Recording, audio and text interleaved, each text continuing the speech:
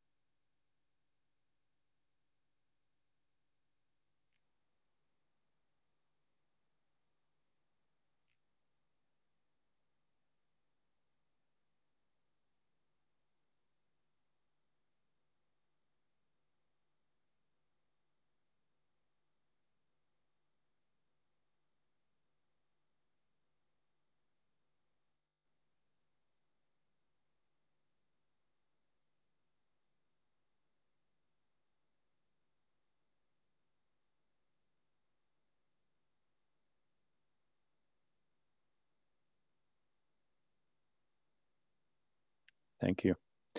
You may be seated.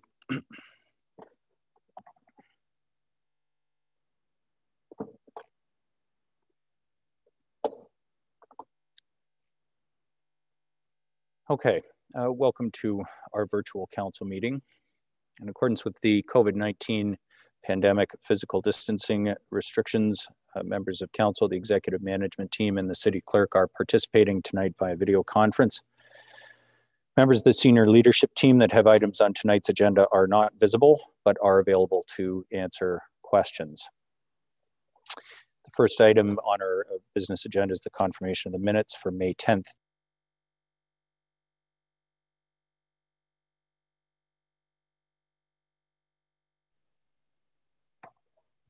I got muted there. Can everybody hear me now? Where was I? Confirmation of the minutes? Now let's start that again. First item on the agenda is the confirmation of the minutes for May 10th and May 25th. Those minutes have been circulated. Uh, the minutes of the City Council meeting held May 10th and 25th have been circulated. Are there any corrections? Okay, seeing none, the minutes are adopted as printed and circulated. We have no awards and recognition or report from officers uh, items on tonight's agenda. We do have a large number of deputation requests related to three different matters on tonight's agenda. Uh, we have one emergency deputation request uh, from Jenny LaForestier concerning motion 21G 137, the proposed Bradford bypass. Uh, we also have six emergency deputation requests from Kenzie Churchward, Caitlin McKenzie, Pauline Bradshaw, Shelby Jones, Chris Ridding, and Amanda Ridding concerning motion 21G 149, review of proposed supervised consumption site locations. Uh, as those deputation requests were received after the printing of the agenda, a vote in favor by the majority of council is required in order for those emergency deputations to proceed. So I will call the question. All those in favor of allowing the emergency deputations? Uh, any opposed to the emergency deputations? None, that carries. Okay, so those will proceed.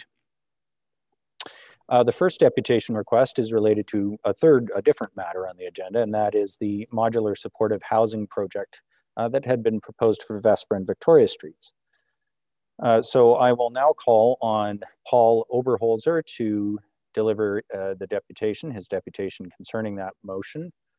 Please note in accordance with our procedural bylaw, and this uh, is good note for everyone, uh, you have a maximum of five minutes for your deputations, and I will warn you when you are approaching the five minutes. Uh, and we will unfortunately have to keep everybody to those five minutes given the number of uh, deputation requests tonight. I can't allow very much leeway on that. So I will try and give you a heads up as you're approaching the five minute mark. Is uh, Mr. Oberholzer with us for his deputation?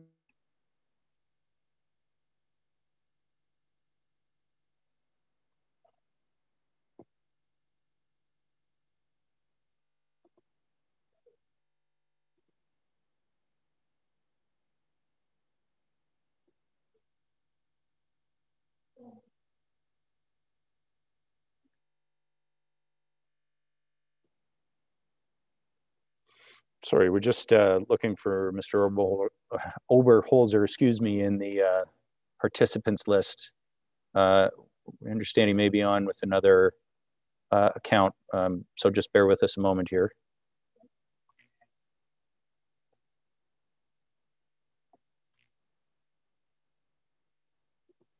Okay, uh, if we've got Mr. Oberholzer, can you hear us, sir? Hello. Oh, Are you there? hello. Yes, we can hear you. Oh, okay, good. Uh, Okay. Having Welcome some, to council. Go ahead with your deputation, sir. uh, thank you very much. We have a slideshow to put up, but before we start, sir, uh, there seems to be some, some confusion. Uh, we went over with Tara, uh, one of the deputy clerks today about this. You did amend uh, uh, uh, deputations to a five-minute limit. Uh, this Correct. is not showing on your website. Your website is still showing 10 minutes. We were not advised of this until this afternoon, so we will run over the five minutes. Um, it's a slideshow and it's just too late to change it. Uh, that's what you published in your website, 10 minutes, and that's what our guiding our, our guidance was. So Well, um, um, you'll with have to go with it. With respect, Mr. Oberholzer, I'd love to give you the time, but we have 26 people who wish to speak. I you understand, sir. I've been So, talking for would all day long. Sorry, sir, I'm still speaking. Uh, what I would just ask you to do is uh, Mhm. try and finish up your remarks as quickly as possible, understanding the confusion and the work you've put into your deputation. Uh, I will allow you a little bit of leeway, but um, uh, please try and get through it uh, as quickly as you can. We can probably get through this in about seven minutes. All right, there you Okay. go. Let's Now, uh, we need to get our slideshow up here. Uh, we're not showing anything here that we can do that. Uh, we need to get blacked out or something. What's going on here? No. Uh, I don't know about the functionality here. Uh, we're not.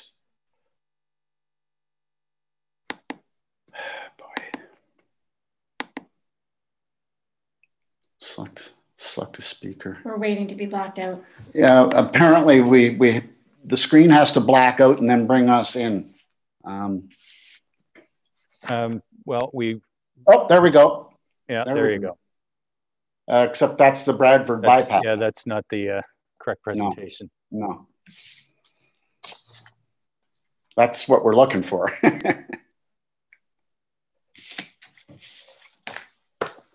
we got somebody on your end working on this? Yes. Okay, thank you, sir.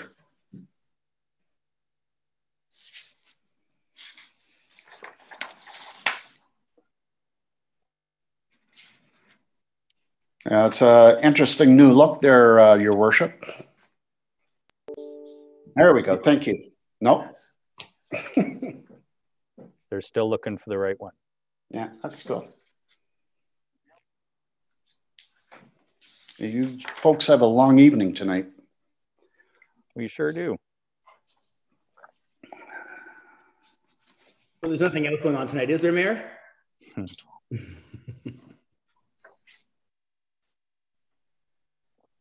I'm sorry, what was that, Mike? I he was talking to me. Oh, okay.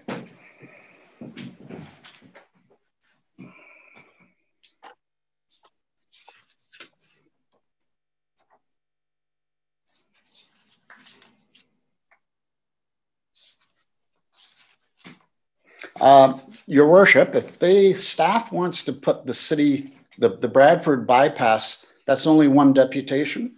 They No, want to put that up first while they sort us out. Uh, I, Uh, would, I would, sir, but there's a number of them. Oh, okay. Well, I was going to say, as long as we can get slotted in after the bypass and before the uh, uh, SCS uh, deputations. Yeah, if we can't get your presentation up in a minute, we'll do that. There we Oh, go. there you go. Okay, We're good to go. over to you.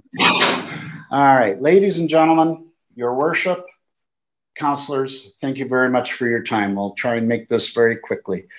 Uh, this evening, we would uh, like council to consider a fourth alternative to staff report FAC 002-21. We would like council to recommend that the land at Vespra Street, 65 Vespra Street in particular, be repurposed as a community park. Let's have a quick overview. Creating balance. In 2006, Ontario developed the Places to Grow plan. It was intended to address the uh, expected population growth in the future, including Barrie, which in uh, 30 years is expected to be 300,000 uh, 300,000 souls. In 2010, your worship uh, led the historic neighborhood strategy. You were our counselor at the time. This strategy was created to help preserve and sustain our historic neighborhoods going into the future. Uh, we're now living in that future that the, uh, that the historic strategy was planned for. Although we're very close to the waterfront and we are the Centennial Beach neighborhood, the reality is, is that we need our own community space to develop as a community. With our rapidly growing city, the waterfront park is more of a park for all of Barrie's neighborhoods. It is also, as we know, shared regular by many, many visitors from the GTA. As a city, we need to take a holistic approach uh, when planning for population growth. We need to make sure that we are not making decisions carefully, that we are making decisions carefully, my apologies, so that we do not end up with a microclimate like they have in Toronto. Balance is very important. Uh, I don't know, our slides aren't moving here, so. Um, Don't worry about it. You're doing great. Well, that's the end. I don't know what's going on here. Anyway, this is a rare and great opportunity to see a, previously paved area turn green. We sincerely hope to embrace it. Uh, let's have a couple quick looks at some success stories in the GTA. These are examples of successful conversions from landfills to green spaces.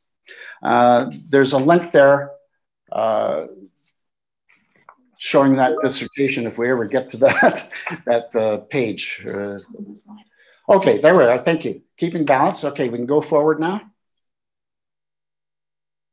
Uh, that's not us. It's not.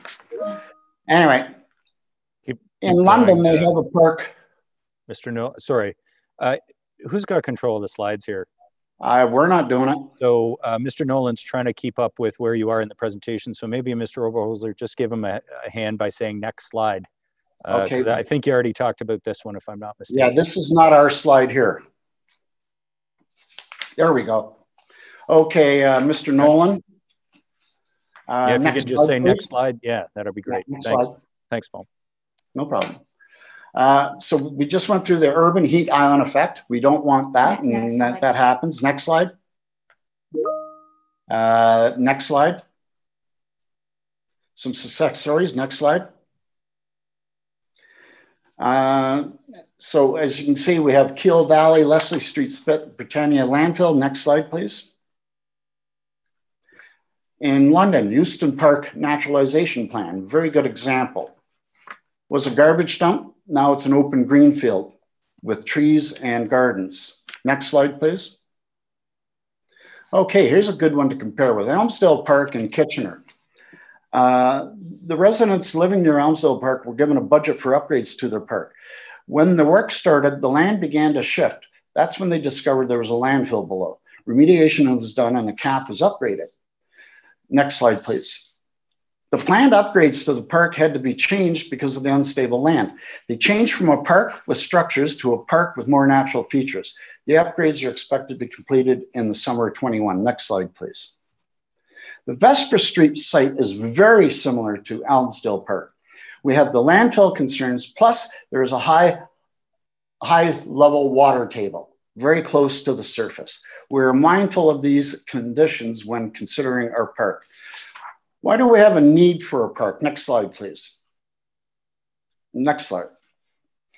Again, with all of this growth, intensification, we need our own community space. Next slide, please.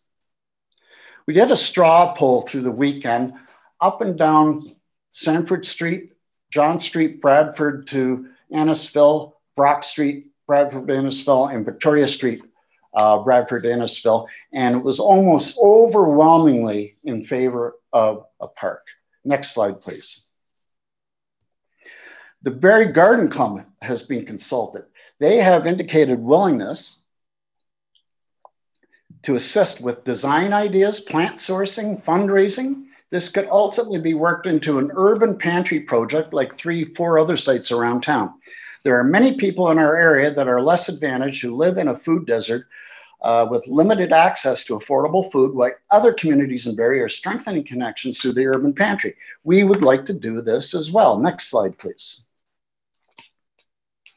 Why? Parks are very important. Recreation is beneficial to our well being. It resets your mind, reduces stress. It's good for our physical health, builds family connections and connections with others in the community. It also helps reduce crime rates with teens. It gives them something to do. Next slide, please. Parks are, uh, are a place to celebrate culture and heritage. It would be entirely suitable to honor our First Nations more widely in Barrie, perhaps at this park. It would also be great to give our Barrie Railway history better recognition. I'm not talking about Allandale railway history. Barrie has its own railway history with a terminal downtown.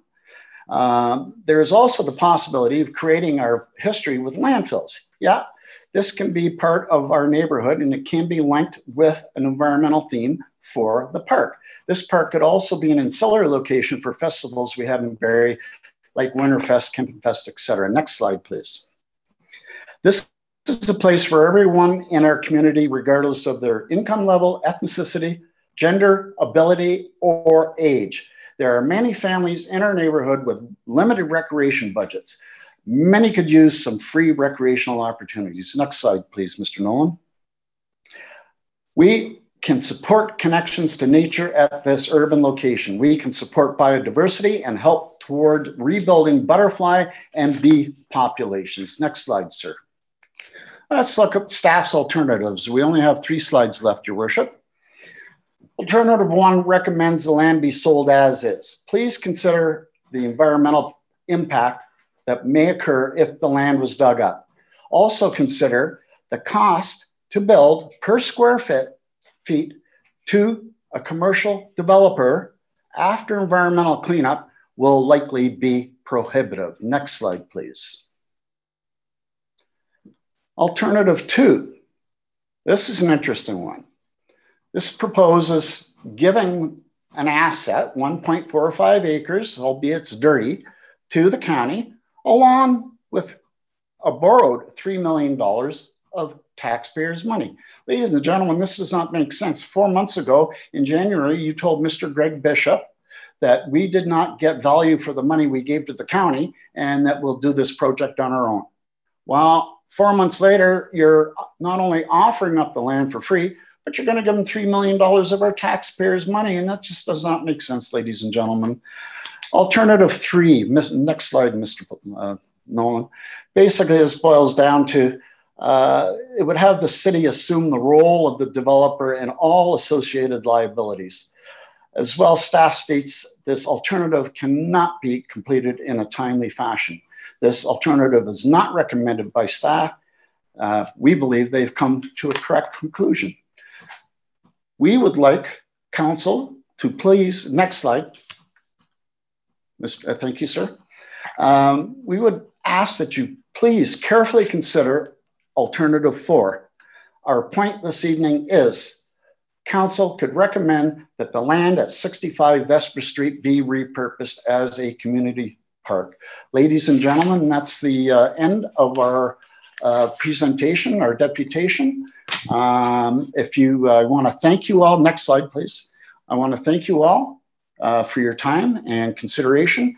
And if you have any questions, uh, please ask away. Thank you very much and have a good evening and please stay safe. Thanks very much, Mr. Oberholzer. Uh, any questions from members of council for this deputant? Okay, seeing none, thank you for coming. Thanks for taking the time to prepare a, slide preparation for us, uh, sir. And that matter will be up, but probably not till quite a bit later because we do have a lot of folks. Well, I guess you ain't going to be watching the hockey game, are you? We're definitely not watching the hockey game. Have a good Uh, evening. If we'd known you. it was game seven. Yeah. Uh, okay, our second deputation request tonight is related.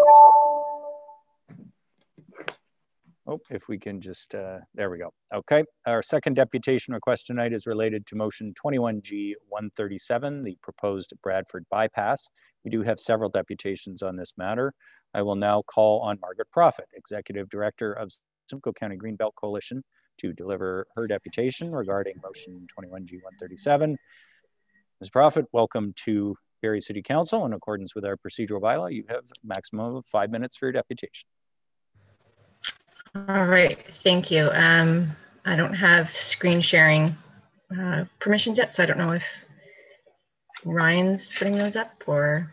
Yes, Mr. Nolan will get uh, that up. I know a couple of deputants. Okay, tonight. perfect. I just didn't want to waste your time. I know you guys have got a lot of time, so I don't have a lot of time, so I wanted to make sure I was sticking to the five minutes.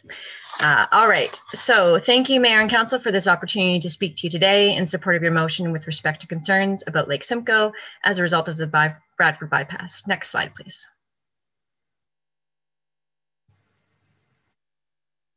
Uh, my name is Margaret Prophet, as uh, Mayor Lehman said, and I'm the executive director of the Simcoe County Greenbelt Coalition. We are an incorporated not-for-profit organization that boasts 42 member organizations from across Simcoe County, including in Barrie.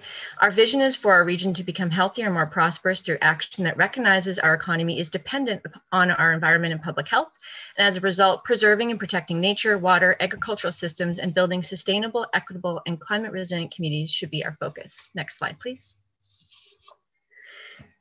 The City of Barrie is taking great strides to show leadership within our region as outlined on this slide. I wanted to commend Barrie for the work it has done thus far and how the city recognizes that there is still more work to do, especially as it relates to creating a city that is healthier, more equitable, and sustainable. The examples that I have chosen are initiatives that few others in the area have done. These are also examples that demonstrate the City of Barrie is not only thinking of initiatives that have direct benefit to its citizens and economy, but also recognizes its role as a global citizen whose jurisdiction is not limited to municipal boundaries. This may not be comfortable for all on council, but unfortunately, as our society grapples with issues that transcend borders, such as pandemics, climate change, water security, food security, rising inequity and poverty, racism, we need more collaboration and accountability to fixing these problems regardless of jurisdiction. Next slide, please. Which brings us to the Bradford Bypass, a relic from 1980s transportation planning revived from the dead in 2017. I've provided you with some key information that informs SCGC's perspective on this infrastructure project. Our coalition follows the evidence, and to us, the evidence that we have demonstrates this is a project that at the very least requires sober second thought. Traditionally, highway projects are predicated on the idea that they provide a net economic benefit that outweighs whatever downsides they present. However, with abundant evidence demonstrating the economic drain that highways present to downtowns and established economic centers, or to the very fact that highways don't reduce congestion thanks to induced demand, that narrative is changing. So much, in fact, that our American neighbors are readily abandoning highway projects and tearing down established highways to reinvigorate their communities. Next slide, please. As I mentioned, there is an accepted myth that highways reduce traffic congestion. Despite numerous examples across Ontario and North America to counter this fact, the myth persists. As you can see from this slide, MTO has started to analyze the time savings and congestion reduction effectiveness of this highway. So you know, we have asked for these studies um, to, to understand the inputs and methodology, but have not received them. Regardless, you can see from these slides that is taken directly from MTO's bypass, bypass project website. The bypass actually increases congestions on two critical north-south routes, the 400 and the 404. The time savings that have been estimated are simply for the time savings between the 400 and the 404. Clearly, if the congestion is worse on the 400, a driver from Barrie may not notice any difference in time travel if heading to 404 or maybe even more delayed if they're heading to the GTA, GTA via the 400. I should also mention that this highway may be a toll road. MTO has not ruled that option out. Further, MTO has not considered other alternatives to this highway, including stronger investments in the Barrie Go line. Um, and when Minister Mulroney was asked if MTO would consider alternatives to the highway, the question was evaded. Next slide, please. So as you consider the motion tonight, my, my main question is if there are members of council who support this highway, what evidence are you basing that on? The route has been chosen before these new proposed studies have been completed. Even still, an exemption to avoid these studies altogether is still under cons consideration. Even if the studies are done, they will be completed after early works construction. That would be bridges, moving of, of hydro lines, um, that sort of thing. Even if the studies are done, um, sorry, that means that regardless of the impacts that are found, avoidance or mitigation strategies are mostly moot. With provincial funds desperately needed for infrastructure and transit, including increase go, increasing GO service, is spending 1.5 billion on a highway that worsens congestion on the 400 something that is in the best interest of Barrie's future prosperity? What if a reasonable alternative to this highway was to increase GO service and regional transit? Despite the obvious boon this would have for neighboring communities, MTO seems content not to entertain these possibilities, which I think is a, a downside for Barrie's, uh, for Barrie for sure. Next slide, please. Uh, on this slide here, we have a map we commissioned in 2017 demonstrating the wealth of water resources we have across the county based on source water protection maps. As you can see, this system is interconnected beyond municipal boundaries, just like Lake Simcoe, our air, our economies, and public health. Sheryl Sandberg sums it up nicely. Leadership is about making better others better as a result of your presence and making sure that that impact lasts in your absence. These decisions should weigh heavily on you because once you are no longer in politics, whenever that may be, uh, you want your impact to last in your absence. I feel commenting on this project and helping advocate for Lake Simcoe, responsible planning, climate action, and investments that are for the greater good is one such example. Next slide, please. I just wanted to show you um, what the headwaters of Lake Simcoe look like. Uh, these are from the route that has been chosen, 13 watercourses in total that have to be crossed, and this happens to be uh, a few of them. Next slide, please. And here we have plains and forests, established forests, that sort of thing. So I want people to recognize the kind of landscapes that this highway would be passing. And that is it. Thank you for your time consideration tonight. Thank you very much, uh, Ms. Prophet, for your uh, deputation and, uh, and the material you've given us. Uh, any questions from members of council? Okay, seeing no questions for the deputant. Again, thank you for being here, Ms. Prophet. Thank you. Uh, next, I'll call on Claire Malcolmson, the Executive Director of Rescue, the Rescue Lake Simcoe Coalition, to deliver her deputation concerning the same motion, the proposed Bradford bypass. All right. I welcome. Ms. Malcolmson. We can hear you. And Thank in accordance you. with our procedural bylaw, you have up to five minutes for your deputation. Perfect. Thank you very much, Mayor Lehman. Thank you, uh, Mayor and Council, for having me tonight. Um, I'm the Executive Director of the Rescue Lake Simcoe Coalition. And um, our coalition is uh, focused on the health of Lake Simcoe, of course. Um, I just want to start off by saying I'm really pleased to see the motion that is before council tonight on the Bradford bypass, and I hope that that passes. And I, uh, I want to say I also support everything that Margaret has just said and uh, commend you for raising the issue of these interjurisdictional uh, Lake Simcoe issues. Go to the next slide, please. So I'm good going to sh uh, share a little bit about what's happening with Lake Simcoe, um, just to underscore the importance of protecting it. So we have released a report uh, about a month and a half ago with Simcoe County Greenbelt Coalition called Lake Simcoe Under Pressure in 2021. And we outline the issues on the slide here. The Lake Simcoe Protection Plan uh, is under review. We don't know if it will be weakened or stay strong, so that's out there. Uh, there's a lot of pressure on Lake Simcoe, the Upper York sewage system. I uh, appreciate that that's come before council as well. The Orbit MZO just to the south to build a town on a rail line the size of Barrie. Uh, and uh, the growth plan uh, requiring municipalities to plan for, we are concerned would be lots of low density growth to 2051. Uh, looking at the information, the analysis provided by the province of Ontario, uh, when they put together the Lake Simcoe Protection Plan, we can estimate that that's going to add 9 to 15 tons of phosphorus per year to Lake Simcoe. And um, you can go to the next slide, please. The reason that that is a problem is because as the dotted red line in this chart shows you, uh, that's the goal for phosphorus loading. It's 44 tons a year. The average of the last 10 years have been, been about 90 tons. So we still have to cut our phosphorus loads in half. Uh, there's a really strong interaction with climate change and phosphorus uh, that is relatively newly explained. And that is uh, when you have these really heavy rainstorms, uh, increased precipitation events that are occurring as a result of climate change in the Lake Simcoe watershed, you have really heavy flows. And when you have really heavy flows, that also picks up more dirt, which contains phosphorus, and throws it into the lake. And that what is what is the explanation for these very high phosphorus loads from year to year. So there's no reason for us to take our foot off the gas on protecting Lake Simcoe. Uh, the other climate change uh, relevant fact here is that 54% of greenhouse gases in the Lake Simcoe watershed are related mostly to people driving their cars. Uh, so we really must not perpetuate the business as usual scenario uh, that will result in a 57% net increase from the 2016 baseline GHG loads as analyzed by the LSRCA. So uh, building a uh, another highway that is going to increase the ease of driving a single occupancy vehicle is going in the wrong direction. Next slide, please. Um, another real bee in my bonnet is uh, the need to protect natural heritage. So very briefly, this is some uh, research that we did a couple years ago. Only 21% of the Lake Simcoe watershed's uh, land is well protected by provincial policy. Those are the dark green areas. The Lake Simcoe Protection Plan has a target of 40% high quality natural cover in the watershed. Uh, we're, we're at about 28% now. So it is not time to start wrecking wetlands and forests. It's time to really protect them.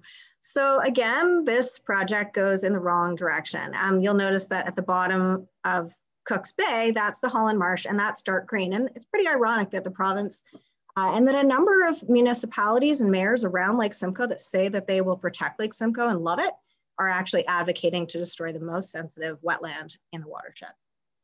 Uh, next slide, please. So this is just another shot of how close the route of the Bradford bypass is to the lake. That's Cook's Bay, the body of water there. Um, so in contrast to the, the previous map and its aim um, I do want to point out that this project is anticipated to negatively impact 22 hectares of high quality woodlands, 17 hectares of Holland Marsh, nine and a half hectares of designated provincially significant wetlands, and 32 hectares of significant wildlife habitat. Um, there's quite a lot more information in the slide that I can't share with you, but if we can just skip down to slide 11, process is inadequate. Um, Margaret talked about this, but I want to just see it uh, have it shown in front of you next. So uh, you're getting there. Yay, thank you. Um, so the process as outlined by the province is extremely confusing um, so-called process is extremely backwards. It's build now, study and mitigate impacts as we go. The timeline makes no sense and it may not even be legal. Uh, early works like building bridges, uh, that was in the budget for the fall of 2021, while they acknowledge that the studies will not be finished until a year later. Uh, the MTO team misled York Region Council when they supported the project when it suggested it would complete these studies prior to starting construction. Um, The consultation has been misleading and shallow in one way. I attended the PIC. No one could ask questions. You couldn't see any faces. They cherry picked questions and they did not address the next point, which is on the next slide, the exemption issue. So here we have, so I'm just going to show two more slides. This is the MTO's project website. It says they're going to do a transportation environmental study report, which will do a number of things listed below uh, that we would agree are good. and the next slide is the still, still live uh, Environmental Registry of Ontario notice about the Bradford bypass, which says if this exemption is approved by the province of Ontario, that the project would no longer be required to complete a TESSER. So I'm gonna end it there because I'm sure I'm out of time. Um, later on in the slide, if you wanna look at more of this, I've outlined how all of the impacts of this highway go against the intention of the Lake Simcoe Protection plan, which uh, your talented Mayor Lehman and I helped to put together with the province of Ontario as very early participants in the creation of the Lake Simcoe Protection Plan. I know you all love Lake Simcoe, and uh, again, I applaud your um, ability to see beyond your borders and to think of the future in Lake Simcoe. And uh, I wish you luck. I hope you can pass this motion tonight. Um, thank you very much. Thank you very much, Ms. Malcolmson, for the deputation. Uh, any questions for the deputant from members of council? Councillor Harvey. Thank you, Your Worship. Uh, nothing directly in relation to the information, but I was just curious if uh, when this matter hit uh, any of the municipalities uh, that are directly impacted uh, with the, the bypass or when it hit York Region Council, whether you presented there. I um I spoke to York Region Council uh, about it briefly when I was speaking about another matter, and then was not allowed to speak about it again later because I had mentioned it for about a minute. Um, I've also, you know, I've, I've, I've certainly been in contact with those other municipalities, but we have to wait for the item to come on the agenda. So uh, Bradford asking for support from other municipalities gave us that opening.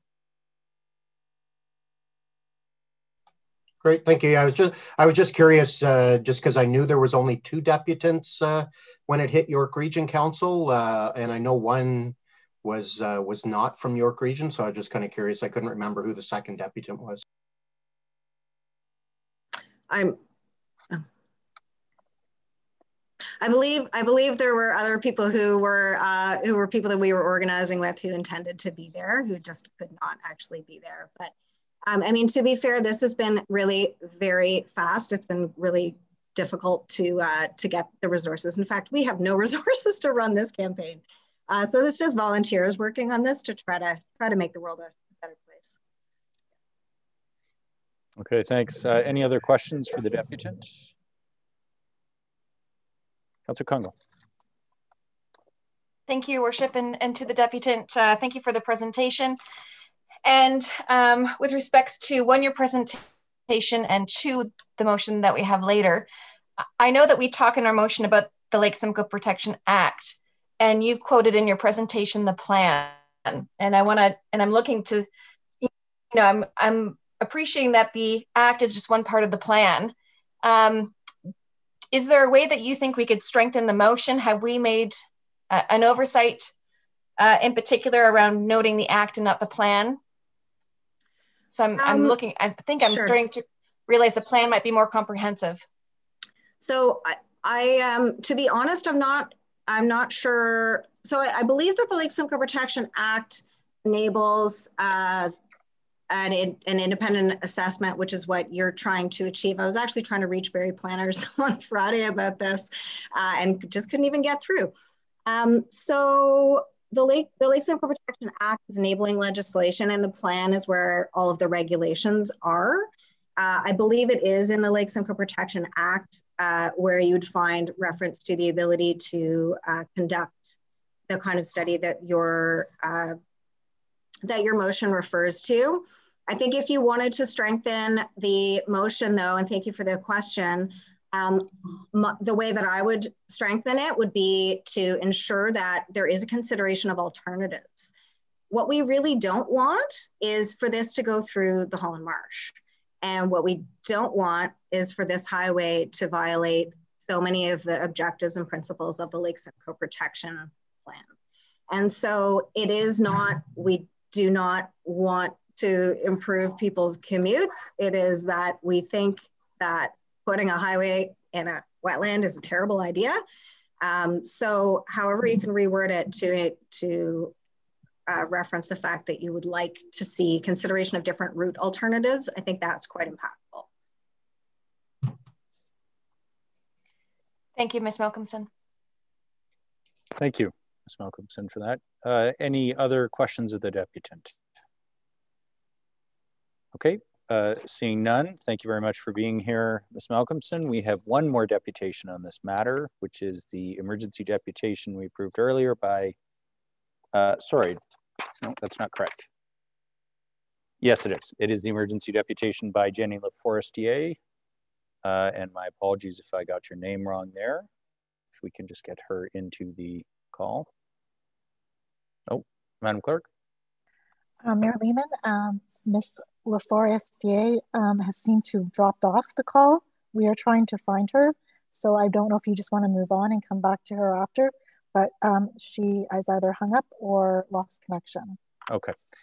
All right. Uh, we will put a pin in it and um, hopefully she can join us again and uh, deliver her deputation uh, at the end of the night. Uh, so we will now move on to the deputation requests concerning motion 21G 149, review of the proposed supervised consumption site locations. Uh, so the way this is going to work, I will be uh, calling out the names listed on the council agenda. So first we're going to go through uh, the folks who registered uh, last week. Uh, we did approve emergency deputations earlier, so we will call those names after we go through the, the folks who, who registered first. So I'll call your name. Once your name's called, please, of course, unmute yourself. We'll, we'll bring you into the call. Please unmute yourself. If you happen to be on the phone, you press hashtag six, hash six to unmute yourself. Um, so our first uh, deputant, sorry, Councillor Jim Harris, go ahead. Thank you, Mayor Lehman. I believe I just want to clarify this time I should declare my conflict. Is that correct? Through you to the clerk? Yes, go Okay, ahead. thank you. Um, so I- thank you, Mayor Lehman. I will say in accordance with S.5 of the Municipal Conflict of Interest Act and the recommendation of our Integrity Commissioner, I will be declaring a conflict of interest and not taking part in the safe consumption site discussion or vote. So thank you. Okay, thank you, Madam Clerk. Has Councillor Jim Harris's interest been recorded? Um, yes, Mayor Lehman, I just want to clarify with Councillor Harris. It's because one of your family members works for the CMHA for your conflict? Sure, yes, yes, Okay. exactly. Thank you. Okay, thanks. thanks. So we Okay. get the nature of the conflict. Thank you there. Uh, and thanks, Councillor Harris. And we will now proceed with the deputations. First, we have Christine Naylor. Can we bring Ms. Naylor into the call?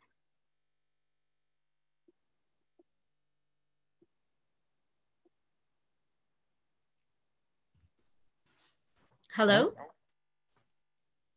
Can you hear me? I can. You're showing as Claire Malcolmson. Oh, okay. It's showing uh, Christine Naylor on my screen.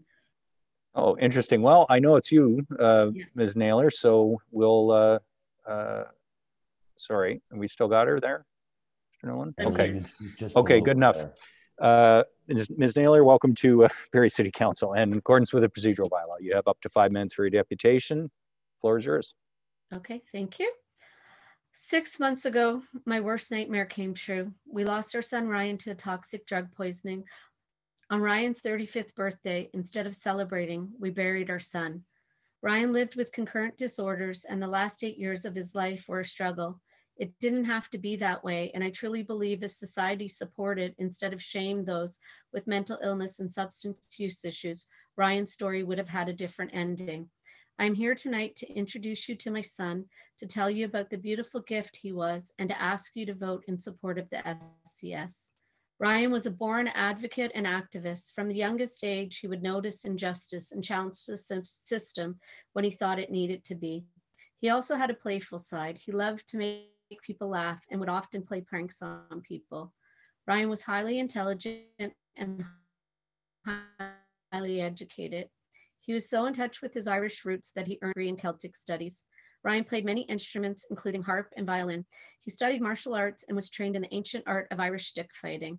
He had many talents, including writing and music. He was well read. Ryan was such an advocate for freedom and access to information that he earned a master's degree in information and library sciences and became a librarian by profession.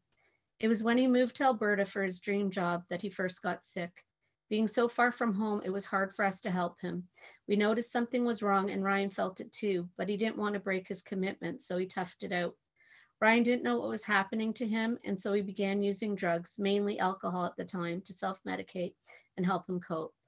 Phone calls home became more frequent and frantic, and after a suicide attempt, we had no choice but to bring him home. We naively thought that being home, we would be able to get Ryan the help he needed. We spent seven years fighting a broken system. We love to talk about all these services that are available, and on paper, they all sound so good. The reality is there's waitlist and criteria for eligibility, there's red tape and lack of funding. For those with concurrent disorders, there are so many barriers to access.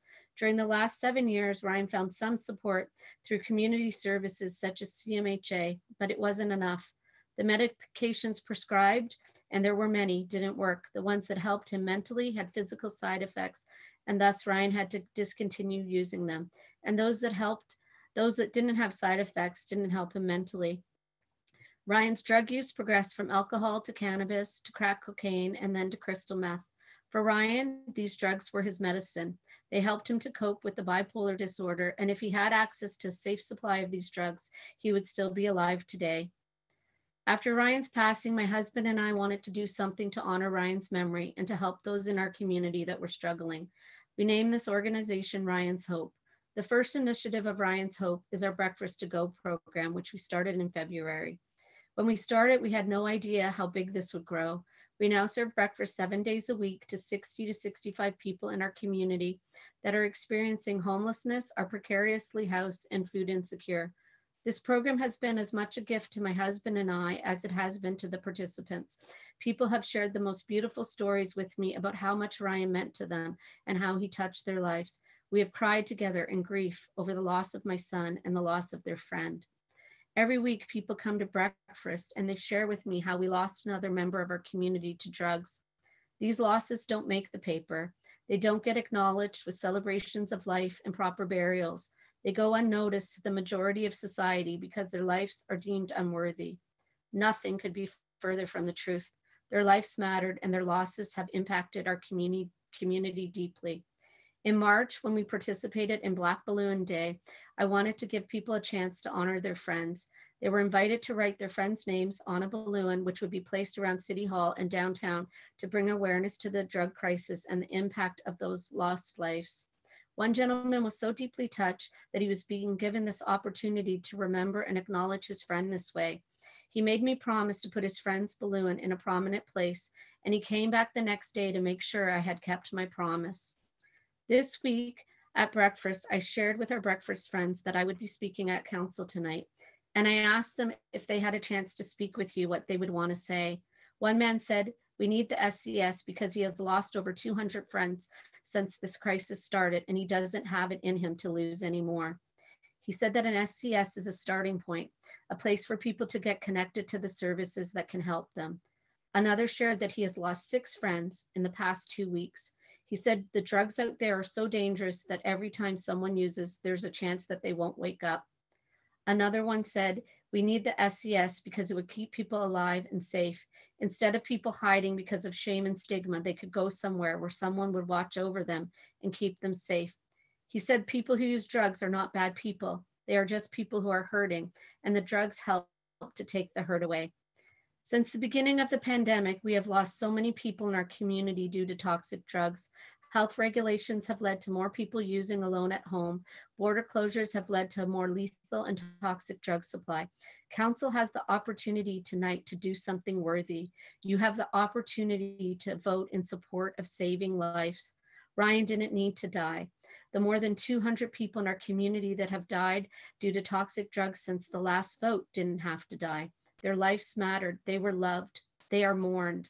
Their friends and families are forever changed by their passing. in memory and honor of Ryan and all those beautiful people that we have lost needlessly. I respectfully ask you, please vote yes. Thank you. Thank you very much, Ms. Naylor, uh, for sharing Ryan's story and for uh, such a heartfelt deputation. Um, are there questions of the deputant? Okay, uh, Ms. Naylor, thank you for being here. Thank you. Um, we, uh, I see we do have um, Ms. LaForestier online, I think now. Uh, that was the emergency deputation on the Bradford matter. So I will just go back to her before we proceed with all the remaining deputations uh, since she missed her spot. Good Uh, good evening, Ms. LaForestier. Welcome to Barrie City Council, and you have up to five minutes for your deputation. Thank you, Mr. Mayor and councillors. Uh, my name is Jenny LaForestier, and I'm a citizen of Ontario, a resident of Caledon, and the federal candidate for the Dufferin Caledon Green Party. Thank you for the opportunity to speak today. While researching for this evening's council meeting, I found an article published on October 7th, uh, 2019, where Mayor Lehman was qu- quoted as saying, on September 27th, around a thousand young people and their supporters marched on the streets right outside the city hall to demand climate action. Many of them were demanding we declare a climate emergency.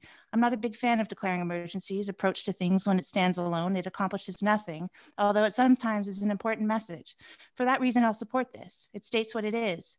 It's to name and deepen our commitment. Well, I think our commitment is demonstrated by our actions. So I agree with you, Mr. Mayor. Um, your commitment is demonstrated by your actions. And so I applaud this council for listening to their constituents' concerns. I'm here tonight to request that you do not support the Bradford bypass during a global climate emergency and a global, global pandemic. Food security and the ability to grow food locally is of paramount importance to citizens in Ontario. That has never been clearer than in the last 24 months at the end of the third wave of COVID 19. The environmental assessment process has been heavily criticized in general over both the Highway 413 and the Bradford bypass. The EA for the Bradford bypass is 19 years old. Because the federal government did not grant a federal EIA for the Bradford bypass, opposing a highway on provincially significant lands becomes the responsibility of local government. It is important to remember the climate emergency that you declared and to stand strong against development pressure. In 2016, the Auditor General published a value for money audit report on the province's environmental assessment process. The report included 12 recommendations consisting of 21 actions to address the audit findings. Recommendations in this report were intended to help achieve the objectives of the Environmental Assessment Act, which was designed to ensure the protection, conservation, and wise use of the environment prior to proceeding with activities that could harm. After two years, the Auditor General conducts a follow up audit to determine the status of implementation of recommendations. They then continue to follow up annually until every recommendation is either fully implemented or no longer applies. As of March 31st, 2020, 17 of the 21 recommended actions, 81% of them were still outstanding. An old environmental assessment that is not of the required standard is a poor reflection on a process that is meant to safeguard our health, safety, and quality of life. The 2018 advisory panel on the GTA West Highway 413 noted that conclusions from phase one of the EA were fundamentally flawed, in part because of uncertainty surrounding future travel demand compared to when the EA was initiated 10 years ago. The panel indicated that a preferred planning approach would be to develop a single unified transportation plan for the entire greater Golden Horseshoe that would align with provincial policies and explicitly consider uncertainty. The panel supported investment in transit and rail and optimizing the existing transportation network. Has an independent expert panel analyzed the EA for the Bradford bypass? Given the proposal for the On-Corridor Go Transit expansion project that will improve transit along the Barrie, Kitchener, Lakeshore East, Lakeshore West, Richmond Hill, Stouffville, Union Station, and Union Pearson Express Go Transit corridors, why are we building a highway that promotes car dependent communities on the last best farmland close to the GTA market? Adjacent to the Holland Marsh Wetland Complex, the largest wetland habitat in the Lake Simcoe watershed. In May 2020, a presentation to Ontario ministers from industry groups representing the residential and commercial construction industry contained a recommendation to accelerate approvals of key pieces of infrastructure in order to unlock housing supply. In July 2020, the province released legislative changes to fast track the EA approvals under the blanket of economic recovery from COVID 19. If the Bradford bypass is built, development pressure on local governments will be insurmountable, and local councils will not be able to resist, especially in the absence of provincial support. Speculation has already commenced, as is evident by recent real estate transactions and requests from developers to convert lands from employment or commercial to residential, suggesting prime agricultural lands would be developable surrounding the Bradford bypass. Therefore, valuable food production that is close to market is lost for Ontario consumers, as well as loss of environmental sensitive lands important for source and stormwater protection and may provide critical habitat for endangered species. The Walmart distribution in Vaughan, approved by MZO, approved paving over a small PSW in part because the wetland has lost its ecological value due to MTO supervised construction activities on the adjacent Highway 400. The consultant for the MZO approving a warehouse on the Duffins Creek wetland argued, in part, that the development should proceed because the wetland had been degraded due to the presence of Highway 401. What will be the fate of the ecologically significant and environmentally, environmentally sensitive lands surrounding the proposed Bradford bypass if it is built? What development will follow because the land has lost its ecological value and significance? The EA predates the Lake Simcoe Protection Plan, the Greenbelt Plan, or any climate targets and commitments. There could be severe impacts to stormwater and groundwater, and there should be required upgrades to important studies on groundwater protection, archaeological resources, and stormwater management. In 1997, most people still did not acknowledge that climate change was real. In 2021, many regions and municipalities like yourselves have now declared climate emergencies. Our lives have changed significantly and devastatingly in a short time due to the pandemic, with people forced to embrace working from home and online. We do not yet know if these changes will be permanent. The Ontario Federation of Agriculture's new campaign titled Homegrown focuses on protecting and preserving farmland and domestic food production. The campaign hopes to increase awareness on the issue and enhance consumer knowledge about the negative impacts of urban development on Ontario's agri-food system. The Ontario Federation of Ag Agriculture states that the current rate, we're losing an average of five farms per week to urban development. Along with farmland, significant wetlands, key shorelines, and forests are being threatened by urban sprawl. If this continues, the whole province will feel the effects. Farmers grow and produce more than 200 different fruits and vegetables and grains and livestock, provide nearly 1 million jobs in the agri-food sector, and contribute more than 47 billion to the provincial economy. If Ontario is currently losing Ms. 107, I'm, yes. I'm, I'm sorry. Am I out of time? I, That's I've okay. I was almost done anyway. over. Yeah, Yeah, you thank you just very much. up your appreciate that. remarks. Yeah, I can great. actually. Um, I just wanted to finish saying that I, I do support the motion that you've put on the table, and I, I do want you to support 21G 137. And I also do want you to consider alternatives. And one of those altern- alternatives might actually be not to put the Bradford bypass through the Holland Marsh. Thank you. Okay, thank you very much. Uh, certainly lots in that, and thank you for being here tonight. Uh, any questions for the deputant from members of council? Okay, seeing none. Uh, thank you for being here. Uh, okay, we will now uh, dive into our list. Um, uh, Ms. Naylor was the first uh, to speak on the motion regarding um, the support for the supervised consumption or the proposed supervised consumption site locations. Our second deputant on that matter is Amanda Maynard. Ms. Maynard, welcome to Barrie City Council. And in accordance with our procedural bylaw, you have five minutes for your deputation. Thank you, Mr. Mayor. Um, I just want to confirm that you can all hear me. Um, okay, thank you. Um, good evening, Mr. Mayor and City of Barrie Council members. Um, before I get started tonight, I would like to take a moment to thank you for your additional acknowledgement at the beginning of the meeting regarding the 215 Indigenous children whose bodies were recently uncovered in BC. I'll carry on with what I'm here to talk about today. Um, in addition to the correspondence that I've previously sent you all, I'm here today to speak out against this, the proposed SCS at 11 Innisfil Street. My name is Amanda Maynard. I'm a proud Anishinaabe Kwe who lives in Ward 2, where my partner and I are raising three young children steps away from the proposed site. I've spent my career working towards the improved well-being of this region's Indigenous community, and I have spent my entire life alongside countless individuals who struggle with both mental health and addictions.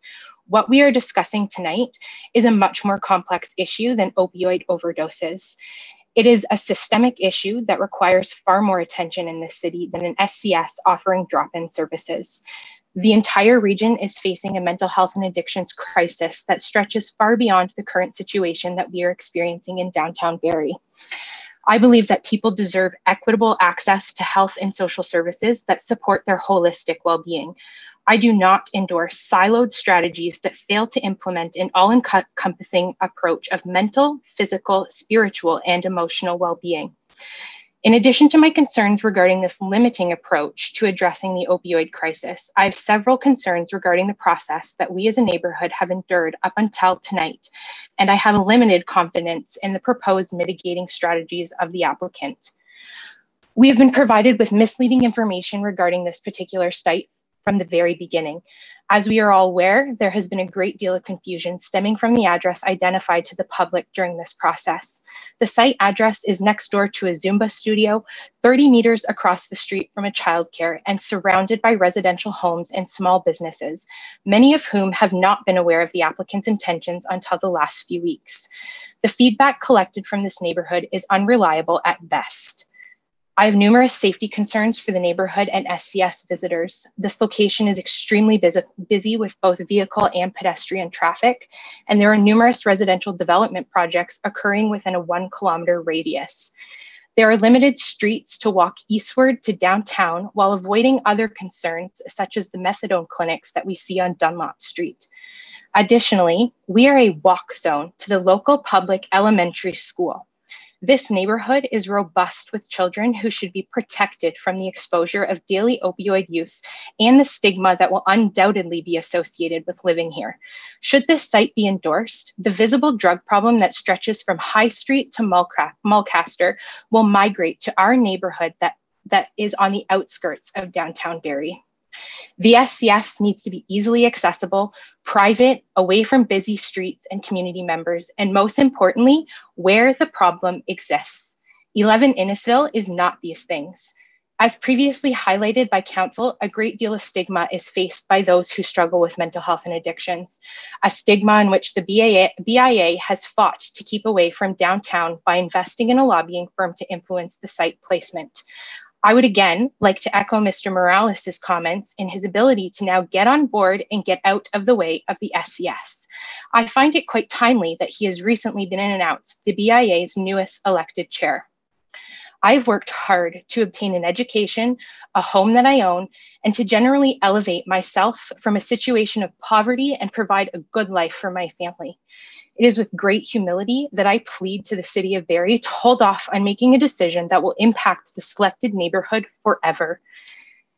If the city is truly invested in being a part of the solution to mental health and addictions that plague our city, I ask you to become an active partner in creating a community based solution. Let's investigate innovative and holistic approaches being taken on by other community leaders in mental health and addictions. Furthermore, the applicant should be required to reconsider all feasible sites, including the properties that they own themselves in downtown Barrie, and proceed with a more meaningful engagement with those neighborhoods.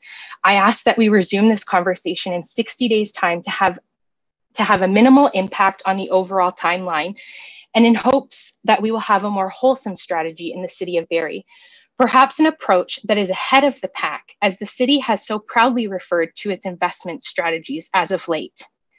I thank you for your time and consideration, and I truly hope that as a community, we can come to a far more impactful solution. Thank you all. Thank you very much, uh, Ms. Maynard, for such a thoughtful deputation. Uh, are there any questions from members of committee? Uh, Councillor Harris and then Councillor Morales. Thank you, Mayor Lehman, and thank you, Ms. Maynard, for your deputation.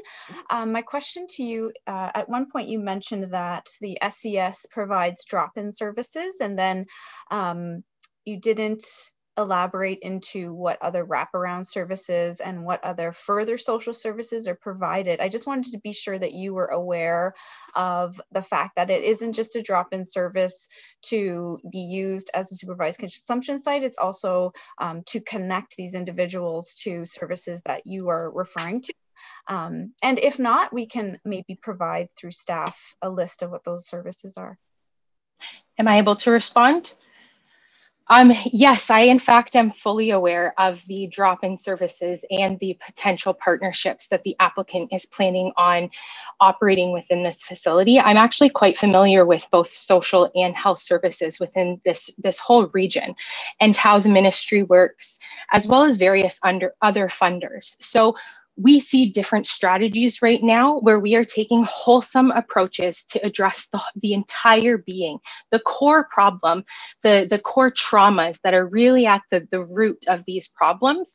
So to have a drop-in service, in my opinion anyway, that you have at this point no real schedule for, um, no idea what those will be or how often they will be visiting the site. There's no hard plan, which I have asked for from the applicant um, I don't believe that it is in the city's best interest to, at this point, be making a decision that will affect the whole city. Uh, Councillor Harris, question? Yeah. Thank you. Yeah, just a follow up.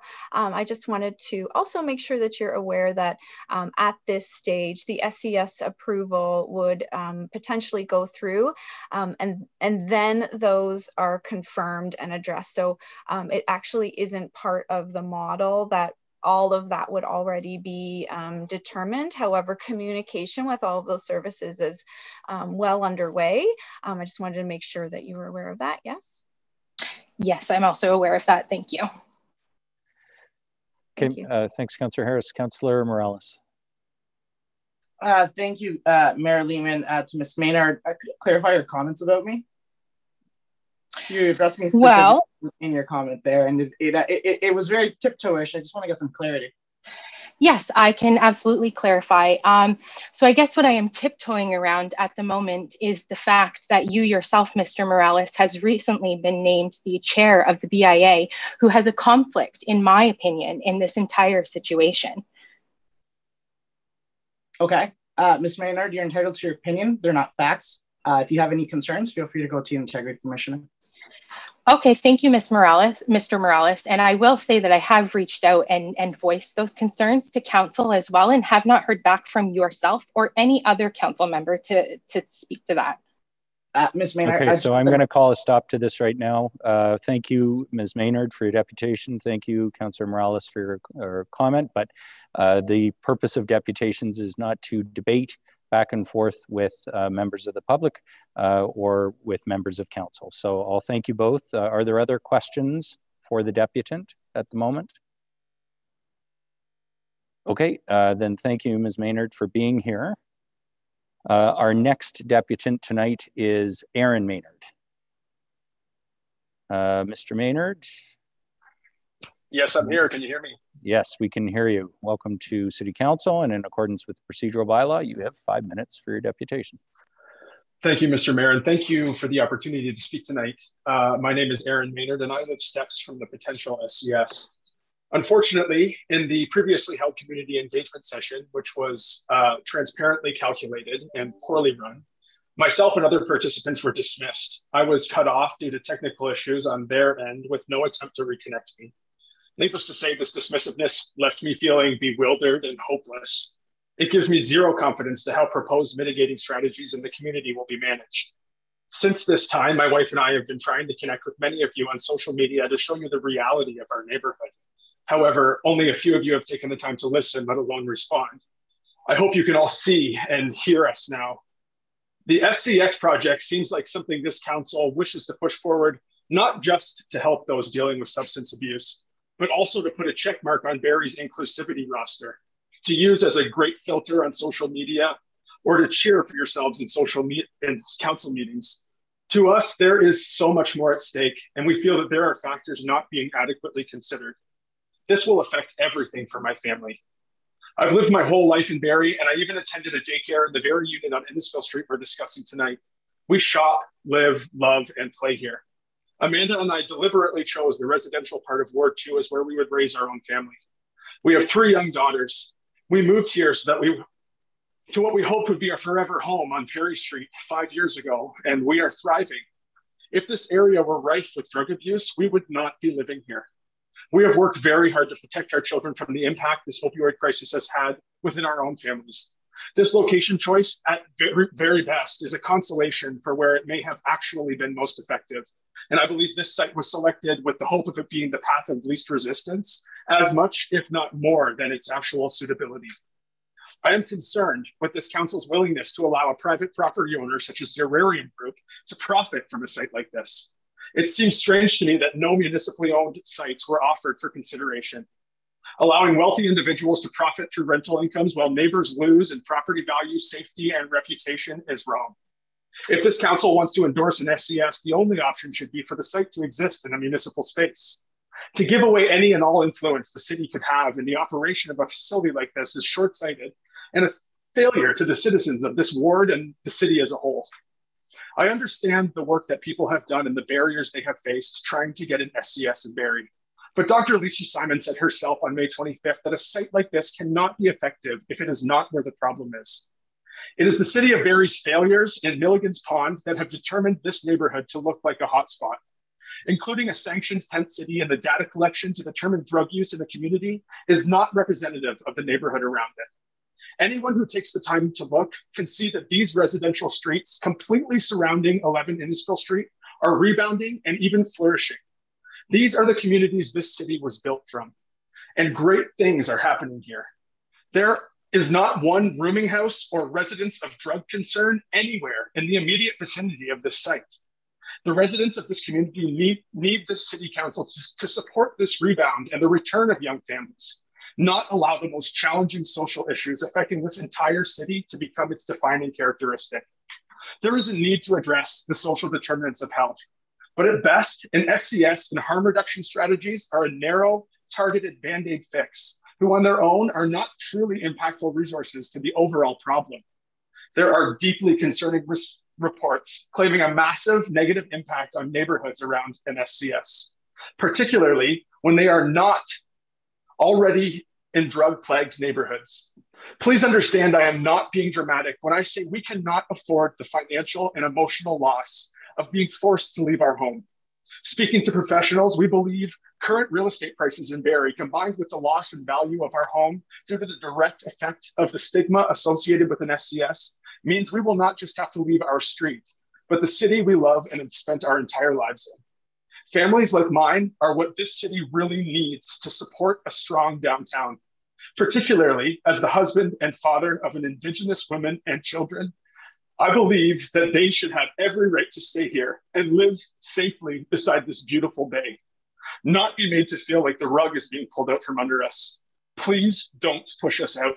Barrie can and should want to do better than this solution at this location. Thank you for your time tonight. Thank you, Mr. Maynard. And I can hear the uh, emotion in your voice and how strongly you feel about this. Thank you for, giving us your uh, obviously very heartfelt views. Are there Thank any you. comments, or, or, sorry, not comments, questions only, questions for the deputant? Uh, Councillor McCann. Thank you, Mayor Lehman and uh, uh, Mr. Aaron. I appreciate your uh, your presentation. Obviously, echoing uh, what the mayor said, that uh, your passion came through. Uh, I just wanted to make sure that um, that your voice is heard federally and provincially, and you wanted to make sure that you did understand the process moving forward tonight. If it does pass, that this is not the the, the end of the line. So I, I do. And I, don't think you, you, you, can't go back and forth with me. But I'm just like you can reach out to me, please. Uh, sure. I, I, do think that your uh, your very passionate and meaningful uh, presentation should be heard provincially and federally. Thank you. Thank you, Mr. McCann. Any other questions for the deputant? Okay, uh, seeing none, Mr. Maynard, thank you for being here. Thank you. Uh, our next uh, speakers on the list are, we don't think are online at the moment. that is Tom and Kylie Swales. Um, if you are online, uh, Madam Clerk, under another name or phone number, uh, what should they do? Um, through you, Mayor Lehman, they can email the city clerk's inbox and just let us know what what name they're under, and we'll we'll locate them. We'll try and locate them. Okay. So, uh, uh, sorry, city clerks at barrie.ca. Yeah. So Tom and Kylie, if you're online uh, under a different name or or uh, number, just email city clerks, all one word, at barrie.ca. Uh, we will move on for now to our next registered deputant, who is Krista Westerning. Krista, welcome to Barrie City Council, and in accordance with our procedural bylaw, you have five minutes for your deputation. Oh, still on mute.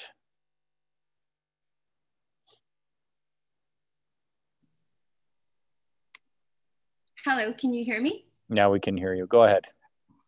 Hi, thank you so much for allowing me to share this evening. Um, let me just pull up my notes, thanks. All right, my name is actually Megan and I operate a yoga studio at 110 Bradford Street. And I've done that for the past nine years. I provide a safe space, literally and figuratively, for people to get healthy and heal physically and mentally, as well as in some cases, actually overcome and deal with addictions. So I would say we have similar missions of helping and serving people in need of healing in our community. I'd like to share a bit about how my business operates to give you some context and some context for the concerns I'm going to share. I'm responsible for the safety of over 200 members of my studio and the safety of our 30 staff and volunteers. When we are open, we can expect 160 plus people a day to go through our doors, predominantly women, and they're predominantly off, um, arriving and departing alone. My business opens at 5:30 a.m and it doesn't close until after 10 p.m. These openings and closings are done by a single female employee, often in the dark, so before sunup and after sundown. Most of my staff and many clients park in the lot run by 80 Bradford Street, so that's just adjacent to your proposed site. We have no street lighting on Vespra in front of the studio. So that's just a bit of context. So from the small bit I know about safe consumption sites and their socioeconomic impact, much of which I've learned from a 194 page report um, called Impact, a socioeconomic review of supervised consumption sites in Alberta, which was published in March 2020. Here are my primary concerns. The report found that social disorder increased in the areas surrounding safe consumption sites. This included harassment in public areas, drug users urinating or defecating on property or in front of businesses, as well as uttering profanities or making rude gestures to community members and patrons of local businesses.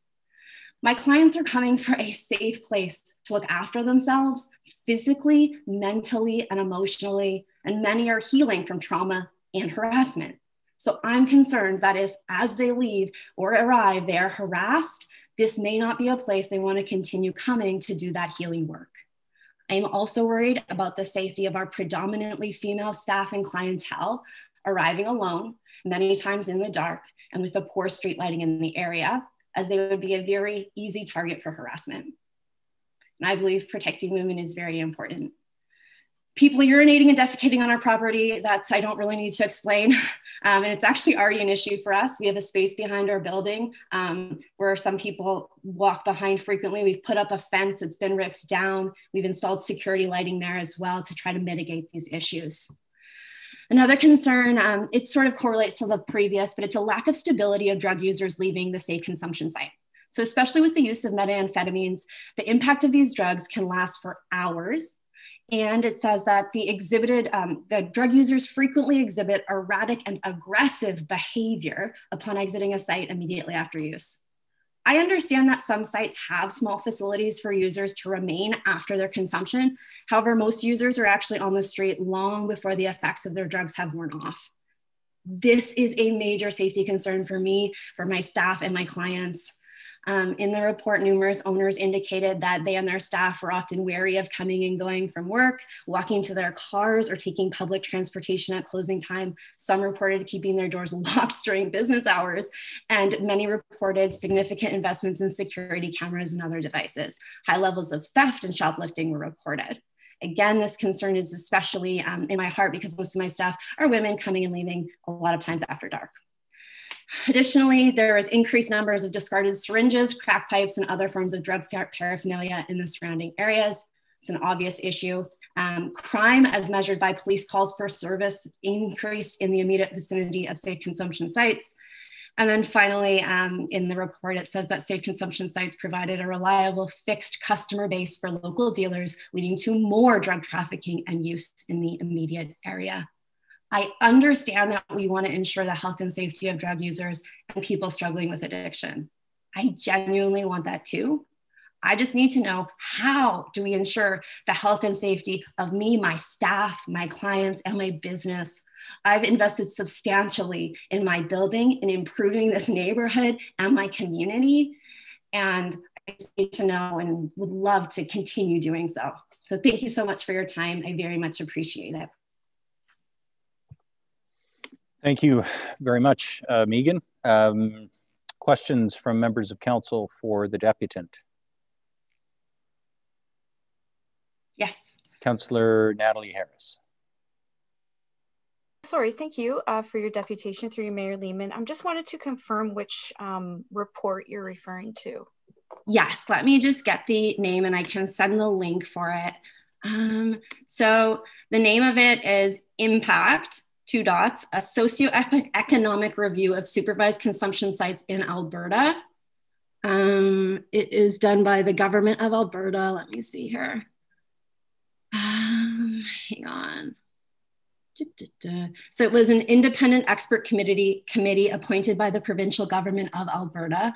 They reviewed the social and economic impacts of current and proposed supervised consumption sites and released their final report on March 5th. And the reason um, they did this, yeah, so in the spring of 2019, the government of Alberta announced a freeze on funding new supervised consumption sites pending this review. Excuse me, pending this review. So Does sorry, it was released March March 5th of this year? 2020 of 2020. Okay, so yeah. I just want to draw your attention to um, a new harm reduction as a harm reduction journal, and it was published January 6, 2021. Um, supervised consumption sites and crime, scrutinizing the methodolo methodological weaknesses, sorry, and aberrant results of a government report in Canada, Alberta, which actually um, went against a lot of those claims in that report. So that is a peer reviewed. I can send you that if you'd like, if you're interested in reading yeah, it. I would love that. Sure, no problem. Um, but I just wanted to let you know that um, a lot of the stats that you were um, stating um, have been actually, I don't know the right word. Is it debunked? I'm not really sure, but um, this clarifies that. Yeah, okay, thank you. Yeah, I'm curious of, yeah, to know who they were debunked by, if that whole long report was created by these communities. Thank you. Okay, uh, thank you very much. Uh, are there other questions for the deputant? Okay, seeing none. Uh, Megan, thank you for being here tonight. And we will move on to our next deputant, and that is Cameron Qureshi. Cameron, welcome to Barrie City Council, and in accordance with our procedural bylaw, you have five minutes for your deputation. Yes, good evening. Can everybody hear me well? Yes, we can hear you. And thank you for the uh, allowing me the opportunity to speak. I realize that I am not as uh, prepared or articulated as some of the previous speakers. Um, as we run a 24 hour daycare, it hasn't given me much chance to prepare, like write stuff down. But I do want to bring out to the uh, highlight the aspect of the number of children, like my being at daycare, we've been We've moved to Barrie about six and a half years ago. When we moved around Innisfil Street, at that point, because uh, the Barrie Collegiate School had closed down, pretty much all the families had moved out of, with children had moved out of this area. Within two years of us being here, we've started to see a couple of families moved back to the area, which is when we actually opened up our daycare or child home care child provider. And since the four plus years that we have been doing this, we have seen a number of families move to this area. Plus also is that a number of demand has actually increased for uh, our services as we are the only 24 hour childcare provider within a very great radius around here. Uh, so much so that we've actually invested about 40,000 to actually legalize our uh, basement and to be able to expand to a capacity of 24 children.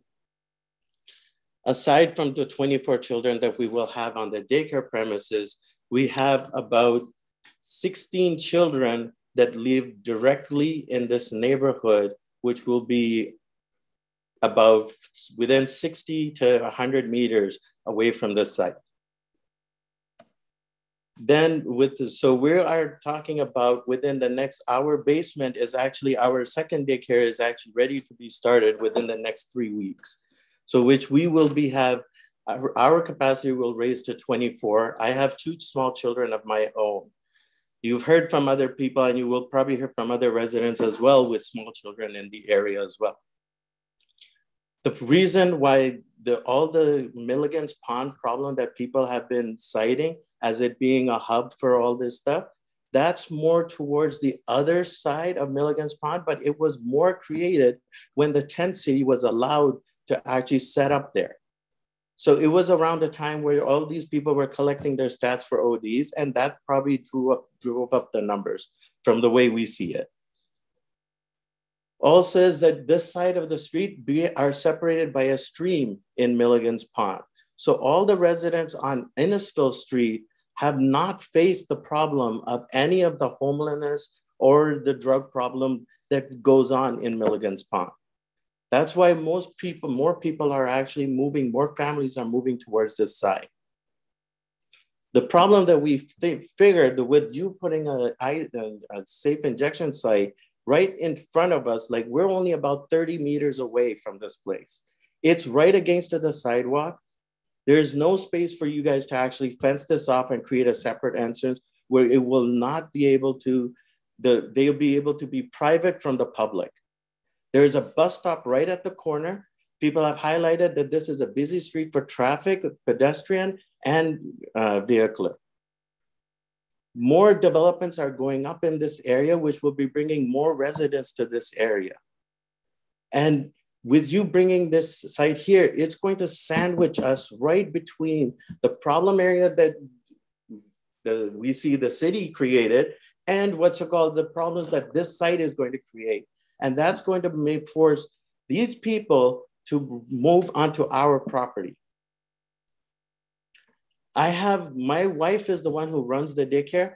My job was in Toronto. I actually just left my, retired from my job so we can actually expand the daycare here. But in the meantime, I haven't been worried. I have a wife and I have three daughters, which have, my young daughters have grown up in this area. And me being away to Toronto for one day or two day, I never worried about the safety of my family here. This site increases my level of worry exponentially. we have like this site is this area is being like it's up and coming there's a lot of developments coming in there's a lot of new families coming in This area is already much pretty clean adding this site here you are bringing into an element which does not really exist in this area now you're going to be bringing it and telling them to come to this area So we are not against the uh, safe injection site. We feel for the people. We feel for Ryan's mom. We feel for other people that have lost people uh, due to overdoses. But they are adults who have made their choice one or another. They have had opportunities. There are ways for them to get help. But the children that will be about affected in this area, currently, which will the next two, three months will be about 40 children that will be affected by this, that will be exposed to all of this, the creation of new drug users because of this, they don't have a choice in this. You are taking that choice away from them.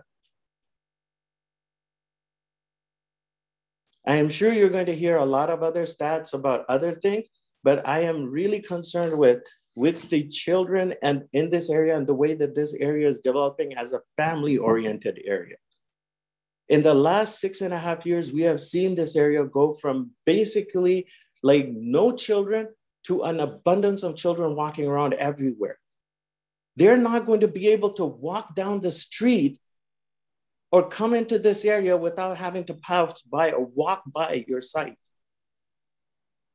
And that will stop families from coming to this area. It will derail everything that this area has been trying to do to bring itself up.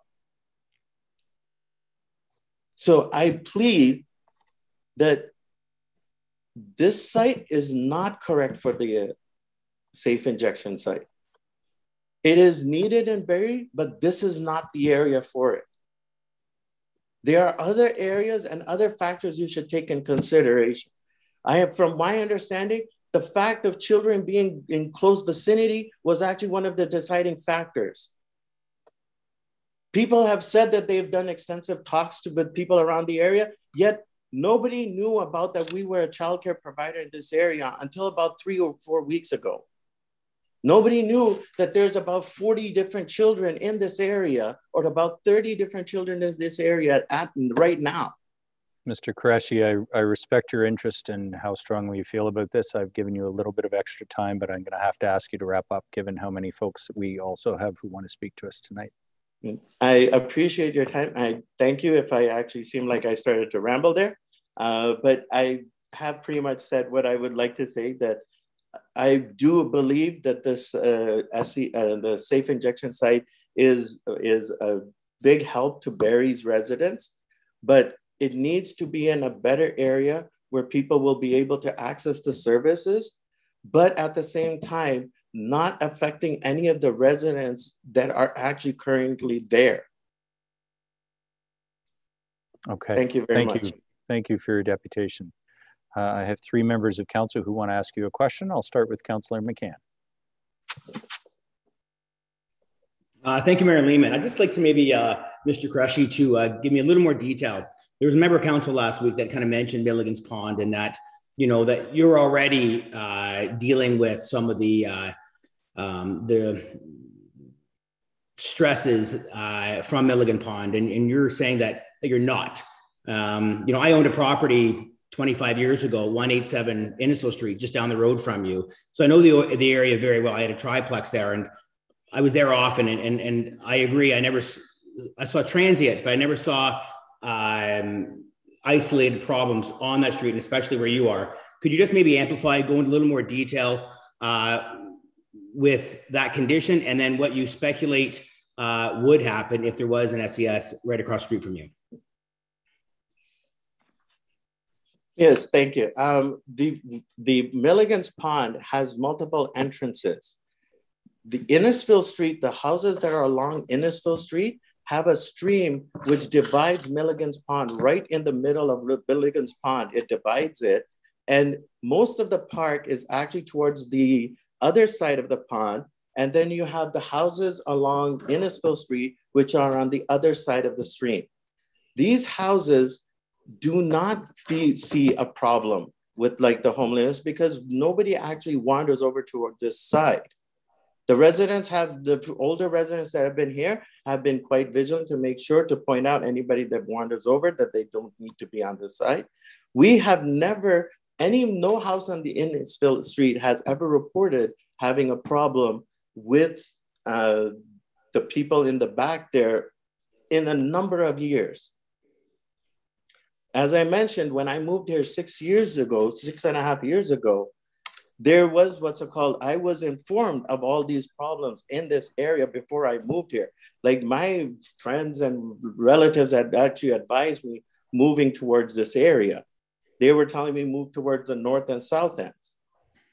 But being in this area for just within a year, we again, we haven't seen any of these problems. We have not to this day, we haven't dealt with anybody trying to walk over onto our property or anybody squatting or finding any kind of paraphernalia around our area. I appreciate your answer, and, and I just want to maybe make some uh, really uh, quick question, uh, quick questions, and maybe just get some really direct answers from you, just because I know there's a number of council members that are having questions. I'd like to ask you about uh, communication. Um, you know, you own a daycare, and did you say you have you have the potential in the near future to have 24 kids uh, at your 24-hour daycare? Yes, sir. Like, so that is okay. So then, I mean, my next question is what communication did you have from uh, City of Barrie or from um, uh, Simcoe, Simcoe County? I actually have had zero communications and zero information passed to me about this. I found out about this site being chosen about three or four weeks ago when my neighbor pointed out to me in the Barrie Advance and showed me the article. And even then I was wondering, like he told me that this had been going on and there was a problem with them mislabeling the address. And I have seen for the last six years that this address has been very clearly labeled as 11 Innisfil Street. So I don't know how, understand how it ever came as 80 Bradford to begin with, because it's always been 11 Innisfil Street. Yeah, no, I appreciate all those comments. And uh, I know uh, Councillor Harvey has uh, um, some uh, some questions, so I'll let him ask. But I just wanted to maybe ask you about your association with Wee Watch, and maybe I can get uh, Andrea Miller to uh, to maybe come in and maybe clear something up for me. why we why Wee Watch organization is not a sanctioned childcare facility or daycare. So, Ms. Miller, you, through you, Mayor Lehman, could you um, get that clarification now, or would you like to do it later on, Mayor? Yeah, you can do that later on, Councilor McCann. We got a long list of speakers, so just questions for the deputant at this point. Thanks. Okay, so so maybe the question I'll have is, uh, how long have you been certified by we by uh, it's not we watch, yeah, we watchers. Yes. Hmm? How long? About a little a little over four years. And and, and is, is that is that hard? To, is that certification a lengthy process, or is it just a simple application, or is it an no, investigation? It, it's no, it is a, a process. Uh, my wife started the process. She took her uh, a couple of months to actually get approved.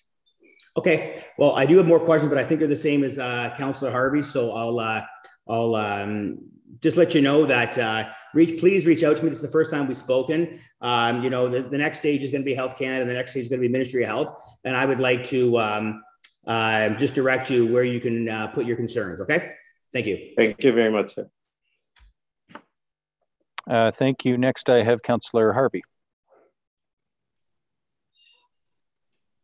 Thank you, Your Worship. Uh, yeah, to the deputant, uh, in your deputation, you mentioned uh, an estimated distance of 600 to or 60 to 100 meters. Um, how did you ascertain that distance? Did you actually measure it out? Well, I've actually uh, read in the reports that my house is, according to published reports, they said in the article, is that my house is about 30 meters away from this site because we are directly across the street from it. My house is a semi-detached house. There's the residence next to me. He has two, three small girls of his own. I have two small children. The house two doors down from me has like two children of their own. The house Two doors down from that has three small children. So these are just the number of residents that I can just count along this street on my side of the street that are facing uh, the safe injection site. Great, thank you. Yeah, no, I, I was just getting specific with your particular situation because uh, I, I, I am well aware that uh, it is 30 meters and not the 60 to 100 that you mentioned earlier in your deputation. Yeah. So I just wanted that to be clear for uh, for all members of council uh, with the close proximity you are to the front door of the proposed location. Now, with your licensing uh, through uh, through Wee Watch, um, have you had any discussions with Wee Watch as to what your your future would be with the company uh, if if this proposed uh, safe consumption site is approved? At this moment, I have uh, not spoken to them. I was waiting for actually the, to hear from the results of this meeting to actually uh, to speak with them about that. Great, thank you. Um, I, I, will let you know I have had uh, discussions today with executive management at uh, head office. Uh, however, I don't think this is the appropriate time for me to to talk, speak about that, and I will uh, will address that later uh, during the debate. Thank you very much. Uh, Councillor Natalie Harris. Thank you, Mayor Lehman. thank you for your deputation. I have a, a question. My question is, what are your specific safety concerns? Specific. What are your concerns that would be um, a safety concern with respect to those children? I have mothers who come towards the evening, like who are frontline workers, they're nurses to come, they come on their own to drop their children off. I have people coming at all different times of the day to drop their children off and pick them up. The, my major concern is that when we are directly across the street from them, these children will be uh, exposed to inebriated people, people which are high, people will be, be on any type of behavior. Once they leave your site, I don't believe there is any guarantee of their condition by you guys. So whatever, how they react, that will all be exposed to my children right here. Plus the mothers and families, which are what's it called, dropping the parents off, the single moms which are dropping their parents off towards the evening, they may not feel comfortable if they see uh, people hanging outside of that place. You also have what's it called the safety of the what's it called like I'm the safety of the residents. My children won't be able to cross the street when they go and because we have no sidewalk on our side, the sidewalk is on the other side of the street. They can't go, they'll be afraid to cross the street to even just go to the sidewalk, which means that they'll be walking towards on the street, which was put more resident kids on this side into more danger just because they'll try to avoid that situation. Okay, thank you for that. So I guess my, my point is those are generalized safety concerns, but there is no scientific data that shares current I'm looking at very current peer reviewed data um, that says that there is an increase in crime in any way around SCSs, except I believe it was in one city. So this was the one report I'm reading is a pretty large peer reviewed article. Um, and I think it's just really important um, to maybe even suggest it's unfortunate as COVID times because if you had the opportunity to visit an SCS in another city like we have in say Guelph, um, many of Councilor us. Harris, to, I'm, so, I'm sorry to interrupt you. Is there a question? Um, I, I, guess the question was just about what are your specific safety concerns because I, I, would like to notify that all people that are even going to make a deputation later um, increase crime around SCSs. Um, okay, that just so I, isn't facts. I, I, know this is an important point, uh, and I will add welcome Yes, I will welcome all these points uh, that members of council wish to make during the debate, which will come after the deputations. But for now, I just have to ask everybody questions only for the deputants for now. Okay, thanks very much. Uh, are there any other questions of the deputant?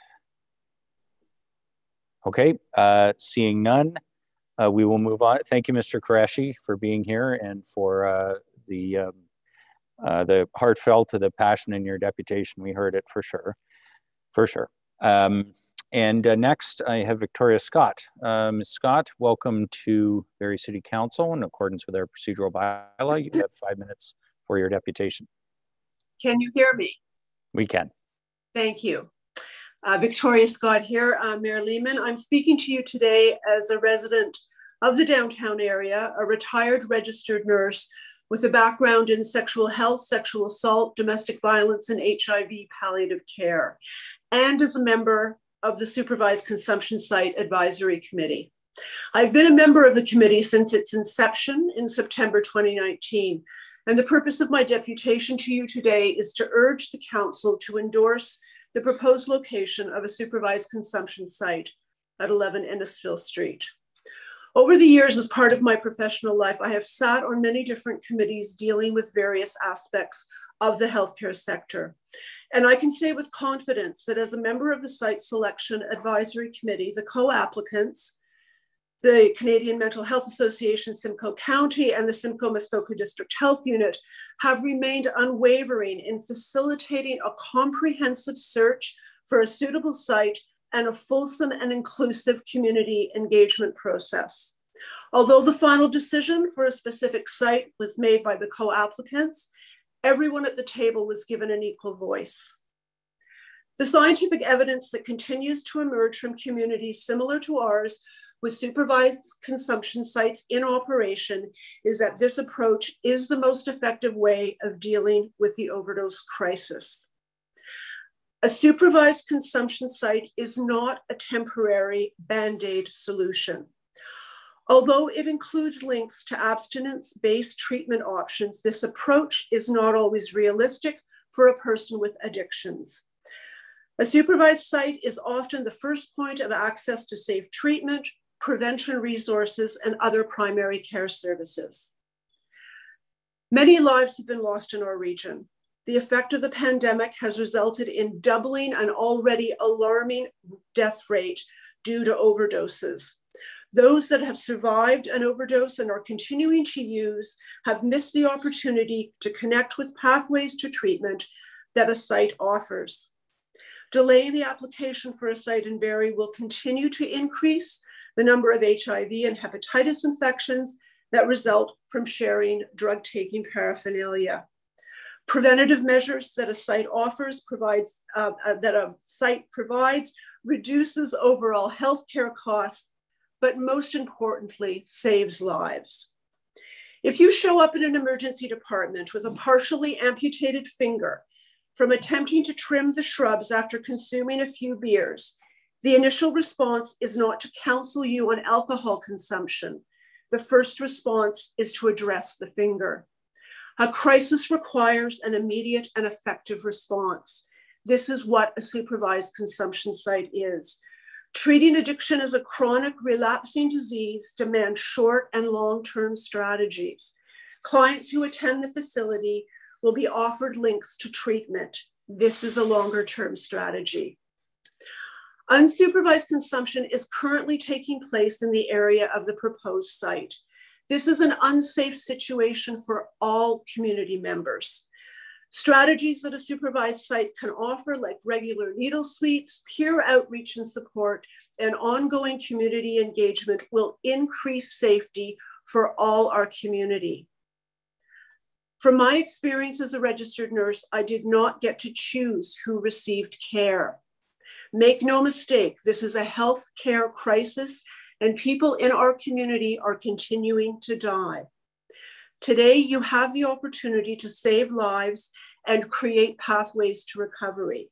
Today, you have the opportunity to make a significant impact on the health of our community. This is why I am urging council members to endorse the proposed site location of 11 Innisfil Street. Thank you for your time. Ms. Scott, thank you very much for your deputation. Are there questions from members of council? Not seeing any. Thank you, Ms. Scott, for being here uh, and for giving us your deputation. Next, we have Anne Cleveley. Anne, welcome to Barrie City Council. In accordance with our procedural bylaw, you have five minutes for your deputation. Thank you, Mr. Mayor. Um, I actually received an email as well from the HIP Development uh, Limited, who are making, uh, they're the developers preparing the Barrie Central location. I've emailed a copy of it through to Councillors Harvey and Councillors McCann, but I've been asked um, to read it on behalf of Joel Doherty, who is the Vice President of the HIP Development Limited. So I don't know if I can read both of them at the same time or if I have to wait to read his um, thoughts. Uh, well, we normally require people to give deputations only uh, for their own views. Um, is it possible for you to email that? Is there any reason why you couldn't have sent it to all members of council? I just quickly sent it. It, it happened. He sent it to me while this was happening, so I sent it to McCann and Harvey because they're on my email list. No one else has responded to my email, so that's why I sent it to them. Okay. Well, perhaps they could uh, share it with uh, members of council uh, and uh, perhaps you could proceed with, with your deputation. Awesome. Okay. Okay, good evening, Mayor Lehman, City Councilors, and fellow residents of Barrie. Tonight, we are finally being given time to voice our concerns over the placement of a safe injection, consumption, inhalation site in our neighborhood at 11 Innisfil Road. I want to thank all of my neighbors that were able to get a link to participate in tonight's meeting. I want to address communication and the lack of neighborhood and business consultation. Our first chance to learn about the safe injection consumption site was a virtual meeting April 29. During this meeting, 80 Bradford Street was presented, but the pick was of 11 Innisfil Road. A neighbor drew their attention to it and actually ran across the road to show himself in front of the door, which matched the picture that they had said was 80 Bradford Street they had to correct the address to 11 Innisfil. From that point on, we, the neighborhood, have been trying to be heard through emails and phone messages to councilors and the mayor. The media continued to cover it as 80 Bradford Street, then 19 Innisfil, and finally, two weeks ago, as 11 Innisfil Road.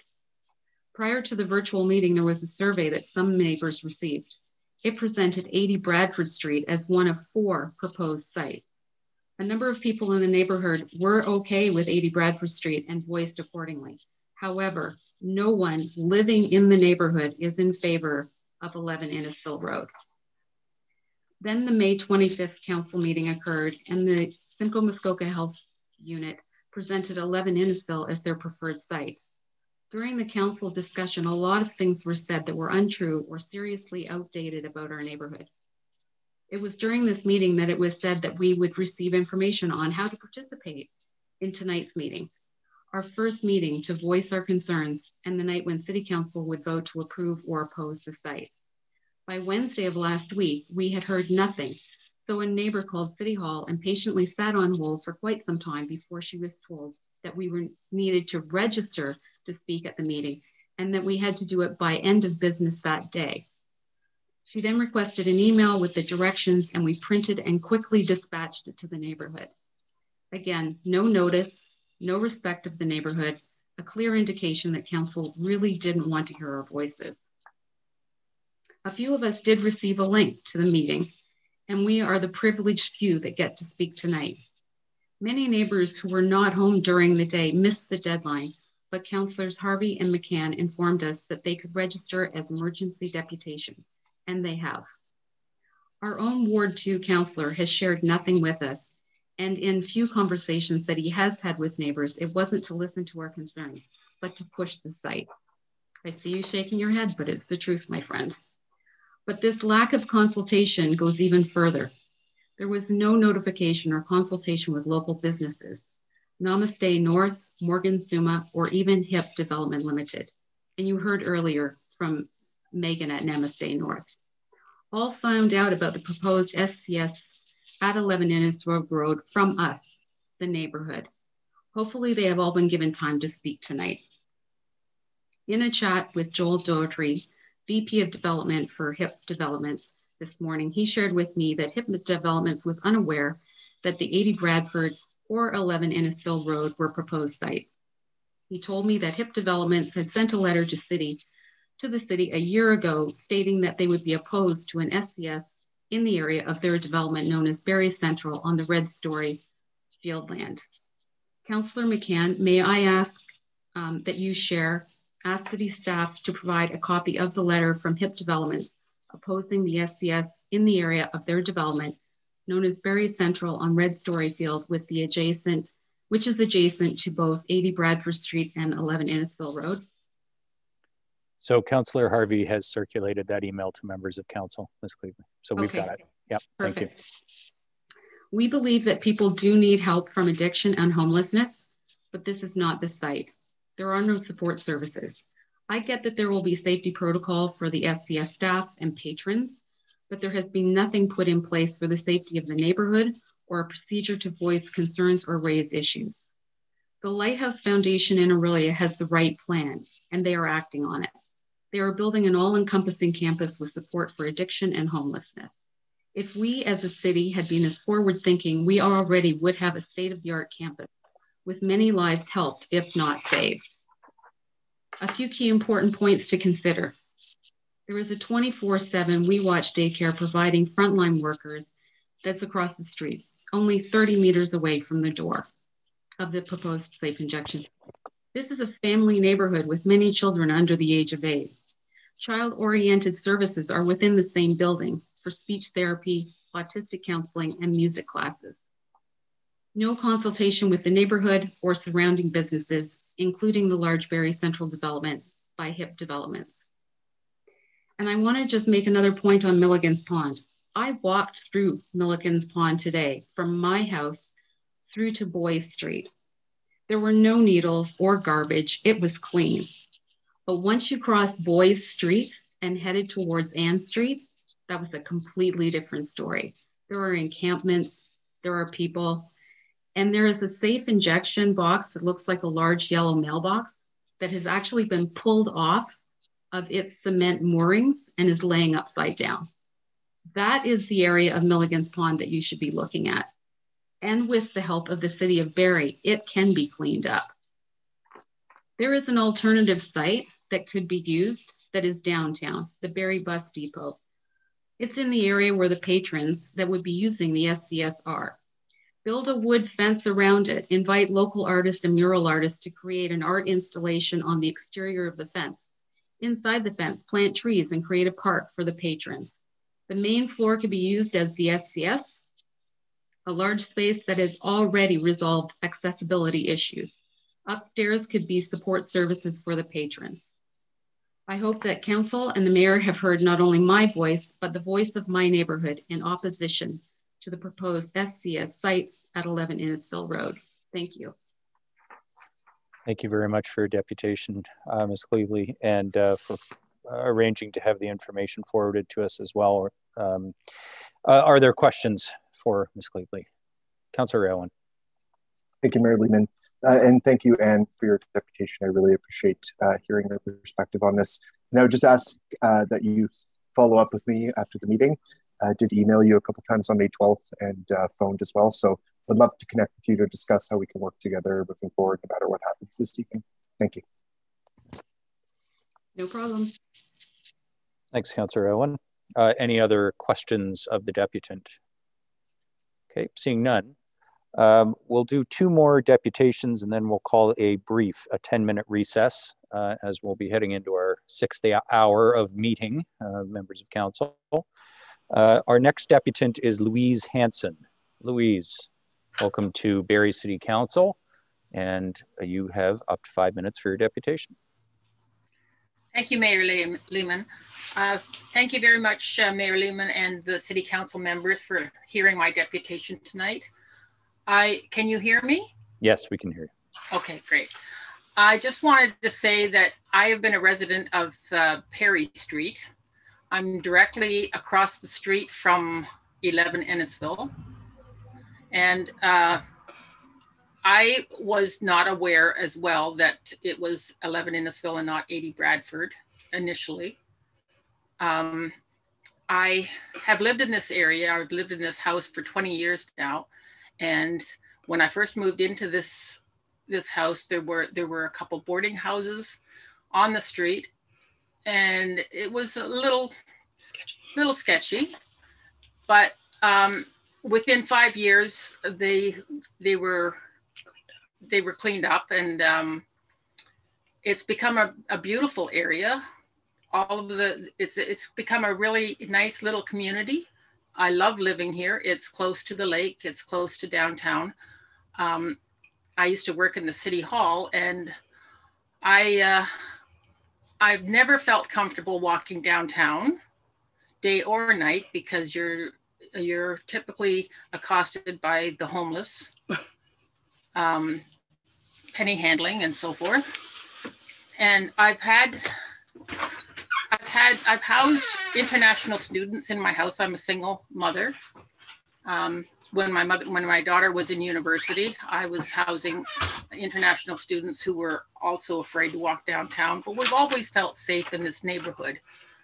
Um, at present, I I don't feel safe. My house was broken into six years ago by two um, substance abusers in the middle of the day at 12 noon, actually.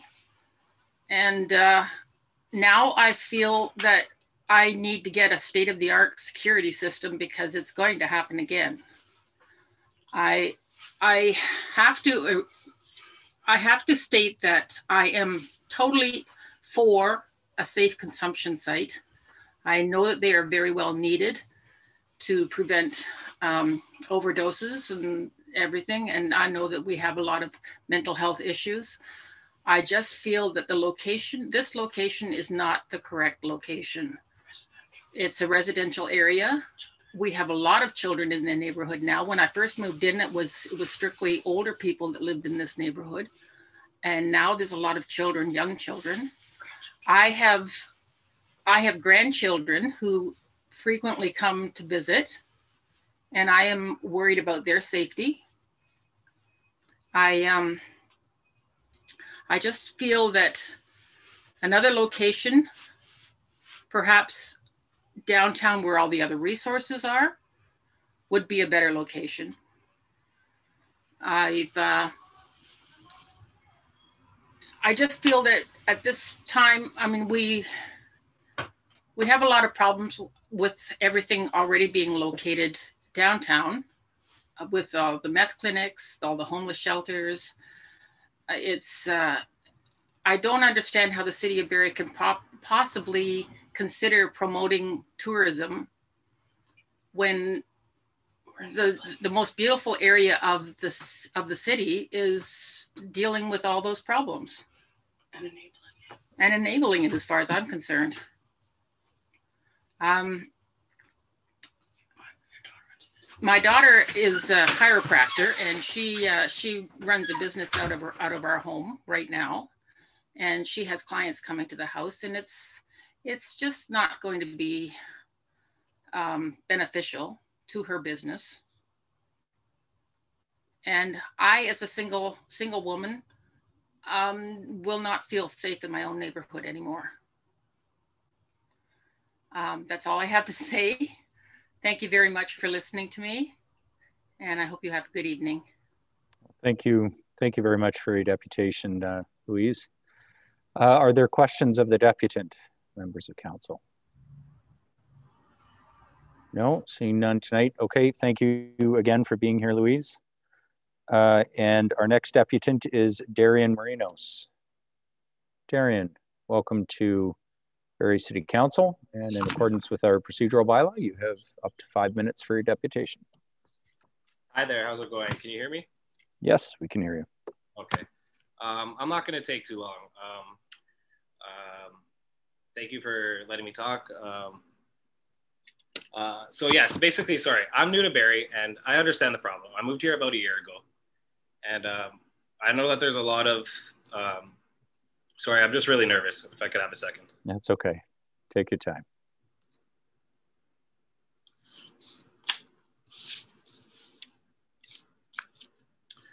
Um, yeah, so um, I live right across the street, and um, I, I just don't think that this is the best uh, location for the site um, it's just not a safe location. It's very small. Um, there's just not a lot of space on the sidewalk, on the like on the parking spots, and like you said, there's no sidewalk on the other side. On the other side, um, I've also haven't noticed um, about the addresses. I was also misinformed about the addresses multiple times. On the other side, when I googled it, 80 at Bradford Street seems like much more logical. Um, there's just like not a lot of houses and like daycares and stuff like that.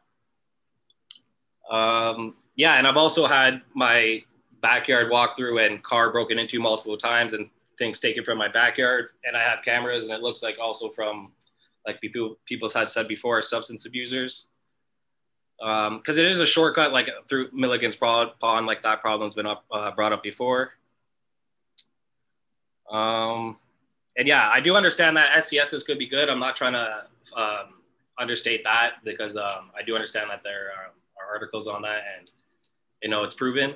But I just don't think that this is the best place because I think that there are just many other places that um, are like more accessible and bigger and not close to other residential areas, and that's about it.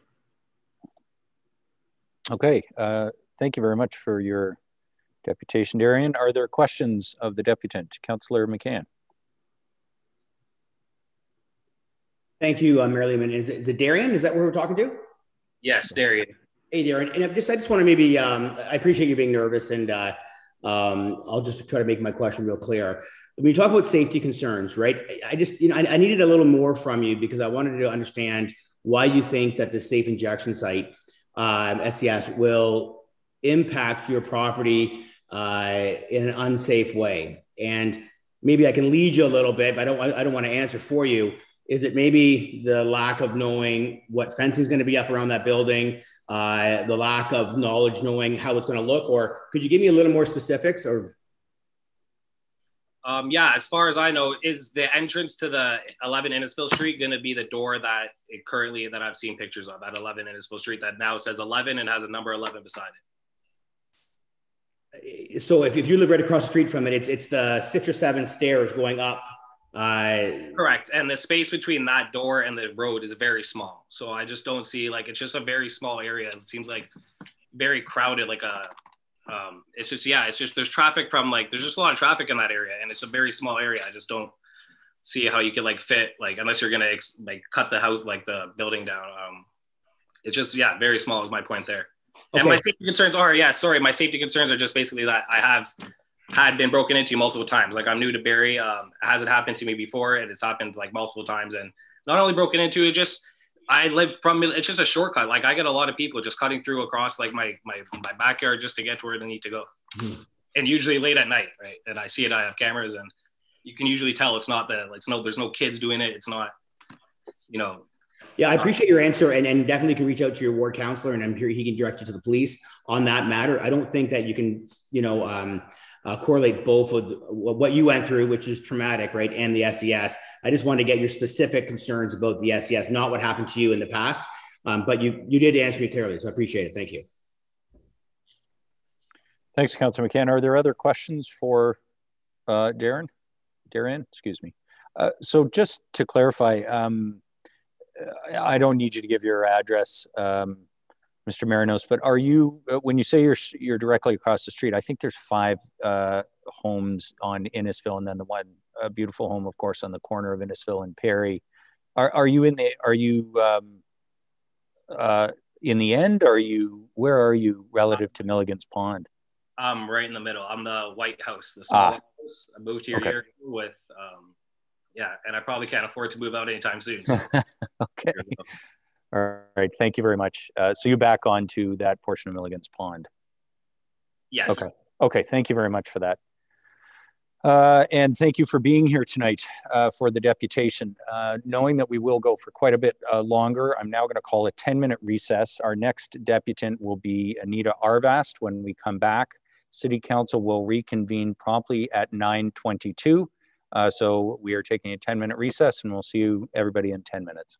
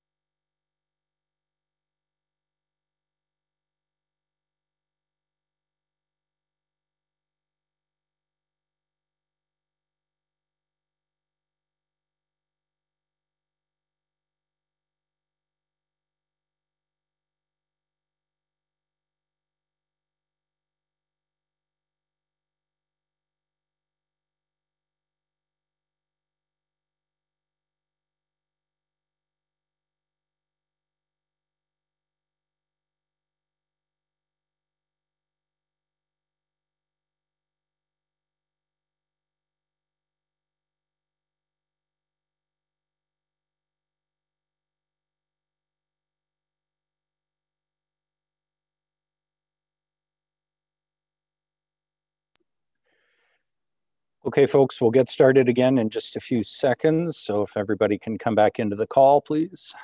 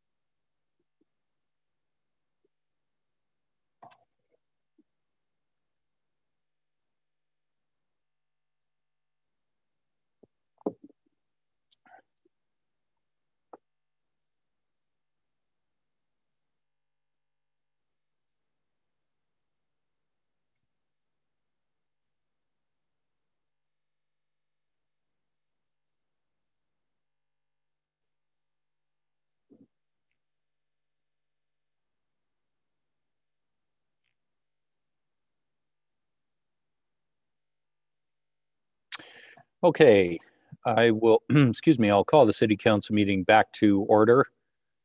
Uh, we are in the midst of deputations on the proposed locations for the supervised consumption site.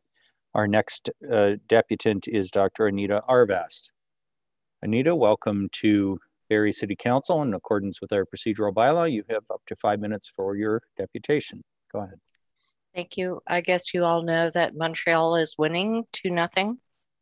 Well, now we do. I, and I'm guessing I'm guessing some some of us might have checked on the break, but uh... I thought I thought so. Hmm. Um, good evening, staff, counselors, um, Mayor Lehman.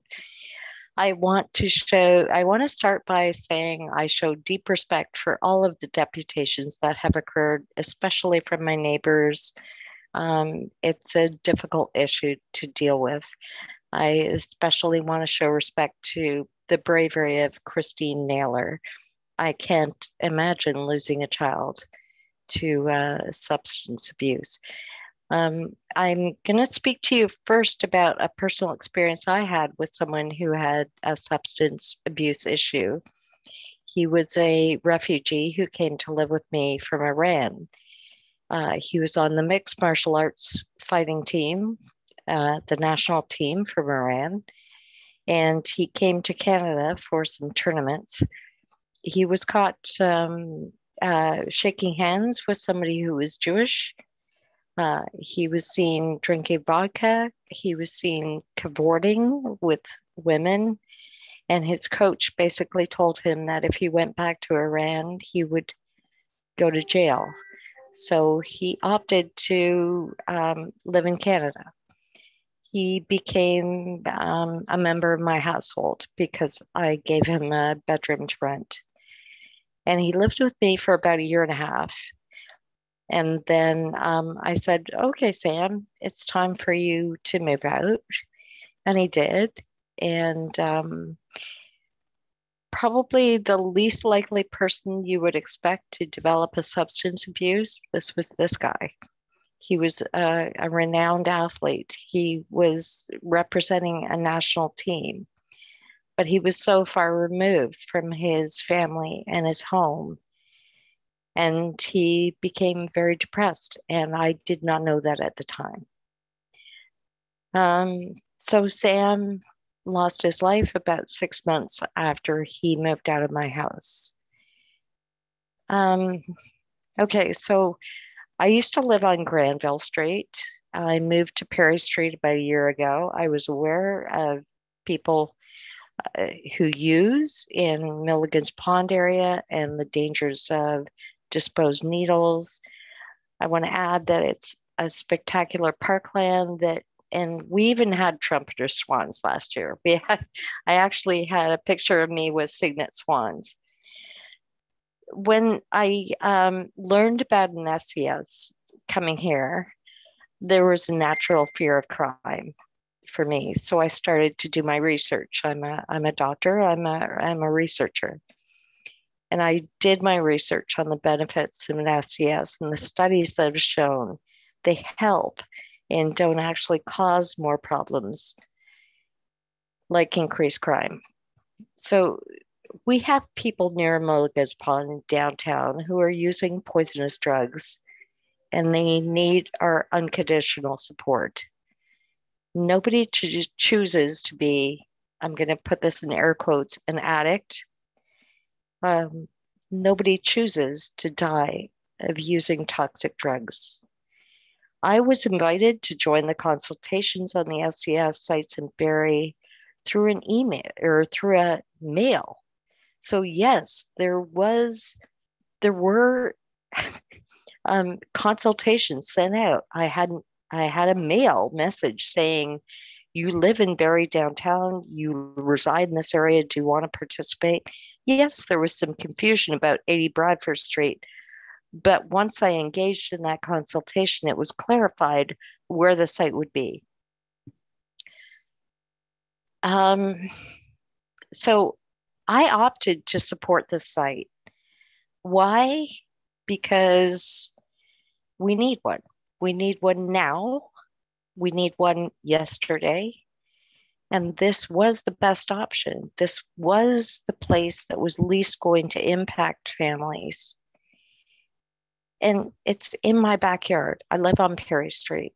I live at the end of Perry Street. We now have a condominium going up next to me, which has 93 affordable housing units going into it. It's literally beside my backyard. I'm so YIMBY on this. Yes, in my backyard. Yes, right next to me. We can dream up whatever expansions we need later, but we need this. We need this now for people we need this now to prevent deaths. And yes, in my backyard on Perry Street.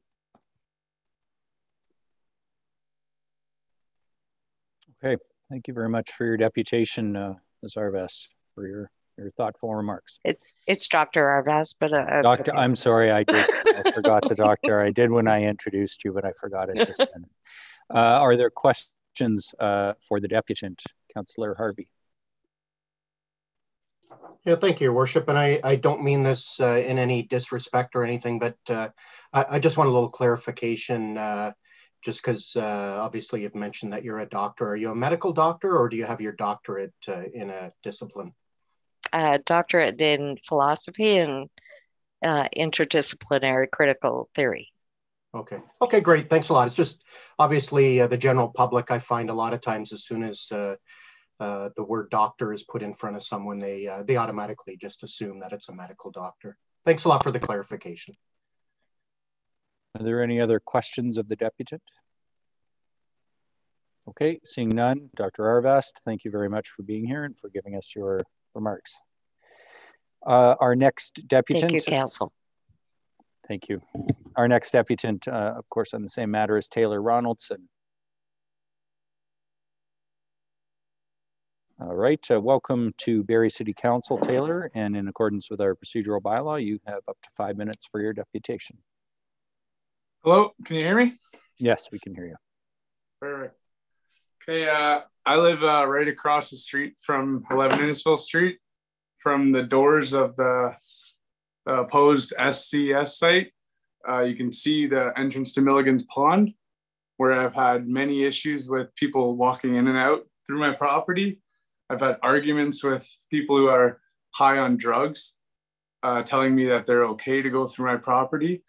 I've had, uh, when Tent City was uh, opposed, everyone moved to this side of the river. And we had probably over 10 people living back there, starting fires, uh, taking wood from my property and using it. I, I got a wheelbarrow stolen. I've also lived here for three years I've had my cars broken into three or four times. I've had my house broken into one time with over a thousand dollars worth of stuff stolen from me. Uh, I've also uh, also had a problem with uh, drug use in the area in general. I know the daycare down the street, he said there's no problems in the back, but I've taken many walks back there and I've had many issues seeing drug needles and other paraphernalia that is not something I want in the area. Uh, I've been doing a lot in the last three years. I bought this house uh, as a renovation house, and I've been doing a lot of work on it to make it worth some value. And uh, if there's a the site across the street from me, I think that it's going to lose a lot of value.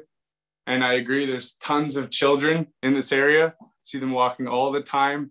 Lots of walking people across the street on the sidewalk. because It'll be right in front of the injection site. And I honestly don't think it. Someone can go in there and they can do their drugs, and then they can come out and they can do whatever they want. And I don't think that's fair for anyone in the community especially as 80 Bradford Street was originally uh. I know that that side of the street is more industrial. So I thought that was okay. And then as a few weeks from now, I started getting letters from my neighbors finding out that it's actually 11 Innisfil Street. And it was kind of pushed around like it, uh, like they didn't want us to know. And they just wanted to push it through without the community to know. So I, I don't think that's fair and i'm not i'm not against these sites at all i'm totally understand that drug use is an issue in barrie and in in a lot of places but there's a lot better places that this can be managed okay thank you very much for uh, being here and giving us those comments uh, taylor. Are there comments for this or qu comments questions uh, for this deputant? Councillor thompson. Thanks marilyn. I'll be very uh, brief. Um, Taylor, would you would you say that the neighborhood would support um, this location if the entrance was on 80 Bradford? Um, would you think that the majority of the concerns are because the door is literally 30 meters from the homes right across the street? If there was a mitigated strategy to have people entering in from the 80 Bradford side, do you think that would lessen some of the concerns of your neighbors uh, yes, to a point, but as I've learned since listening here, there's also lots of different uh, businesses that are in that build that side of the building, like uh, the, and I don't feel that would necessarily be safe, but it's still better than across the street from houses that there's kids living in and lots of local people walking and going around. That side of the neighborhood is a little more run down, I, would say, and it's a little closer to downtown where the actual injection or the the drug users I'd say are around.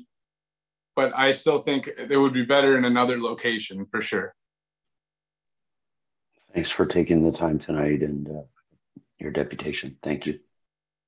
No Thanks, problem. Councillor Thompson. Any other questions for the deputant? Okay, seeing none. Uh, Taylor, thank you very much again for being here tonight. Our next deputants uh, are together, I, uh, I, think, making a deputation together, and that's Jonah Lee Bagwan and Lanki Alviar. Uh, welcome to Barrie City Council, both of you, and in accordance with the procedural bylaw, you have up to five minutes for your deputation. Good evening, everybody. Good evening, Council. Mayor. Mayor. Good evening, uh, we can hear you. Um, we recently moved to Barrie two months ago to raise our two-year-old girl. We chose Barrie because it is a growing community and we felt safe every time we came here to visit some of our family who already lived here. We hope to stay in Barrie and grow our family here. But knowing that we will be surrounded by people who are using drugs made us think otherwise. We understand that the use of drugs are important to some people, and they need a safe site to be able to use it properly. But there are other locations away from residential to do this. If you have, a, if you have small children or grandchildren, you always want to put their safety first. Keep them away from drugs or anything that could harm them. Putting an SCS in this location could promote drug use, and that's the last thing we want for our community. We were notified about this just two weeks ago, if we had known, we would have never considered moving downtown Barrie. We've noticed and already see people that are drug users around the area. And if you proceed with SCS, we would be a walkway of drug addicts. Can you imagine? For some of you council, how would you feel if the SCS was just at the back of your house or in front of your house? Will you feel safe for your children? Will you be able, will you be comfortable taking walks no, you won't. You'll always question your safety every time. Our community safety is in your hands, so please, we ask you consider our opinion. Thank you for your time. Thank you uh, for your deputation uh, and uh, for being here tonight to give us your views and for choosing Barrie. Uh, comments, or sorry, I keep saying comments, questions of the deputant. Okay, uh, seeing none, uh, thank you both for being here tonight and for giving thank us you your so views. Much. Thank you, everyone. Have thank a good you. evening. Uh, our next deputant tonight is Catherine Hankinson. Catherine, welcome to Barrie City Council. And in accordance with our procedural bylaw, you have up to five minutes for your deputation.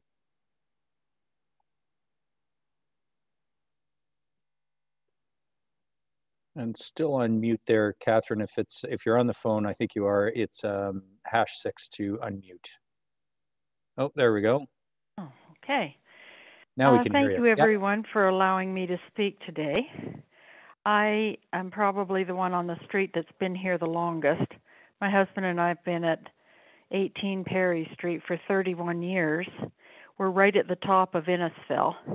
Out our front window, you see 11 uh, Innisfil. I had absolutely no consultation on this 11 Innisfil, or we had no idea where it was. We had heard that it was 80 Bradford Street.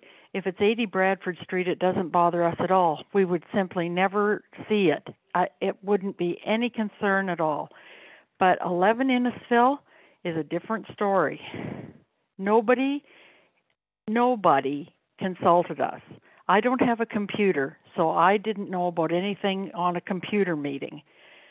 Nobody phoned us, nobody came to the door, nobody put a leaflet in the in the mailbox. We had absolutely no consultation at all.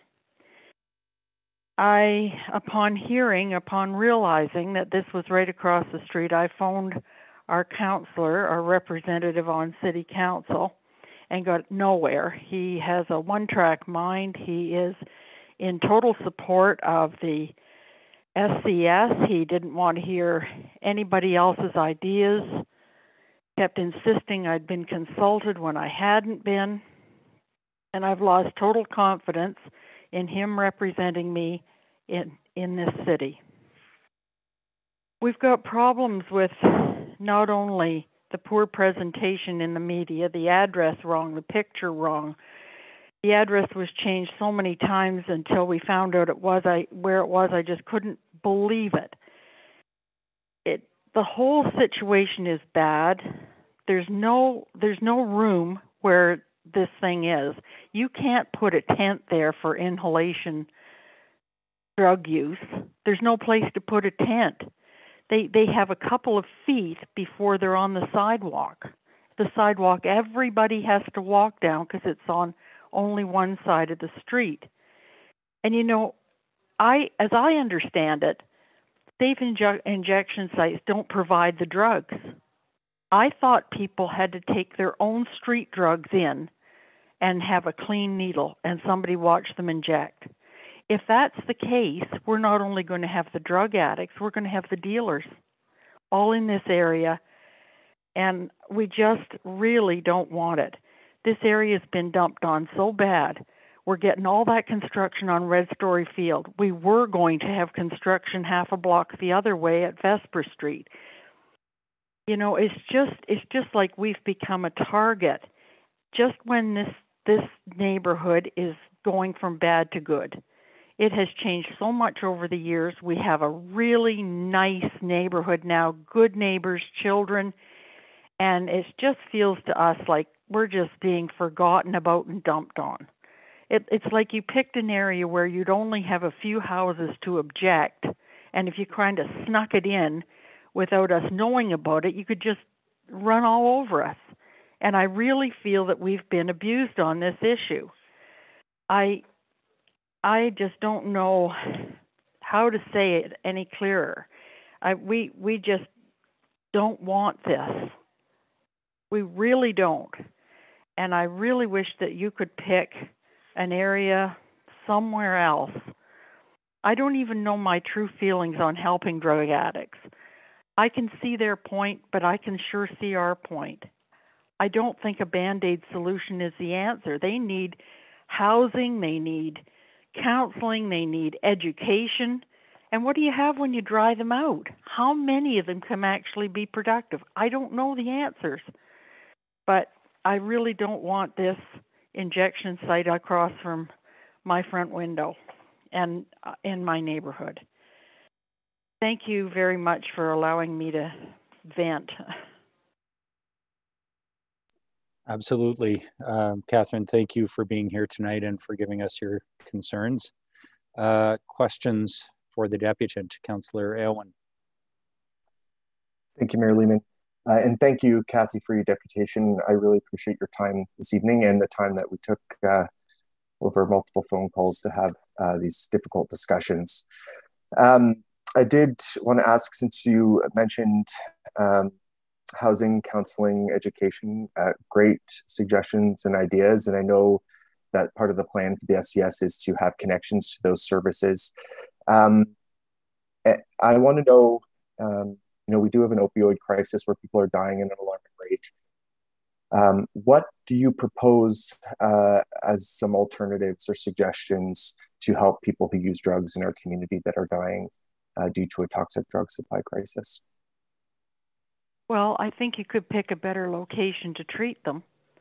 There's a there's a place, you know, when you come around the side of 80 Bradford past where uh mm, it's around the corner by a by a service entrance. There's a raised garden area.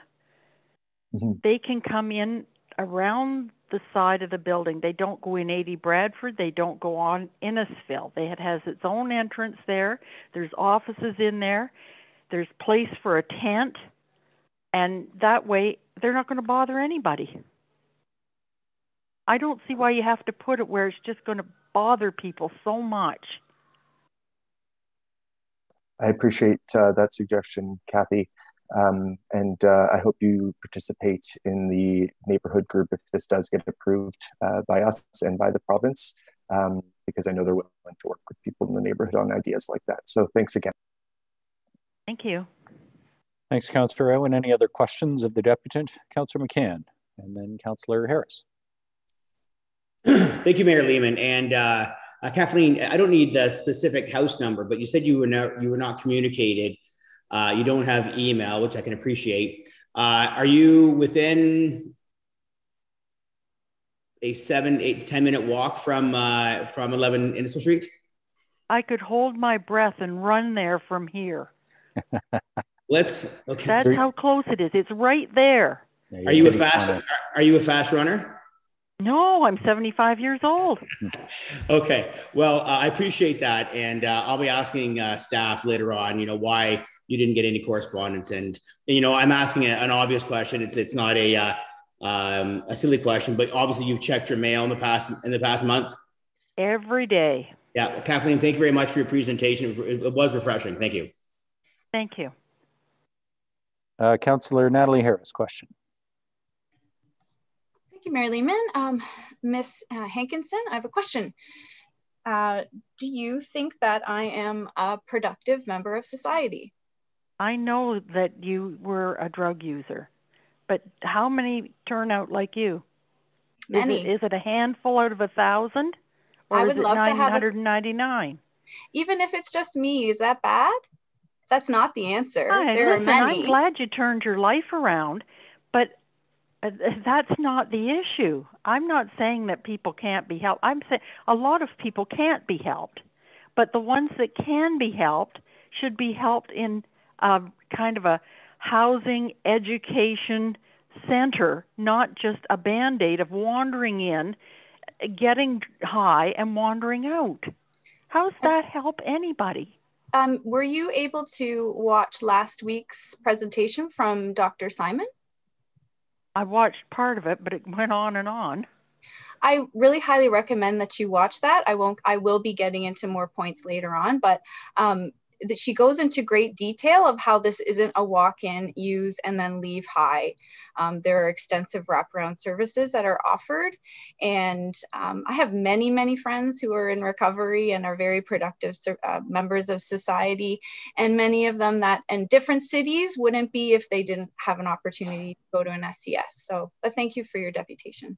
Listen, with Ryan's mother, she seems to be under the the con- idea that people in the consumption sites are providing the drugs. I didn't think they were. I thought it came from street drugs going in for a safe injection of street drugs. Um, right. So this um, this can be clarified, I think, maybe when we get to the discussion of the matter, since we do have a number of other deputants. Okay. Um, but no, in, Ontario, in Ontario, uh, it's not a supply. Uh, the the so they're sites using don't supply street the drugs. drugs. Correct. So the dealers sell it to them and they go into the injection site and they're all on our street. Well, um, I think we can talk about when we get to that section, um, Catherine, we'll talk about what uh, is planned to prevent that. But uh, thank you for your deputation. And I certainly, Thank you very as much. A, as a longtime resident, to appreciate you coming and making your known your concerns known. Thank you very much for having me. Okay, um, we will move on to our next deputant. Um, we have Kimberly Capone uh, is next on our list. Uh, Ms. Capone, welcome to Barrie City Council. In accordance with the procedural bylaw, you have up to five minutes for your Hi, thank you. Can you hear me? We can, yes. Okay, great. Um, just to be clear, I also was not uh, consulted. I did not get anything in the mail. I found this out from a neighbor uh, two or three weeks ago. So that's just before I start this. Um, I just want to say that I want to address why 11 Innisfil is not the right choice for everybody. I live across the street um, from 11 Innisfil, and so do other parents in the daycare. My son's bedroom faces the street. He often is watching outside, um, hoping to see exotic cars or the fire engines that pass by daily. When we look out our window or when we're sitting outside on our porch, our vision isn't what you have all assumed it is because we live around the pond. We see families walking, kids playing, moms pushing strollers, um, our lovely neighbors walking by, which then my daughter runs to them to greet, um, shows them the bubbles that she's blowing. If you put in an SCS there, those calm, happy visions change. We will now see people high on drugs walking around us, which is something that we don't see now. How will I explain this to my children? How do you think those parents picking up their children from the daycare will feel? Who is going to explain to my children that playing outside in the front yard is now questionable? How many of you would feel comfortable letting your two year old daughter play outside? And then all of a sudden, someone high comes walking by. Just because our house is around the pond doesn't mean that we deal with this on a regular basis because we don't. I have not seen anything. We don't see them. But now you're going to put it on our front doors. My daughter loves to go for a walk. I take the wagon and my other two children, and we walk to the beach or we walk to Fox's Bakery to pick up her favorite cookies. In order to do that, I have to cross the street because there is no sidewalk on my side of the street. And I have to pass 11 Innisfil. When that parking lot is full, which it normally is with the Zumba studio, it is extremely tight to walk. If someone high is coming out of that building while I am walking with my children, there is nowhere I can move to feel comfortable. I would have to go onto the road. If I don't, then this person is now side by side to my children high. And I am absolutely not saying that they are bad people, but the unknown is terrifying. Drugs change people. People under the influence are unpredictable. You can't assume otherwise. But are you guys willing to take that risk? What if someone does harm someone in the neighborhood? How are you going to make sure that we are all safe? Cameras are not going to keep us safe. Cameras are not going to keep my children safe while we walk side by side to someone who is leaving that facility. But I'm also thinking of them They use the pond because it's out of the public eye. They don't want people looking at them. They don't want to think that people are judging them. Our neighborhood is extremely busy. Cars are driving by constantly, and there's always people walking. There is no privacy for them. How do you think they're going to feel when we as a community are watching their every single move? I can assure you from experience that I know they are very ashamed of how they live. Most don't want to be seen. Being in the public eye isn't something they will come running to. This site gives them zero privacy. Don't they deserve privacy? Don't my kids deserve to be able to play and walk around without the vision of someone high walking past them? Addiction is a terrible disease, but safety is a major concern. And so is the innocence of our children.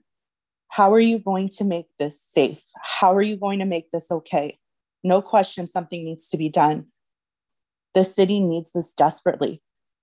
But I feel like this is rushed. And I feel like the desperation is making this decision rushed. But this is this is not the location. Please find better. Please find better for the kids of the families of this community, but find better for them too. They need the SCS, but they deserve somewhere more private and more substantial to them. We have been stuck inside for over a year due to this pandemic. Please don't make it scary for us to go walk outside. We all deserve better. Thank you. Thank you very much for your for your deputation, uh, Ms. Capone. Any questions for the deputant from members of council? Okay, I'm not seeing any. Uh, thank you very much for being here and for for giving us your comments as a resident in the area. Uh, our next deputant is Kaylin Fitzgerald. Kaylin, welcome to Barrie City Council. In accordance with our procedural bylaw, you have up to five minutes for your deputation. Thank you. Am I live? You are. Good evening, Mayor Lehman, members of council, city staff, and members of the public viewing tonight's meeting. I speak to you as a resident of our downtown core, and I say this without hyperbole. My neighbors are dying. 2020 saw approximately 123 deaths in Barrie as a result of drug toxicity. Pre COVID, safe consumption sites for alcohol were available to the public on every city block downtown. I've regularly been accosted by the last call crowds that spill out into the street. I've watched the traffic on Dunlop Street grind to a halt when the police are called to break up the violence that erupts between groups under the influence of alcohol. In contrast, the individuals I've met who participate in the Safe Needle Exchange in my neighborhood have offered polite greetings or tacit nods and have never threatened me. That said, as a mother, I recognize that many of the parks and public spaces in my neighborhood are already consumption sites, putting my child at risk with hazardous litter left in the open. Illicit drug use is already happening in our community, Righteous indignation at the choices of others is not going to save the lives of my neighbors and ensure my child's safety. Empirical evidence has shown safe consumption sites not only save lives, but also reduce the financial burden on community resources such as police and first responders. I heard ambulance sirens ring out on an hourly basis last weekend, and I learned that a dangerous strain of drugs had yet again been circulating in our city and had taken the lives of two individuals. If these folks had had access to the services provided by a safe consumption site, we may not have lost them. Recognition of the opioid crisis in our city is not up for debate, neither should our next steps to support our vulnerable population.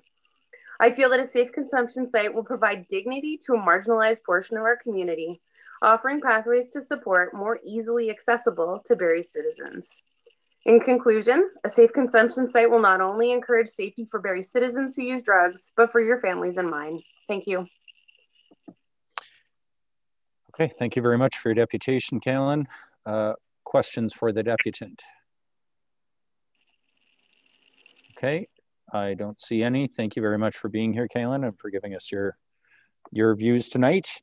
Uh, next on our list, uh, we are getting into now the emergency deputation requests that were approved earlier.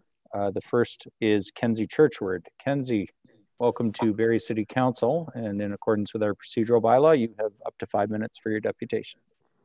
Hi, can you guys hear me? We can. Thank you. Uh, hello, everyone. My name is Kenzie Churchward, and I am a business owner, owner and homeowner in downtown Barrie. I felt the need to give a deputation this evening after reading about many of my neighbors being upset about the proposed SCS location. I live in the west end of downtown Barrie on Parkside Drive. My house is under a kilometer away from the current proposed SCS site.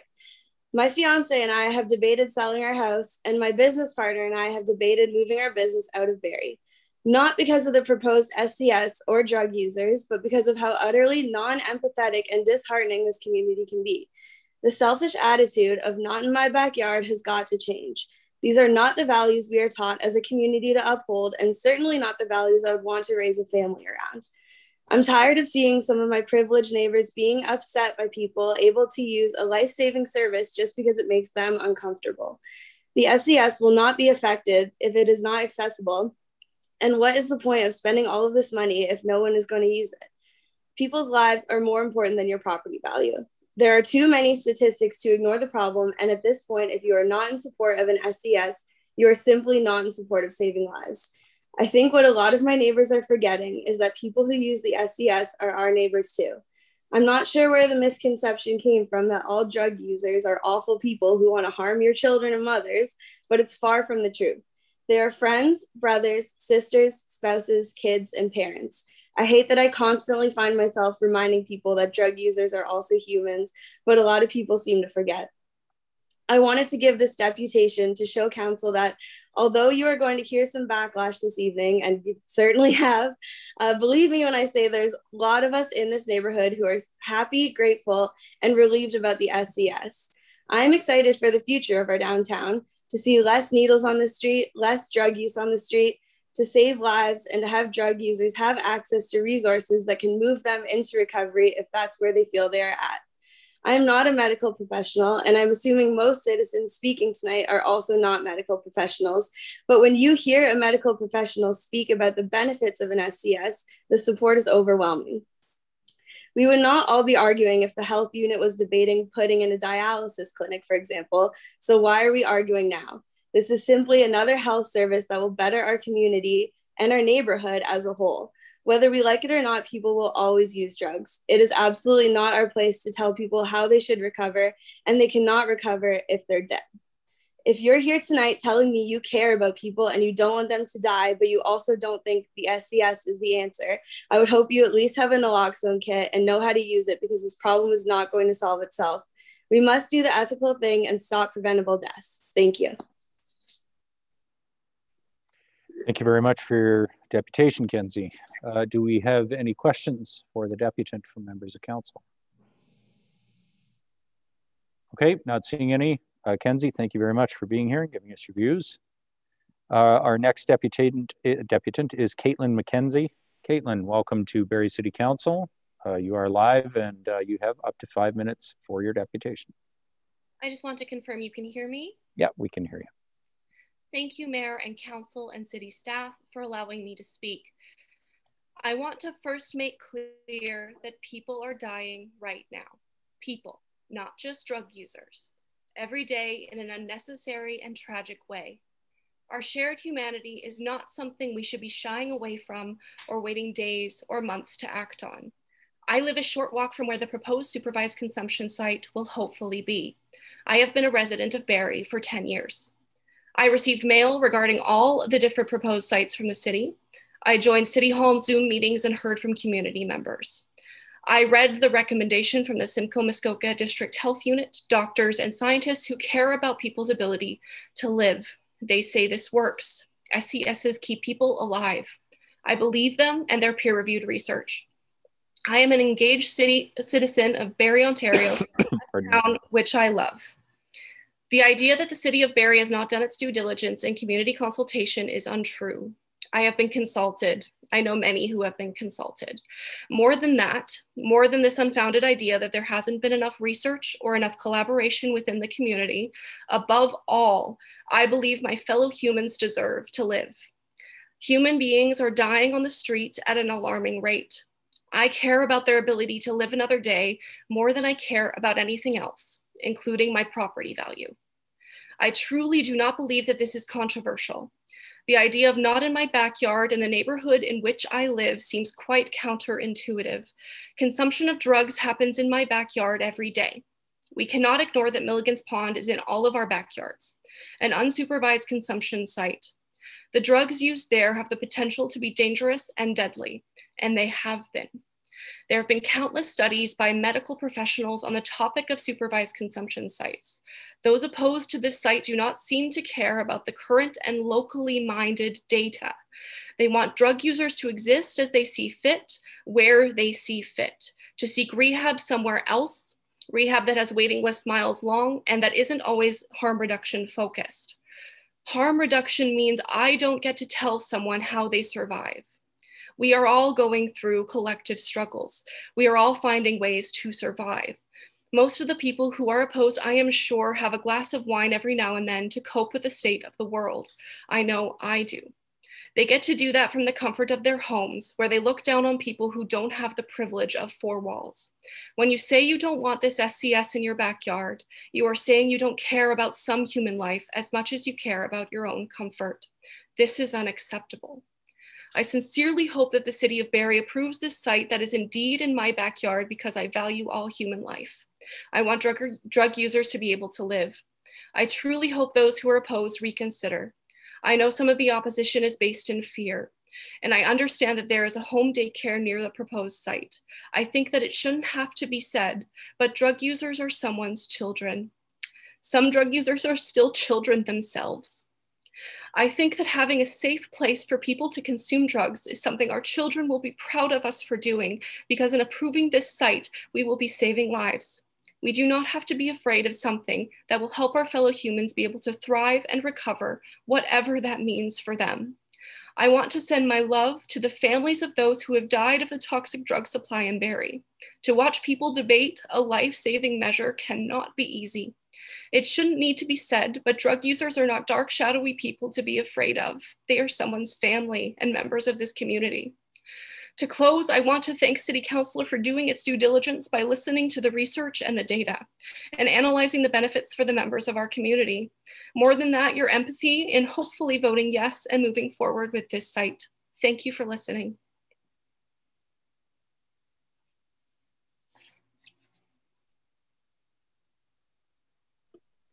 Uh, thank you very much, uh, Caitlin, for your deputation. Uh, members of council, are there questions for this deputant? Okay, seeing none. Ms. McKenzie, thank you for being here tonight and for your comments. Uh, next, we have Pauline Bradshaw. Ms. Bradshaw, welcome to Barrie City Council. In accordance with our procedural bylaw, you have up to five minutes for your deputation. Thank you, Mr. Mayor. Can everybody hear me? We can hear you. Great. I just want to say uh, this is the first time that I've addressed council or that I've ever been to a council meeting. So I'm, I'm pretty impressed, not least because you're here so late. um, anyway, um, I live on Perry Street. I live directly across the main entrance to the park, to Milligan's Pond. I've lived here for about 15 years. Um, I've never seen drug use here, not once. And I walk through that park every day at least four times a day. Um, and I know Anne, who spoke earlier, did the walk from where she lives at the end of Perry Street all the way over to Boyce Street.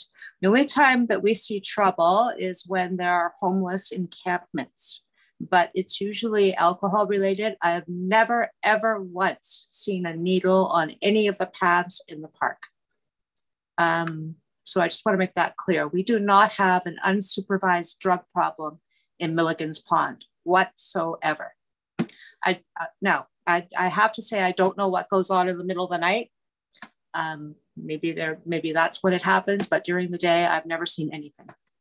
Um, and I want to address the past two speakers who say that we are all thinking not in our backyard. That's not the case at all with myself or any of my neighbors. The issue for us is safety. It's the safety of these children that are very close to the, this proposed site. It's the safe, safety of the drug users as well, because the, the entrance to the proposed site is one car length to the sidewalk. There, and there's, there's very little room when all the businesses are in operation. So I don't know, I, I don't know what kind of numbers you're expecting for the users of this site, but there's nowhere for them to mingle or to line up to get access. There's just a one car length space from the bottom of that step to the sidewalk, and that's it. There's, I think there's maybe uh, two feet from the edge of the sidewalk to the road. And that road is a very busy road. It's almost impassable. The, there's, um, you really have to have your wits about you to get across that road. So, and that road is only going to become busier with all the, um, the construction that's happening in Red Storey Field. So I just think that I'm not against uh, the safe injection site at all. I, I believe totally in this idea and this concept. These people need our help, absolutely. But is this the correct location for it? I don't believe so. I think the issue has to come down to safety, and it's just not being met. It hasn't been addressed. And I also want to say that I was not informed of any of this. I heard this from Anne Cleevely. I found out three weeks ago about this proposal. I didn't receive any information from City Hall at all about this. So I don't know where this miscommunication happened or why, but I think it needs to be addressed also. I think we all need to be kept in the loop. From now on, I want to make sure that I have all the information. I want to know when the next meetings are. I want to know everything about it. So I would like to be kept in the loop as well as the neighbors that I've talked to. Um, and I, I think that's, I think everybody has pretty much addressed everything that I wanted to say. I, I just want to say there's got to be a better solution than 11 Innisfil. And I think Councillor Thomson had a great idea when he suggested perhaps the 80 Bradford Street entrance might be a better proposal. If we can't find another building, at least find a different entrance. And that's it. Thank you so much for listening to me this evening. And thank you for coming tonight and giving us your, your comments, Pauline. Are there questions from members of council for the deputant, Councillor Morales and Councillor Aylwin? Uh, thank you, uh, Mayor Lehman. Um, to the deputant, um, your, thank you for describing your street, Perry Street. I actually one time got lost uh, taking a wrong turn on Dunlop Street. Your street is a hidden gem, actually, in that neighborhood. There's been lots of uh, lots of improvements. You can see the pride of ownership. Uh, do it you really know, is. Yeah, um, I know. Uh, you do you know if any of the deputations we've already had or any of the future ones um, are from residents on Perry Street? Uh, I just want to get perspective on on people's uh, vantage point, and vantage point being you are on Perry Street, which is about a block away, but inland into uh, into the neighborhood. Do you know that information? Trying to piece it yeah, together. I know. I know Dr. Dr. Anita that spoke for the site. Um, she she lives just down from me. Uh, Anne Cleevely lives in the other direction, closer to 11 Innisfil. She's on Perry Street. Uh, Catherine is on Perry Street. I think there's been at least five or six that are right on Perry Street. Okay. But I am directly across from that entrance, and we take care of it. We, as uh, the people that live in this neighborhood, we take care of that park because the city doesn't. Mm-hmm. We clear mm-hmm. trees. We rake up garbage. We pick up garbage. We we take care of that part. We we try and keep it as best as we can. Perfect. No, I, I appreciate that. Uh, feel free to connect with uh, uh, council later about having the city do what we should be doing on that. But anyways, I just wanted uh, thank you for the feedback about Perry Street. Thank you. Councillor Aylwin. Thank you, Mayor Lehman. Uh, and thank you, Pauline, for your deputation. I really appreciate your time. Um, would you have interest in participating in the community advisory group? It seems like uh, you're really on top of things in your neighborhood and could have some good input into that group if this does go ahead, of course. Uh, I hope it does go ahead, but yes, I, I would be interested. Okay, thank you. And uh, I would love to connect with you offline uh, if you want to send me an email or give me a call. That'd be great. Thank you. Thank you. Thanks, Councillor Aylwin. Any other questions for the deputant?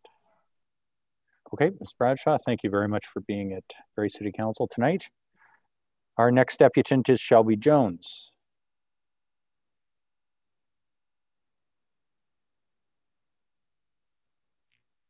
Uh, Shelby, welcome to Barrie City Council. Uh, in accordance with our procedural bylaw. You have up to five minutes for your deputation. And I think you just need to come off mute on your phone, which is hash six.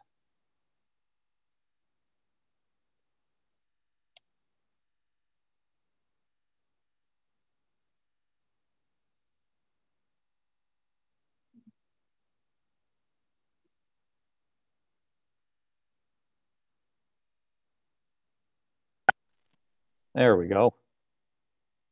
Can you hear us, Shelby?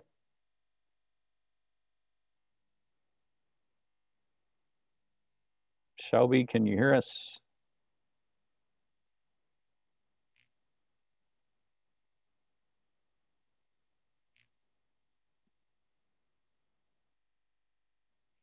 Sorry, uh, Shelby, we're not able to hear you.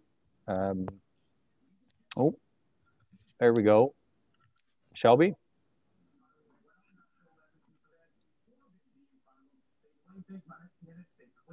No, seems like we're still not able to hear you. Okay, so perhaps uh, staff, you can connect with uh, Shelby and see if we can uh, get, and see if you can get the phone working. Uh, and Jeff, now, Jeff, little suggestion, maybe uh, say the LBS um, sign. Maybe she doesn't understand what hashtag is. LBS. What's LBS? I don't know. I just got a call from. I texted my client saying that that's what she would know it by. So. Oh, pound, pound. Okay, gotcha. Okay, try pound six. There we go. Shelby, if you can hear us, try pound six. LBS being the short form for pound. Now I got it.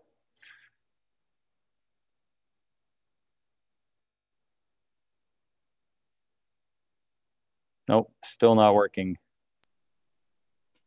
Okay, uh, I'm going to ask staff to uh, see if you can reach the deputant and uh, get the phone working, and we will move on. We have two more deputations.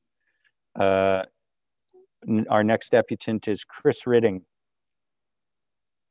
Are we able to bring Chris into the call?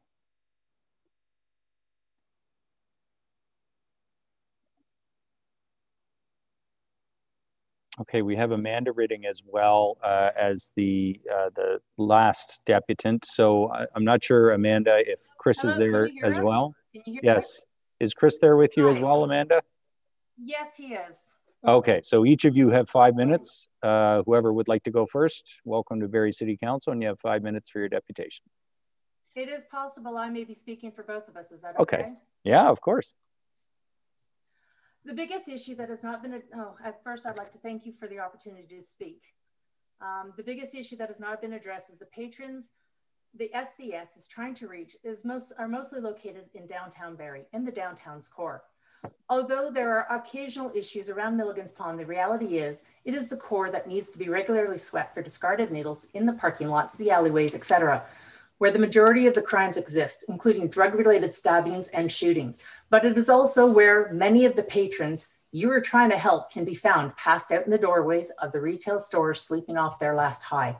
Safe consumption sites are typically put in the heart of the areas I just described above. This would mean that the City of Barrie and the co-applicants should be focusing on a location to help these souls in an area uh, in an area in the core where they are located. It is this area and its safety that is in biggest need of improvement. The City of Barrie and the co-applicants proposed location of 11 Innisfil Street is outside of these issues and where these people exist. What needs to be expressed and put on record is that, in fact, it is the City of Barrie's, the CMHA, and the SMDHU's intent to introduce a safe consumption site and its patrons, along with the issues that follow them, including the crime that typically follows them, to an area whose exposure to these issues are currently limited at best. As you've heard from many of the community, this neighborhood has been in a state of renewal for the last six years, a state of renewal you will, in fact, destroy. No one has considered that the other safe consumption sites uh, already in existence in Ontario have been located within the areas these patrons actually exist. None have been installed in neighborhoods outside of these troubled areas, such as this council and the co-applicants are proposing. This creates a definitive distinction between the proposed site at 11 Innisfil Street and the other 16 safe consumption sites in existence in Ontario.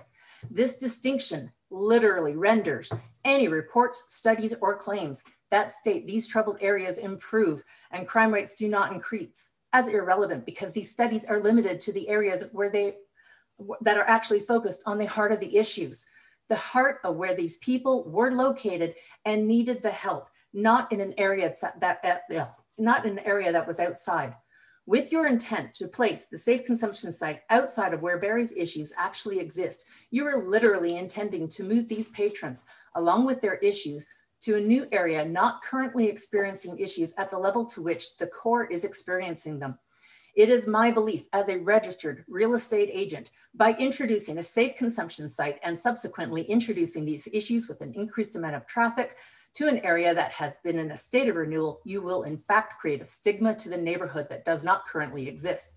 This introduced stigma will drastically devalue the properties in this neighborhood, affecting the lives and savings of many families. To be clear, this debate is not about a safe consumption, if a safe consumption site to be brought to Barrie, but is if the location is the correct one.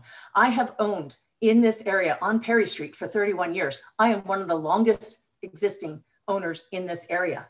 The council members of the corporate, uh, co co corporation of the city of Barrie, the CMHA, the SMDHU, Dr. Simon and Dr. Gadisa have all violated the principles of procedural fairness and natural justice by failing to notify both taxpaying businesses and taxpaying residents of their intent to install a safe consumption site at 11 Innisfil Street, Barrie. By their own admission, their studies, who they notified, were for 80 Bradford Street. They failed to contact anyone by the, who are actually by the actual physical location of 11 Innisfil Street, and it renders their studies useless. Not even a sign was posted to notify local residents and businesses of their intent. Since Dr. Simon could not go to door to door, then as a bare minimum of due diligence, you should have been required to post a notice similar to those required for a variance, especially during a pandemic where we cannot communicate in the way we normally would. It is only because one of my neighbors recognized the location, the picture of the door, that the truth was finally admitted to and disclosed by the city and co-applicants. This council literally failed to notify their taxpaying constituents who entrusted them with the authority to better their community so they could have a safe and reasonable enjoyment of their properties and businesses.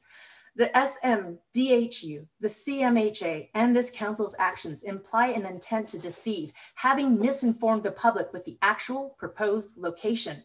Not only that, it is clear that no one, including Dr. Simon and the SMDHU, performed the due diligence as evident on May 25th by their lack of knowledge of a fully accredited daycare in direct proximity to this proposed site. Let's not forget, then when HIP Developments completes their construction, the YMCA will be moving in and I believe will have a daycare uh, in the building within the proximity to this site. It is concerning that those of you entrusted with the authority to make the decisions appear to be taking advantage of both COVID and the state of emergency lockdown uh, we are under to push this agenda through.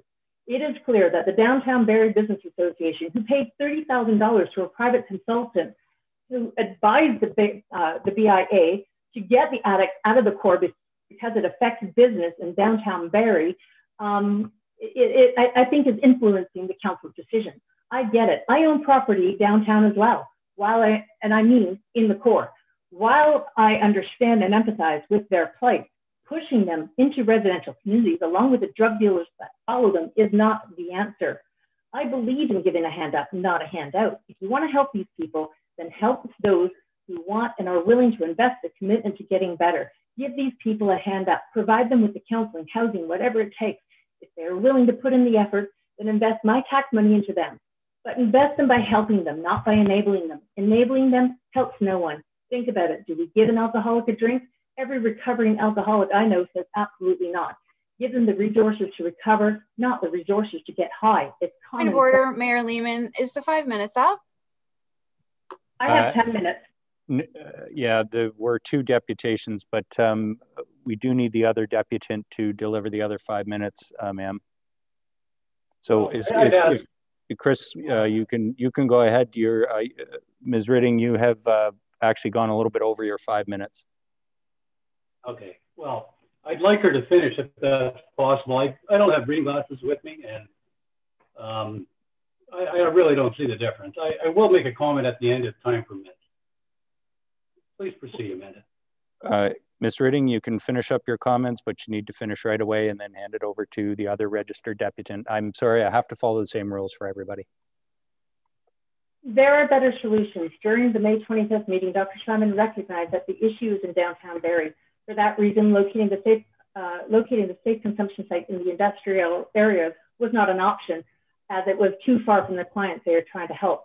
Councillor Aylwin, during a call with me this evening, also agreed that this issue stems from and is in the downtown core. The proposed location is not in the downtown core. Councillor Aylwin is also very passionate about these safe consumption sites and can uh, that they can improve the affected areas by reducing needles and crime. So why is it, Mr. Aylwin, you're not promoting a site where the issues exist, which is in the downtown core? Every resident in Barrie knows the issues of needles on the sidewalks and the parks and people sleeping in the doorways in the core.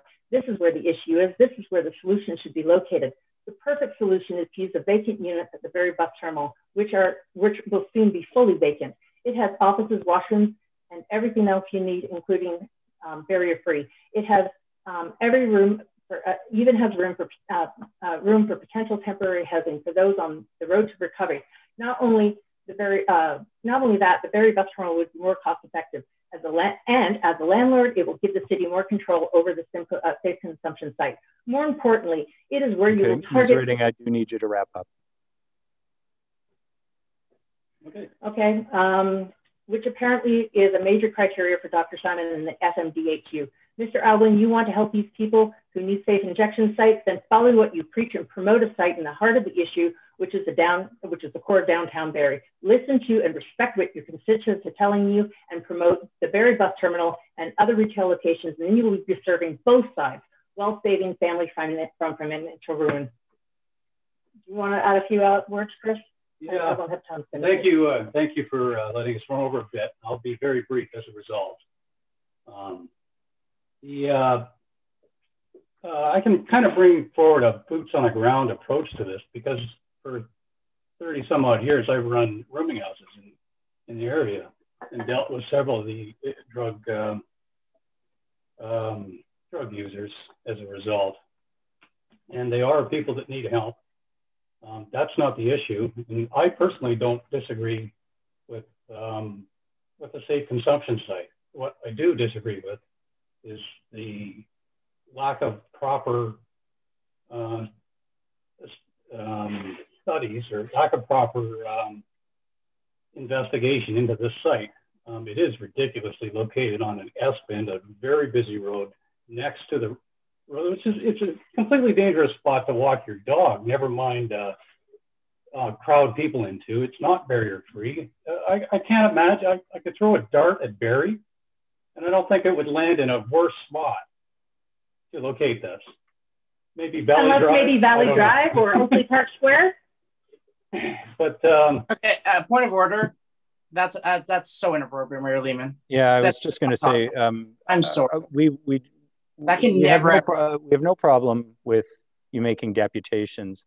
Um, it's not my address anymore anyway, but if that was uh, intended to be a shot at putting it by the mayor's house. Um, so uh, please, uh, uh, we're interested in hearing your remarks and concerns. You are our last deputation uh, of, of the night, but please keep it professional, folks. Thank you. Go ahead. Well, I'm not trying to be unprofessional. I'm just simply trying to drive home that um, it's not it, it's not that um, it's not a good place to put it in a neighborhood. You need to put it in a commercial zone or where it's going to do the most good, which would be in the downtown core. If we it, it, we, all agree that these folks need help, and damn it, we've got to do everything we can to help them, but um, rushing into a decision uh, to locate this poorly um, under the premise of doing it quickly and because it's needed fast is, is simply ridiculous. And I think you're going to hurt the people you're trying to help.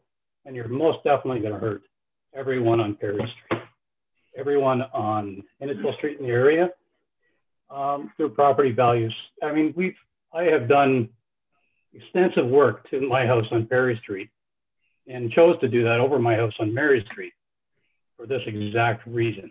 You know, I converted it from a boarding house to a duplex, which is intended to host house families because it's trending in that area.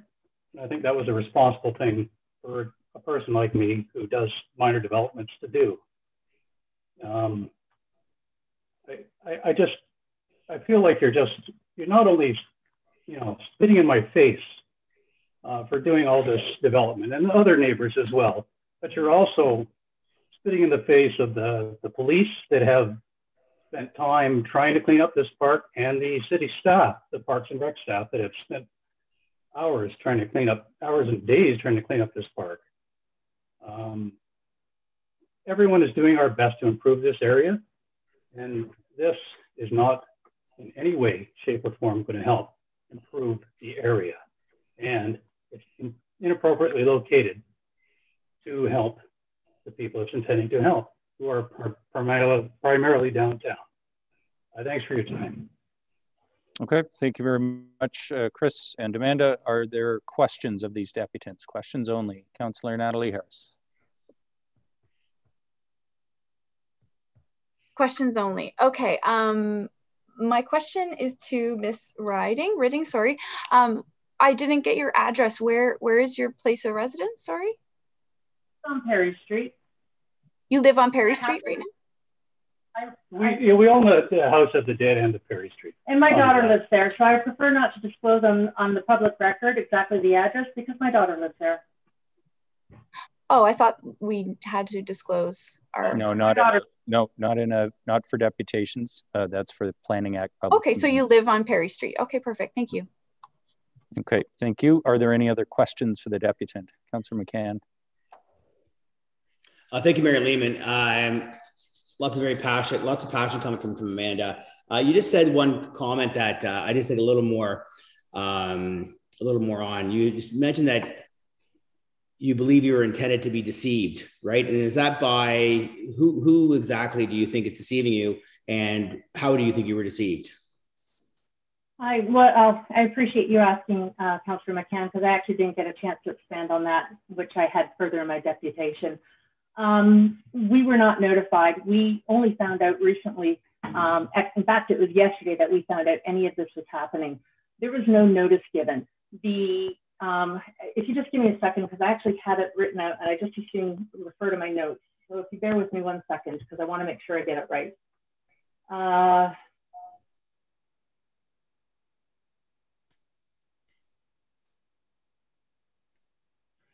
The facts are the city and the co-applicants misrepresented the location. They have not provided adequate information to the neighborhood. The neighborhood has not been given time to review, comprehend, and respond to the proposed site. This is a violation of procedural fairness and natural justice. This is a misuse of and a miscarriage of your authority. This address wasn't even a consideration a year ago. So what is the rush now? What are you, what are each of you gaining to ruin the lives and investments of so many people? At the very least, an adjournment should be made of 60 days and an appropriate time to receive the documentation for the neighborhood to review it and respond should be permitted, as well as for the opportunity of the city of Barrie to review alternative locations such as the Barrie City Bus Station.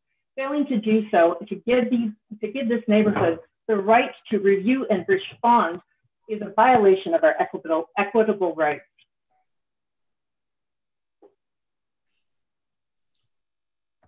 Okay, well, thank you. You know, just Amanda, uh, I'm not sure how the vote's going to happen tonight, but just understand that uh, there's another process going forward. Just to put a little water on you and your husband's uh, fire here a little bit uh, with your frustration and feel like you are being deceived. I actually don't think that anybody intentionally is deceiving uh, the community. Um, at least I hope that's not the case. So I just wanted to I want to address it. I want to put some water on that and just understand that you should be talking to your local uh, MPPs and uh, your uh, federal representative for Health Canada and the Ministry of Health because that's going to be the final decision. Okay, thank you.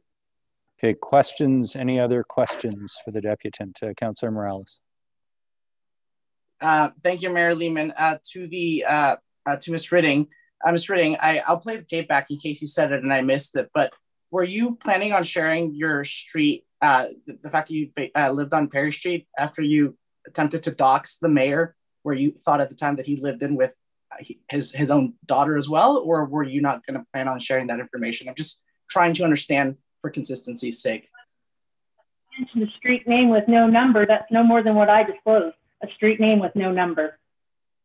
You know, I'm just saying if you're intending to share uh, that information, um, again, I can play the tape back if you shared it at the beginning of your thing. And as you as as you know, I'm not targeting you directly. There was literally a presenter that I asked for context purposes uh, the street address. I'm just wondering if it was a a two-way road on that docs attempt. you want to ask me when we're not being viewed publicly, then I have no problems disclosing what address I live at. But because this is potentially being viewed by members of the public, and I have a daughter, a single female living in that house, I do not want to disclose on the public record for anyone to see what the actual address is. You want to ask me off the record later? You're welcome to do so. Perfect. Uh, my point is, Mr. Ridding, I think that the mayor and his young daughter would also feel the same way, but I'm probably out of line speaking for on his behalf. No, thanks, Councillor Morales. Are there other questions of the deputant? Okay. Uh, thank you, Ms. Ridding. Thank you, Mr. Ridding, for your deputation. Our remaining deputant is Shelby Jones. I know we were having trouble getting Shelby on the call earlier. Um, Shelby, are you able to hear us?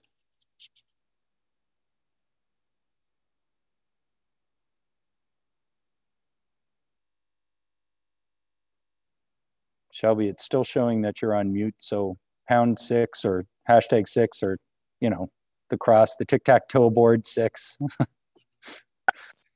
oh, Shelby, can Hello? you hear us?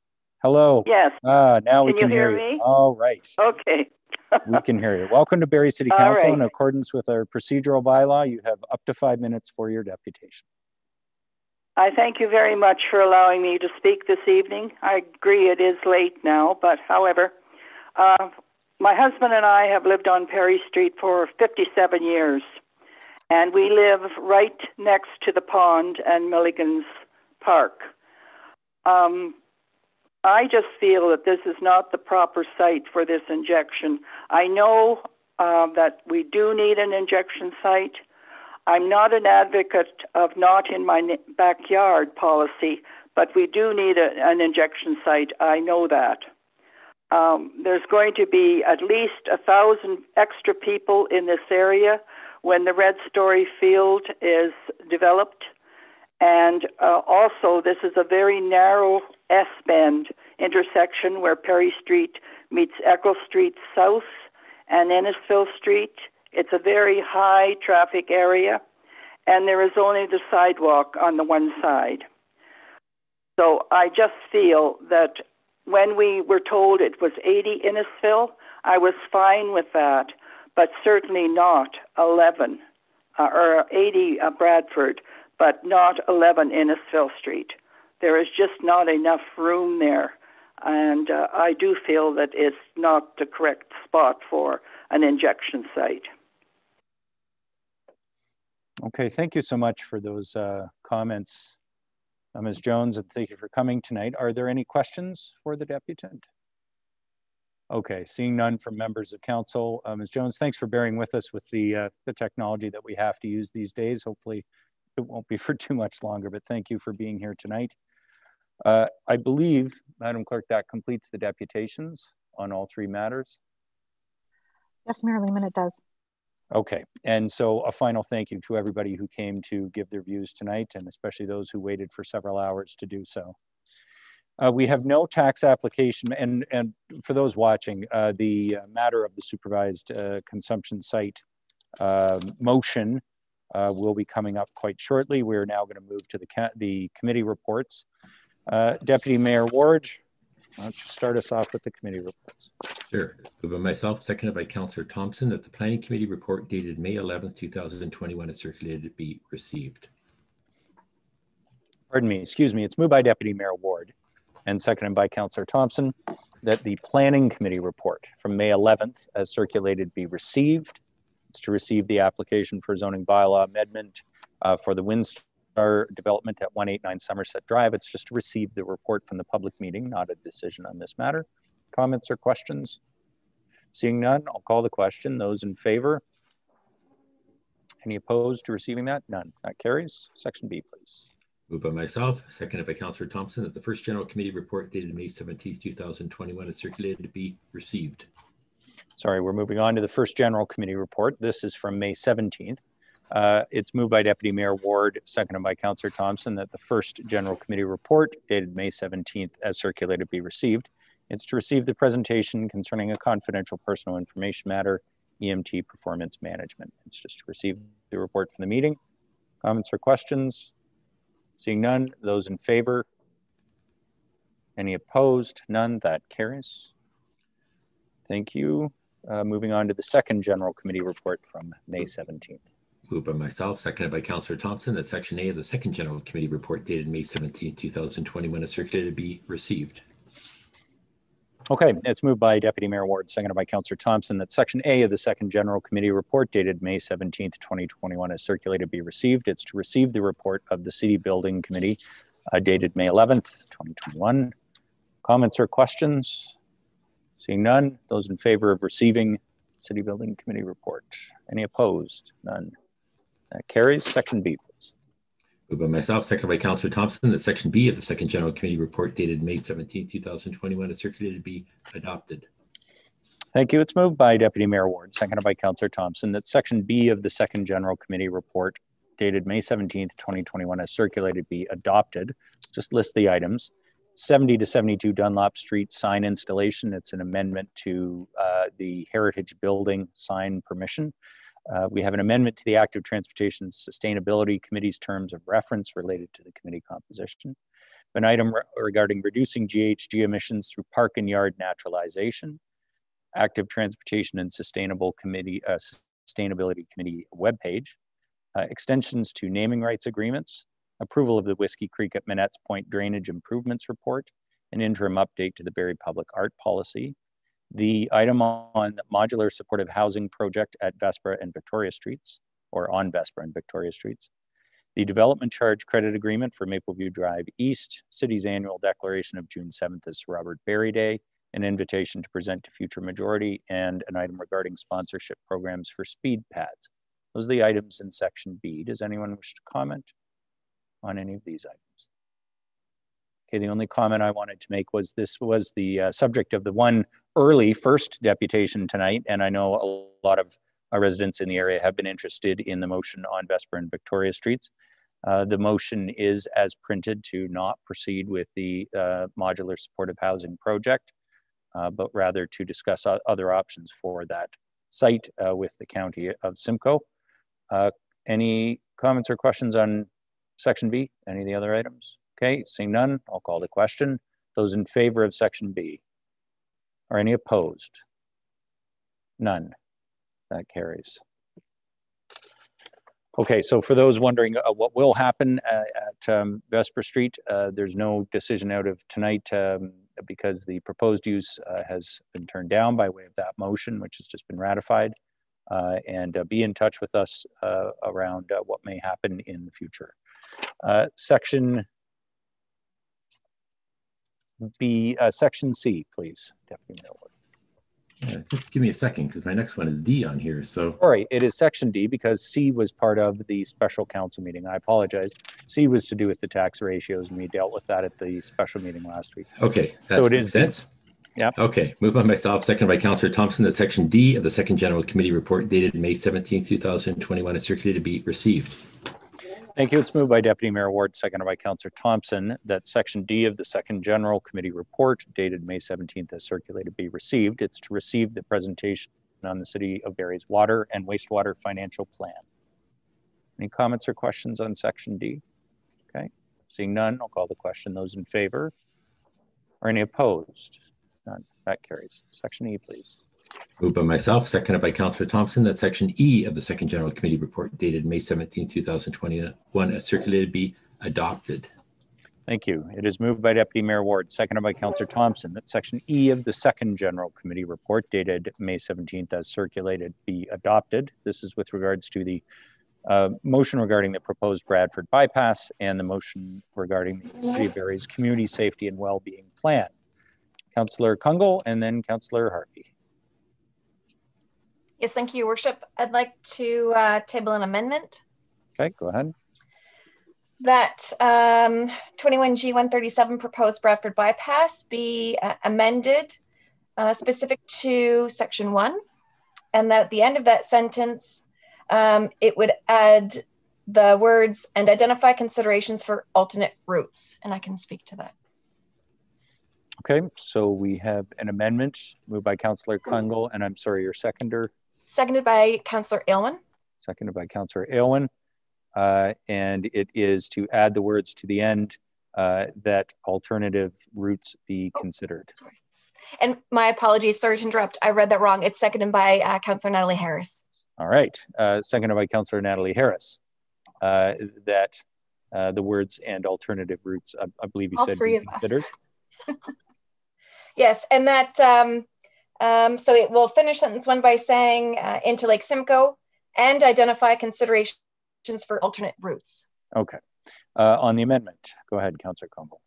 Thank you. So just just in respect to the, the presentations that we had um, at the beginning of the meeting uh, around recommendations to strengthening that, uh, you know, and recognizing the significant impact on um, the watershed areas uh, and sensitivities, I, I, do think it would be great to see if while we are asking for um, a comprehensive impact assessment on Lake Simcoe and the vulnerable watersheds, uh, and inflows into Lake Simcoe, that we do also ask them to disclose what other considerations for routes uh, have been have been tabled and uh, an awareness of that. So uh, hoping that's just additional information that the government could comment on. Okay, thanks, Councillor Kungl. On the amendment, Councillor Aylwin and Councillor Hart. Thank you, Mayor Lehman. Uh, just quickly to the mover, uh, I know we did discuss this a little bit, but um, in terms of alternative routes, do you also intend for that to look at public transit options like Go Service? Uh, thank you for the question. I wasn't going to get into the specifics. I'm hoping that might be one, uh, knowing that you know that was within kind of the the commentary, I believe, by um, one of our presenters. So whether um, we modify that to be alternate routes or or options to support the, the traffic um, measures that seem to be identified. Uh, I'll look to you if you want to further amend that, but um, if, if you want it to be more specific, by all means. Yeah, I do. It's just cognizant of the fact that we're at City Council, so it would need to be a written amendment. But um, yeah, I, I, think I think I'm happy with it the way it is. But uh, yeah, I would hope we would explore transit options as well. Okay, thanks, Councillor Aylwin. Councillor Harvey. Thank you, Your Worship. Actually, my first point is just more of a point of clarification. Uh, are we able to separate these two items because they are very two different items under this section E and have them voted on separately?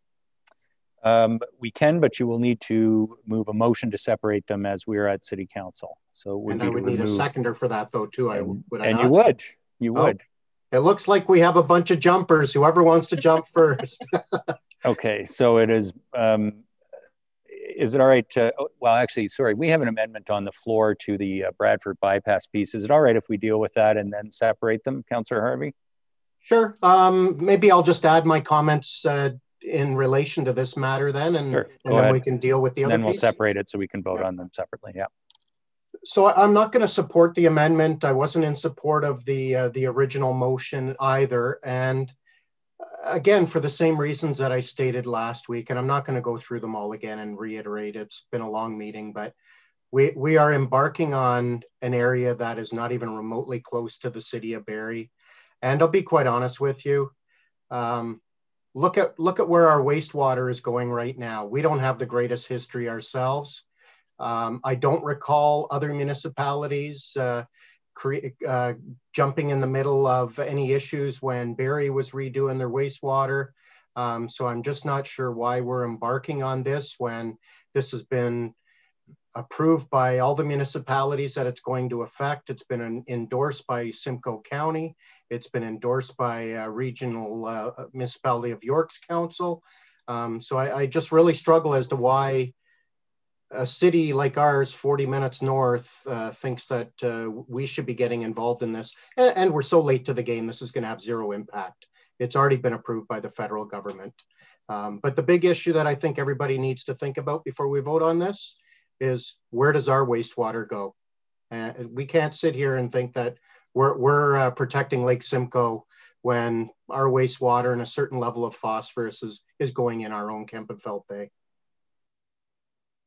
Okay, thanks, Councillor Harvey. Uh, count, sorry, was that Deputy Mayor Ward? Yep, go ahead, uh, Barry. I just had to take this opportunity to point out there's a report on our water uh, water waste treatment plant tonight, and uh, actually shows we're doing very well. Our, our target set for us by the government is 0.1 I think, milligrams per liter of phosphorus, and we're actually 0.03. So we're less than a third of what our target is. So we're actually doing incredibly well with our mm-hmm. thing. I just want to let it go by that we're somehow polluting the lake. You know, we're we'll hopefully we'll do better, even better in the future. But right now we're a third of what we are allowed to put into the bay. So I, just because it's on our circulation list tonight, I couldn't let it pass. Thanks, Deputy Mayor Ward. And you know what they say about stuff running downhill. We really don't have another option. We can't move it to a, uh, any other outflow. Uh, but I do understand, uh, uh, Councillor Harvey, the point you're making. Uh, Councillor Morales. Uh, thank you, Mayor Lehman. I won't be supporting the amendment. And the only clarity that I'll add, I don't know if I covered it last week in my comments. Um, I read some feedback from residents, a combination of online comments as well as emails. Uh, this is necessary not only for that commuter traffic um, in the again York um, area, uh, GT area, and what I call the the Warriors to Durham region, um, but that Bradford area, uh, the, that Newmarket traffic, people on Green Lane, uh, people on Davis Drive, um, it is stop and go. We're talking pre-COVID. It is stop and go. Um, I did it for a bit, and again, somebody pointed out that the the emissions, the greenhouse gases of stop and go traffic are a lot uh, more consequential than traffic that flows freely. Um, and I picked my language carefully. Obviously, no emissions or public transportation is better, but living, being pragmatic about this, uh, stop and go traffic with reduced speeds um, is not an efficient. If, like if we're going to have emissions, that's not uh, an optimal way of having them. And um, it would be more efficient, not only from the environment, but also from a quality of life perspective. People would rather be uh, have their commute be 50 minutes uh, or an hour instead of the equivalent being an hour and 20 minutes, an hour and 40 minutes. So we do have to think about that as well. Um, also, that if we're thinking about our, our neighbors in Bradford, which um, you know we, we always want to maintain good relationship with, uh, that really chokes up the, their their their town. Uh, that's think think of the equivalent if we didn't have a highway running through our city, and it would be our Bayfield or our Essa Street. That's what Bradford experiences during rush hour at this time. So I won't be supporting the amendment. Um, and I just wanted to provide that clarity. Thanks very much, Councilor Morales. On the amendment to request that the province include alternate routes in their review. Uh, further comments, Councillor Riepma. Thank you, Mr. Mayor. Um, and for sure, I think we should ask uh, the government to look at alternatives. Uh, we had uh, two speakers tonight um, who uh, spoke exactly about that, that uh, we have uh, this highway affecting uh, wetlands and forests and farmlands and all those kind of things.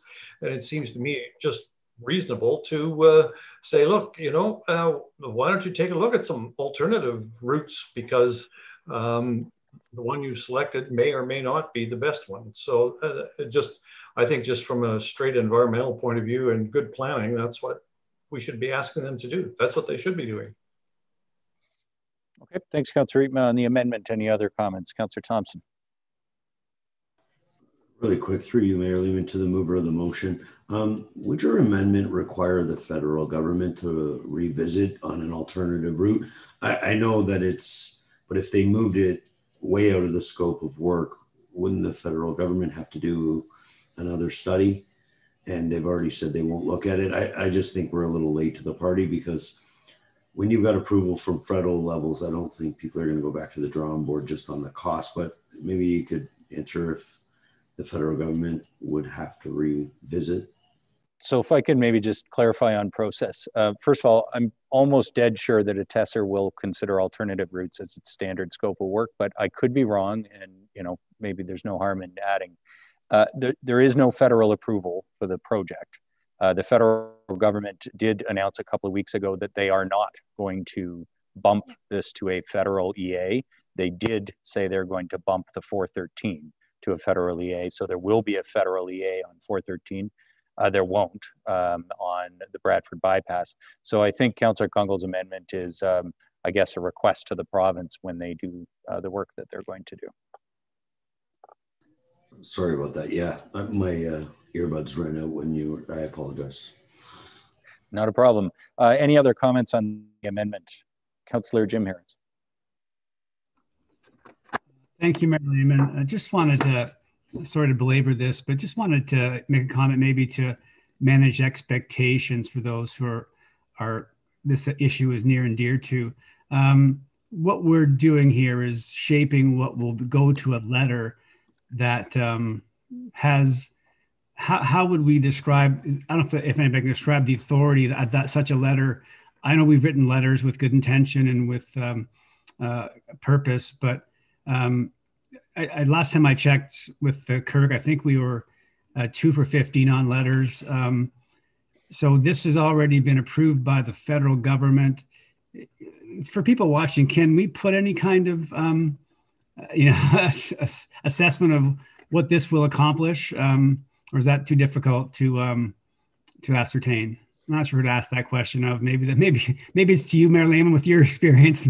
maybe that's well, just. A- I mean, the fact of this is we have zero authority. Um, however, we're an interested party, and we represent a community that, um, uh, you know, in my opinion, has an interest in certain aspects of the project for sure. Uh, but uh, there is no requirement for the province to listen to us. Um, uh, you know, we would hope that uh, uh, as a letter coming from a municipal council resolution, they would give it due consideration. But we have no authority. Thank you, Mary Lee. Not to to uh, diminish the effort, but just to help. I, I, think some of the flavor of some of the emails I've seen, it seems like we're one making the decision, and we're not making the decision here. We're, we're trying to advocate on behalf of people with a letter. So I would just say I, I understand the amendment, and given that I don't know that there's a lot of weight here, um, if we with uh, paragraph one, we have um, you know asking for that evaluation. One of the outcomes might be if they have this evaluation, they find these horrible outcomes. I would think they would consider alternate routes. That would be a given. But so to me, it's it's fairly benign, uh, given that that would probably okay anyway. But thanks. I just wanted to make a point that really, you know, as a, as a, as authority goes, we have, and then you said zero. So I appreciate you clarifying that. So thank you. Okay, on the amendment to add the request for alternate routes. Comments or questions any further? Okay, I'll call the question. Those in favor of the amendment, please indicate. One, two, three, four, five, as am I, and opposed are five. So the amendment carries six to five. Uh, on the main motion as amended, any comments or questions? Councillor Harvey, you'd indicated before, did you have comments on the main motion? Uh, no, Your Worship. I'll just uh, just looking to separate it for the separation. yeah, sure. Okay. Uh, if there are no other comments on the motion as amended on the Bradford bypass matter, um, I will call the question. Uh, those in favor of the motion as amended. Three, four, five, six. Uh, those opposed. One, two, three, four. That carries. Now, um, Councillor Harvey, would you like to introduce the motion to separate uh, the community safety and well-being plan, and we'll introduce that separately? Sure. Uh, who would like to second it? Councillor Kungl. Actually, Councillor Kungl was the quickest at it. So, yeah, uh, yeah, no, I, I, moved by myself, seconded by Councillor Kungl to uh, separate 21G-137 uh, and 21G-138 of Section E uh, for voting purposes.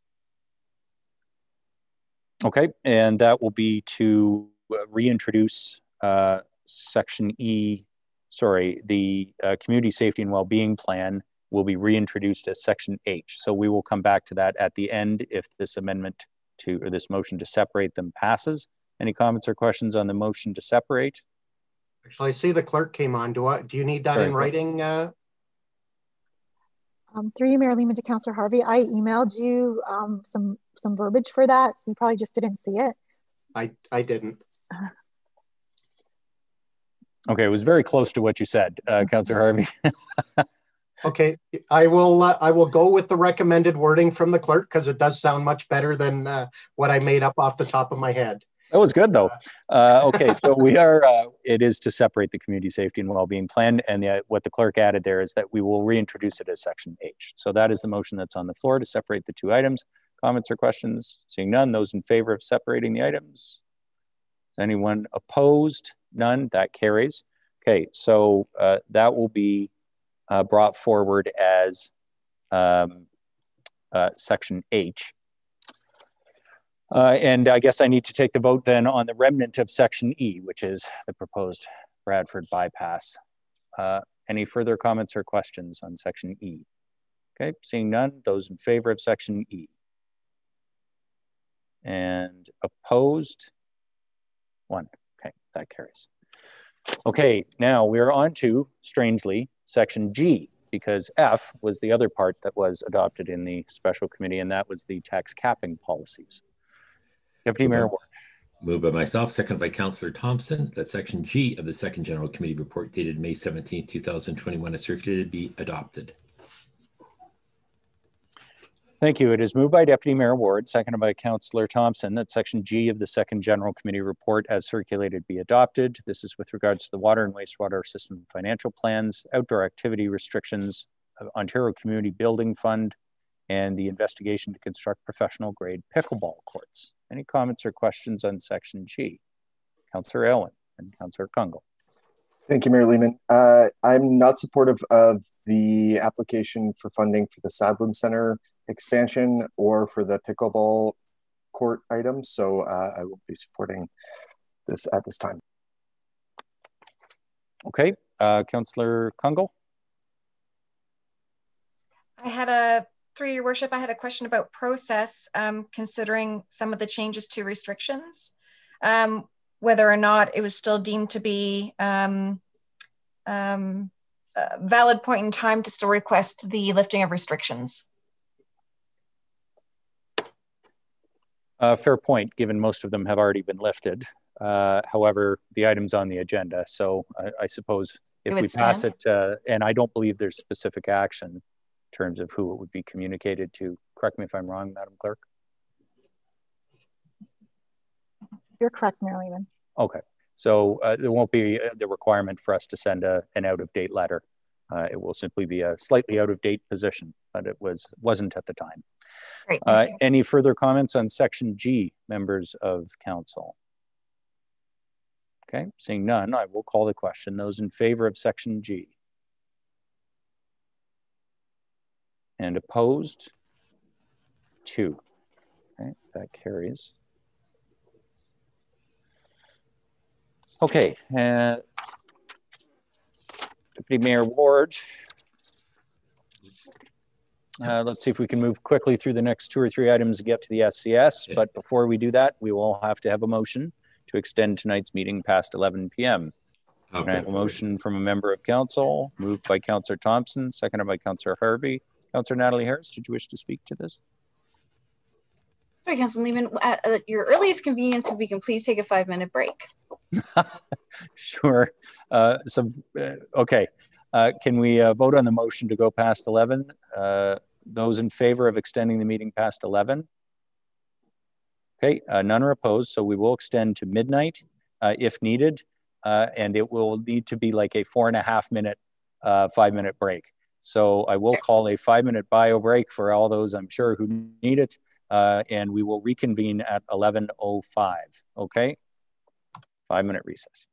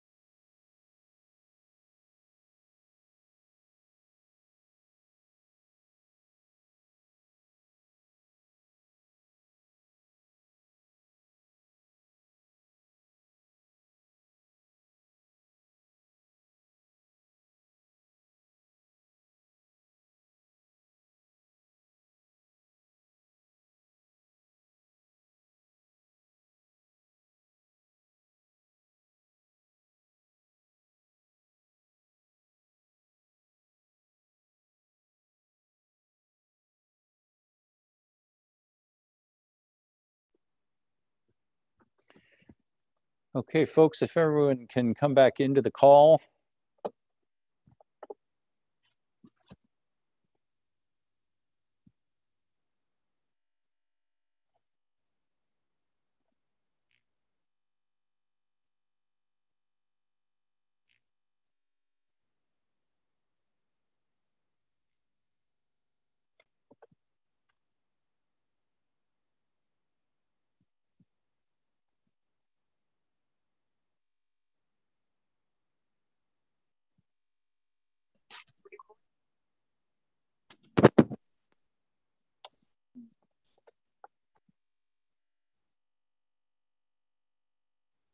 Okay, I think we've got just about everybody back. Uh, so I will call the city council meeting back to order. 1105. Uh, we still have section H, the section that was separated. Deputy Mayor Ward, don't know that you'll have a form for that. Uh, I don't. So, but I can say move on myself, second by Councillor Thomson, that section H of the second general committee report dated May 17, 2021 is circulated to be, would it be adopted? Yes. Adopted. Okay, thank you. It's moved by Deputy Mayor Ward, seconded by Councillor Thomson, that section H of the General Committee report uh, be adopted, and that is the Community Safety and Wellbeing Plan that had been separated. Any comments or questions on section H? Okay, seeing none, I'll call the question. Those in favor? Is anyone opposed? None. That carries. Thanks, Deputy Mayor Ward. We can move to the first General Committee report from May 25th. Moved by myself, seconded by Councillor Thomson, that the first general committee report dated May 25th, 2021 is circulated to be adopted. Thank you. Uh, it is moved by uh, Deputy Mayor Ward, seconded by Councillor Thomson, that the first general committee report dated May 25th as circulated be adopted. This is uh, with regards to the Barrie Hydro Holdings Inc. annual general meeting matters and commercial and financial information matters, the amended and restated Alectra Inc. unanimous shareholders agreement. Any comments or questions on first general committee report from last week, the hydro meeting? Seeing none, those in favor of the section of the report. Any opposed? Sorry, Councillor McCann. Sorry, I, I should have held a conflict there. Sorry about that. Okay, uh, what's the nature of your conflict? Just Iona Renewable Energy Company, and uh, they obviously do uh, renewable, renewable energy as well. Okay, and I saw you did not participate in the vote. Uh, Madam Clerk, has Councillor McCann's conflict been recorded? Yes, Mayor Lehman has. Okay, uh, and the report carries. Uh, moving on, Deputy Mayor Ward. Moved by myself, seconded by Councillor Thomson that Section A of the Second General Committee report dated May 25th, 2021 is circulated to be adopted. Thank you. It's moved by Deputy Mayor Ward, seconded by Councillor Thomson, that Section A of the General Committee report dated May 25th as circulated be adopted. This is the invitation to Dr. Mike Moffatt to make a presentation to Council. Comments or questions? Seeing none, those in favor of Section A? Anybody opposed? None. That carries. Section B, please. Moved by myself, second by Councillor Thomson, Section B of the Second General Committee report dated May 25th, 2021, as circulated to be received. Thanks. It's moved by Deputy Mayor Ward, seconded by Councillor Thomson, that Section B of the Second General Committee report dated May 25th, 2021, as circulated to be received. It's to receive the presentations. Uh, the first was from Thierry Reyes regarding our portfolio of our investment management at the city. Uh, the second was the presentation on the proposed supervised consumption site. Uh, Councillor Jim Harris. Go ahead. Thank you, Mayor Lehman. I appreciate you keeping me on task. Um, I, will try to be better this time. Uh, due to the fact that um, I have a direct family member uh, that works at CMHA Simcoe, who are both the applicant and the provider of the SCS service, um, in accordance with the S5 of the Municipal Conflict of Interest Act and uh, uh, Integrity Commissioner's, um, pardon me, not being smoother, Integrity Commissioner's recommendation, I will not be taking part in the discussion of the vote on this matter. Thank you. Thank you. Madam Clerk, has Councillor Jim Harris's conflict been recorded? Yes, Mayor Lehman, it has. Thank you. Okay, so this, to be clear, is just to receive the presentations. It's not the decision on the motion. Uh, any comments or questions? Okay, seeing none, those in favor of section B, any opposed? None? That carries. Section C, Deputy Mayor Ward. By myself, second by Councillor Thomson, the section C of the second general committee report dated May 25th, 2021 is circulated to be adopted. Thank you. It's moved by Deputy Mayor Ward, seconded by Councillor Thomson, that section C of the second general committee report dated May 25th as circulated be adopted. This is the motion regarding the proposed supervised consumption site locations. Councillor Harris. Thank you, Mayor Lehman. I would declare my conflict again. Would you like me to restate it? Um, No, I think you did. It's the same conflict, uh, Yeah. same matter. Madam Clerk, has Councillor Jim Harris's potential or conflict been recorded? Yes, Mayor Lehman, it has. Okay, thank you very much. Okay, members of council who wish to speak to section C. Councillor Aylwin. Thank you, Mayor Lehman. Uh, I do want to take a moment to thank everyone who took the time this evening to make a deputation. Um, there were a lot of really thoughtful comments, constructive comments, um, and, I, and I really appreciate all the work that people put into that. And that gives me hope on how we move forward as a city with this issue, addressing the deadly toxic drug supply crisis. Um, one of the most important things, if this site does get approved by the provincial and federal governments, uh, is that we have people in the neighborhood near the site who are holding uh, the operators accountable, but also participating in the uh, advisory committee um, and bringing those great ideas that we heard this evening to that table uh, so that we can create a solution that works not only for people who use drugs, but for people who live in and around the site. So I'm feeling very hopeful that we can make that work. Um, there were a few points that I do want to quickly address, uh, in particular, the letter from HIP Developments. Um, they conclude their letter by calling for a thorough site selection and evaluation process um, for all proposed locations to consider the impact to surrounding property uses, current and future property owners and visitors to Barrie, uh, and that they trust this process is being followed, including input from the health unit, the BIA, and others. Um, and then they talk about some long-term prevention plans, security plans, and um, I do want to note that the applicants uh, have gone through that process. Um, it's been a long and detailed process looking at the different sites uh, in and around the downtown. Um, there was a site selection advisory committee that included members of the public and members from different agencies, um, as well as the downtown BIA. Uh, and there was an evaluation process to score those sites and rank those sites. Um, and there are mitigation strategies in place to address those neighborhood concerns that we heard about tonight from some residents. Um, and it includes things like security cameras, uh, fencing, um, having outreach workers on site to ensure that people who access the site uh, don't just leave and uh, stay in the neighborhood, uh, that they head to where they need to go, whether that's home, to work, or somewhere else. Um, so those mitigation strategies are going to be critical moving forward, and uh, that's where the neighborhood engagement is really important too. Uh, if there are issues that come up, we need to hear them. The site operators need to hear them, and we can and will work through them. Um, there was a, a, mention of a report uh, that uh, Natalie Harris did talk a little bit about. One of the residents um, brought up a report from Alberta um, showing a lack of safety around supervised consumption sites. Um, and there was a peer-reviewed evaluation of this article that showed there's there's no evidence linking SCSs to increased crime. Uh, having said that, I think we do still need to um, be on guard and make sure that we do everything we can to mitigate concerns in the neighborhood. Uh, I will be supporting this uh, as I have from the beginning. Um, I believe in the expert advice of the Public Health Unit and the Canadian Mental Health Association.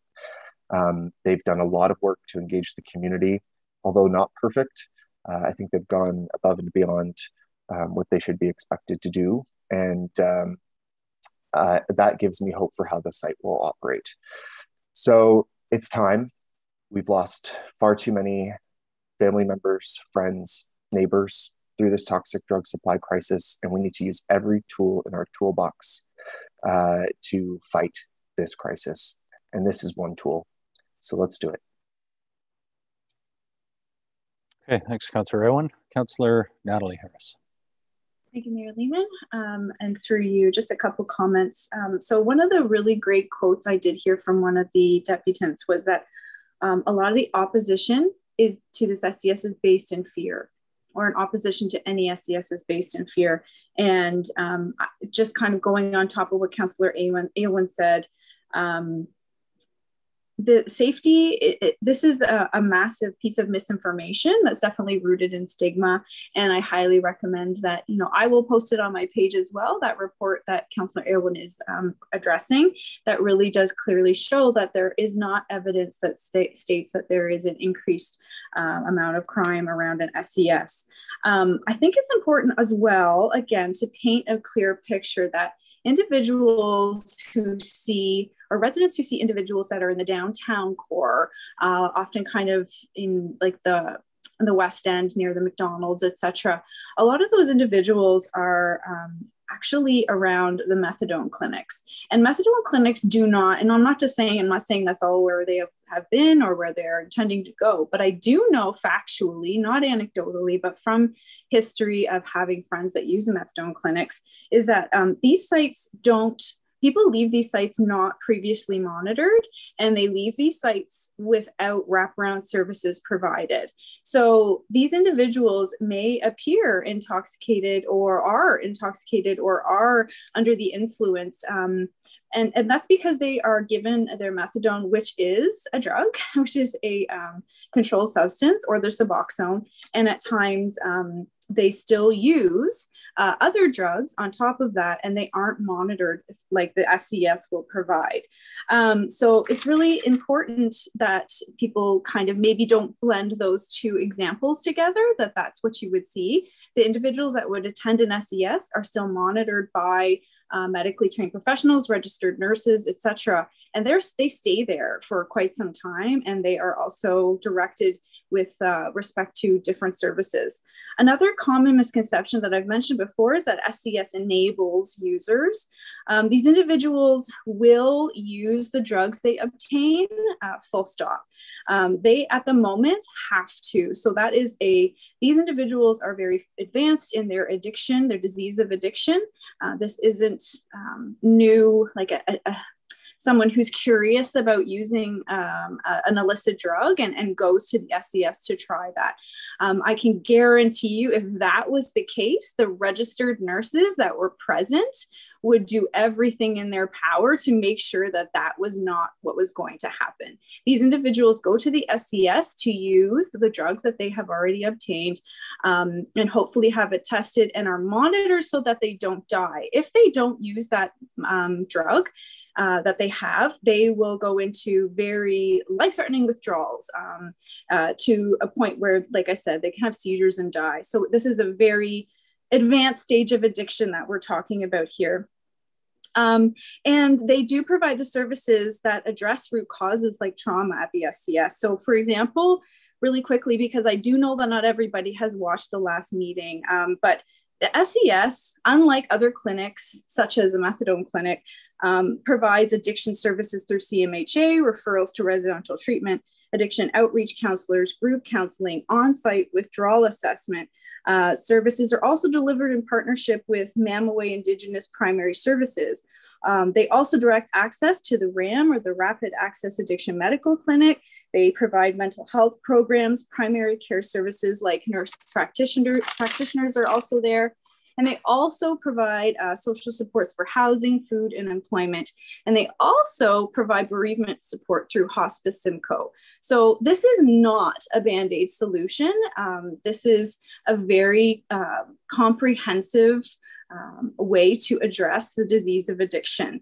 Um, do they, another one comment that I had already mentioned was, um, do they uh, even move into productive lives? Yes, absolutely. The stigma definitely is there that you may see individuals that are on the streets and they're homeless and they're in, again, the possibly the very, um, very late stages of their disease of addiction. But I, I very much encourage anyone to reach out to me, and I would love to have a conversation with you if you feel like these individuals don't have potential to be becoming, um, you know, turning their lives into a very productive life and a healthy life. I have so many friends that have done this. It's not just me. It's just because I'm a city councilor and this is before us. I feel blessed and honored to be able to address this right now. But this is something uh, that has been part of my life, and I've been part of this community for so many years. Um, and I know so many people that have been able to turn their lives around because they were able to go to a place such as an SCS. Um, and I wanted to say something else that's really important. I heard someone say, I don't even know if I want to help drug addicts. So, my point here, and I hope this is shocking, until the sentence, I don't even know if I want to help cancer patients, makes everyone as uncomfortable as the first sentence did. We have a very long way to go with addressing stigma. And I have a funny feeling that many people watching that will agree, disagree with me immediately and they will say that addiction's a choice. Again, please reach out to me. We don't have time, obviously, to go through all of the pathophysiology uh, involved with um, anatomy, physiology, with addiction. Um, people go to school for many, many years to uh, research and to address this uh, very, very profound disease. But um, it is a disease like any other disease. No one chose to be an addict. And I do use the phrase addict because that is what I was grown up as grown up I've grown up with and what I'm accustomed to using. Um, and I am an addict in recovery. Um, and they and I also heard someone say that they don't they want the privacy. They being people that are going to potentially use the SCS um, because they don't want people judging them.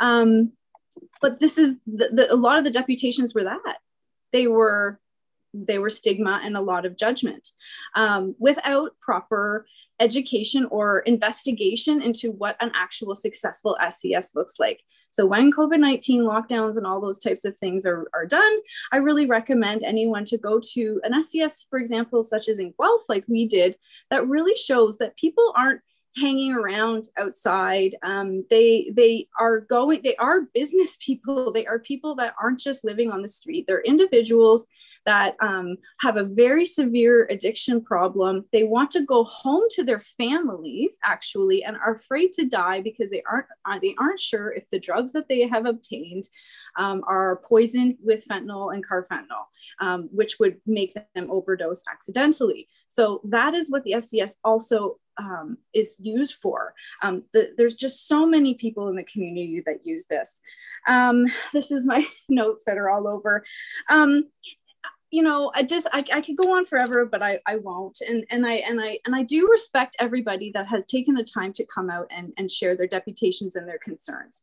But and I and i and i know how strongly you feel about safety and and i get it you know I, am a mom as well and i have two kids and a grandson um, but i would 100% support an SCS in my neighborhood and that's not just because i am a person in recovery um, but it's because i actually do have the education and the knowledge behind it to know what this looks like this does not look like what you're maybe um, anticipating um, the outside of other clinics particularly look like. Thank you so much for your time, and obviously I will be.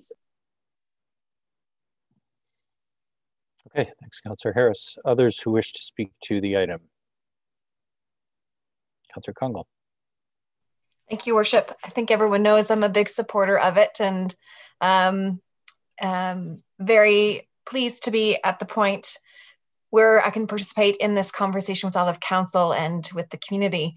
I did want to take the opportunity to, to thank um, Dr. Simon and Dr. Disa again for their leadership. I think we're quite fortunate to have them uh, in our region. And in particular, I wanted to take a moment to really acknowledge all of the different members of the community uh, that came together as part of that advisory table and the hours you spent and I'm aware of the difficult conversations um, that you participated in, and that this is something that you were able to come together with and actually uh, help to support an identified site. So I wanted to give you recognition for um, that community uh, effort, uh, and thank you for that. And um, I won't uh, belabor it any longer, but I'm very happy to be supporting this site identified. Okay, thanks, Councillor Kungl. Any other comments on Section C? Councillor Harvey.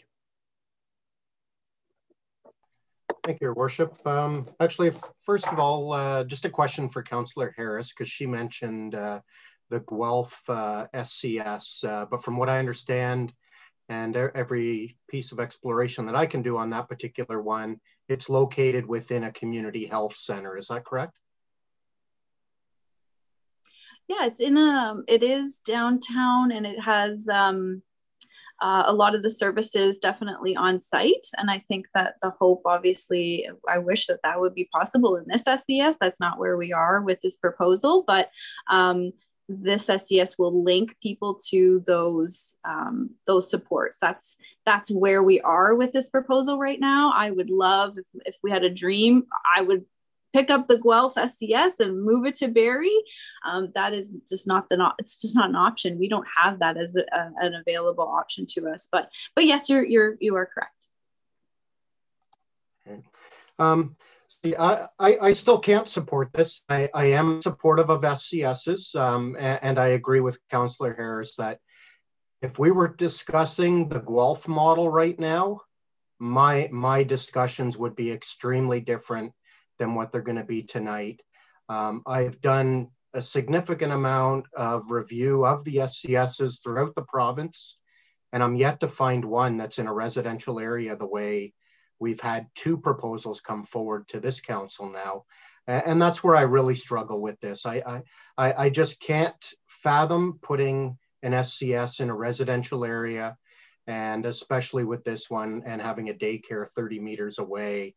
Um, it just doesn't sit well. And obviously, it is potentially one of the sensitive uses that the uh, the provincial government will look at when they review this application. Um, but also, too, just we've heard a lot of issues that uh, residents have. Uh, have brought up uh, this evening, and even prior to that, when it hit the news, like originally we all thought it was 80 Bradford, and then all of a sudden we're being told it's 19 Innisfil, and then finally we're being told it's 11 Innisfil it really makes me wonder if the applicants ever visited this place because you only got to walk to the front door and see the placard inches away from the door that says 11 Innisfil Street. And, and, this is the door that they intend on using as the entranceway. So how, how this address got misconstrued is unfathomable. And it really creates a cloud over the process that they took along with the fact that we're hearing from so many residents, and it seems like it's the residents that are closer to the, the proposed location that did not receive any notification or any literature, um, whether it, I can't imagine that it would be city staff mailing that out. I would suspect that would have been the SMOS group uh, sending out those notifications, but it, it really creates a cloud over the process that they embarked on when we're hearing the people that literally are feet away from the location and it's only through word of mouth from other neighbors that they that they found out about this so that, just too many issues that uh, come up with this um, then when you look at uh, again the whole medical piece and I, I brought this up with one of the applicants several months ago because I heard nothing but positive reviews from members of council who did visit the Guelph location. Um, and again, it's a very different model. It's in a medical building, um, obviously has the support of the medical community there. Unfortunately, when that was tried here, I was told by one of the applicants that they could not even think about securing a lease within a medical building here because the, the landlord wouldn't have it because the other tenants were, were against it. So it, it just goes to show you there's obviously two sides of it, even within the medical community, that if they're not welcoming to it the way Guelph is, there, there's obviously some issues there. And, and obviously it's no different than sometimes you get two lawyers in a room, they might disagree on certain things too, but uh, it, it would have been much more palatable if we would have been talking about a medical facility here, because this is actually a medical emergency and it would really fit in opposed to putting it in a commercial premise directly across the street in a residential area. Um, the other issue I have too is it got brought up about the hip developments and uh, apparently they sent the city a, a, notice about a year ago and I haven't seen it myself. Here we have a developer that's doing a significant build on the old high school lands and even did a land swap with the city. So we got the preferential front facing lands on Dunlop Street. And now we're turning a, a, a deaf ear to their concerns when now we want to build, uh, open up an SCS right around the corner from what they're building. What does that message send to our development community? Very mixed message, in my opinion. In one minute, in one breath, we're saying we're open for business. We want you to come and build but then in the other breath, we might pull a fast one on you. And uh, I just, I don't know, it just doesn't sit well with me that uh, there hasn't been at least some consultation with uh, with them in regards to that, because we're not just talking about a couple rows of townhouses. We're talking about hundreds upon hundreds of rental units that are going to be built in this area with a, an extension of Perry Street, so that way everything will will flow as a one community. Um,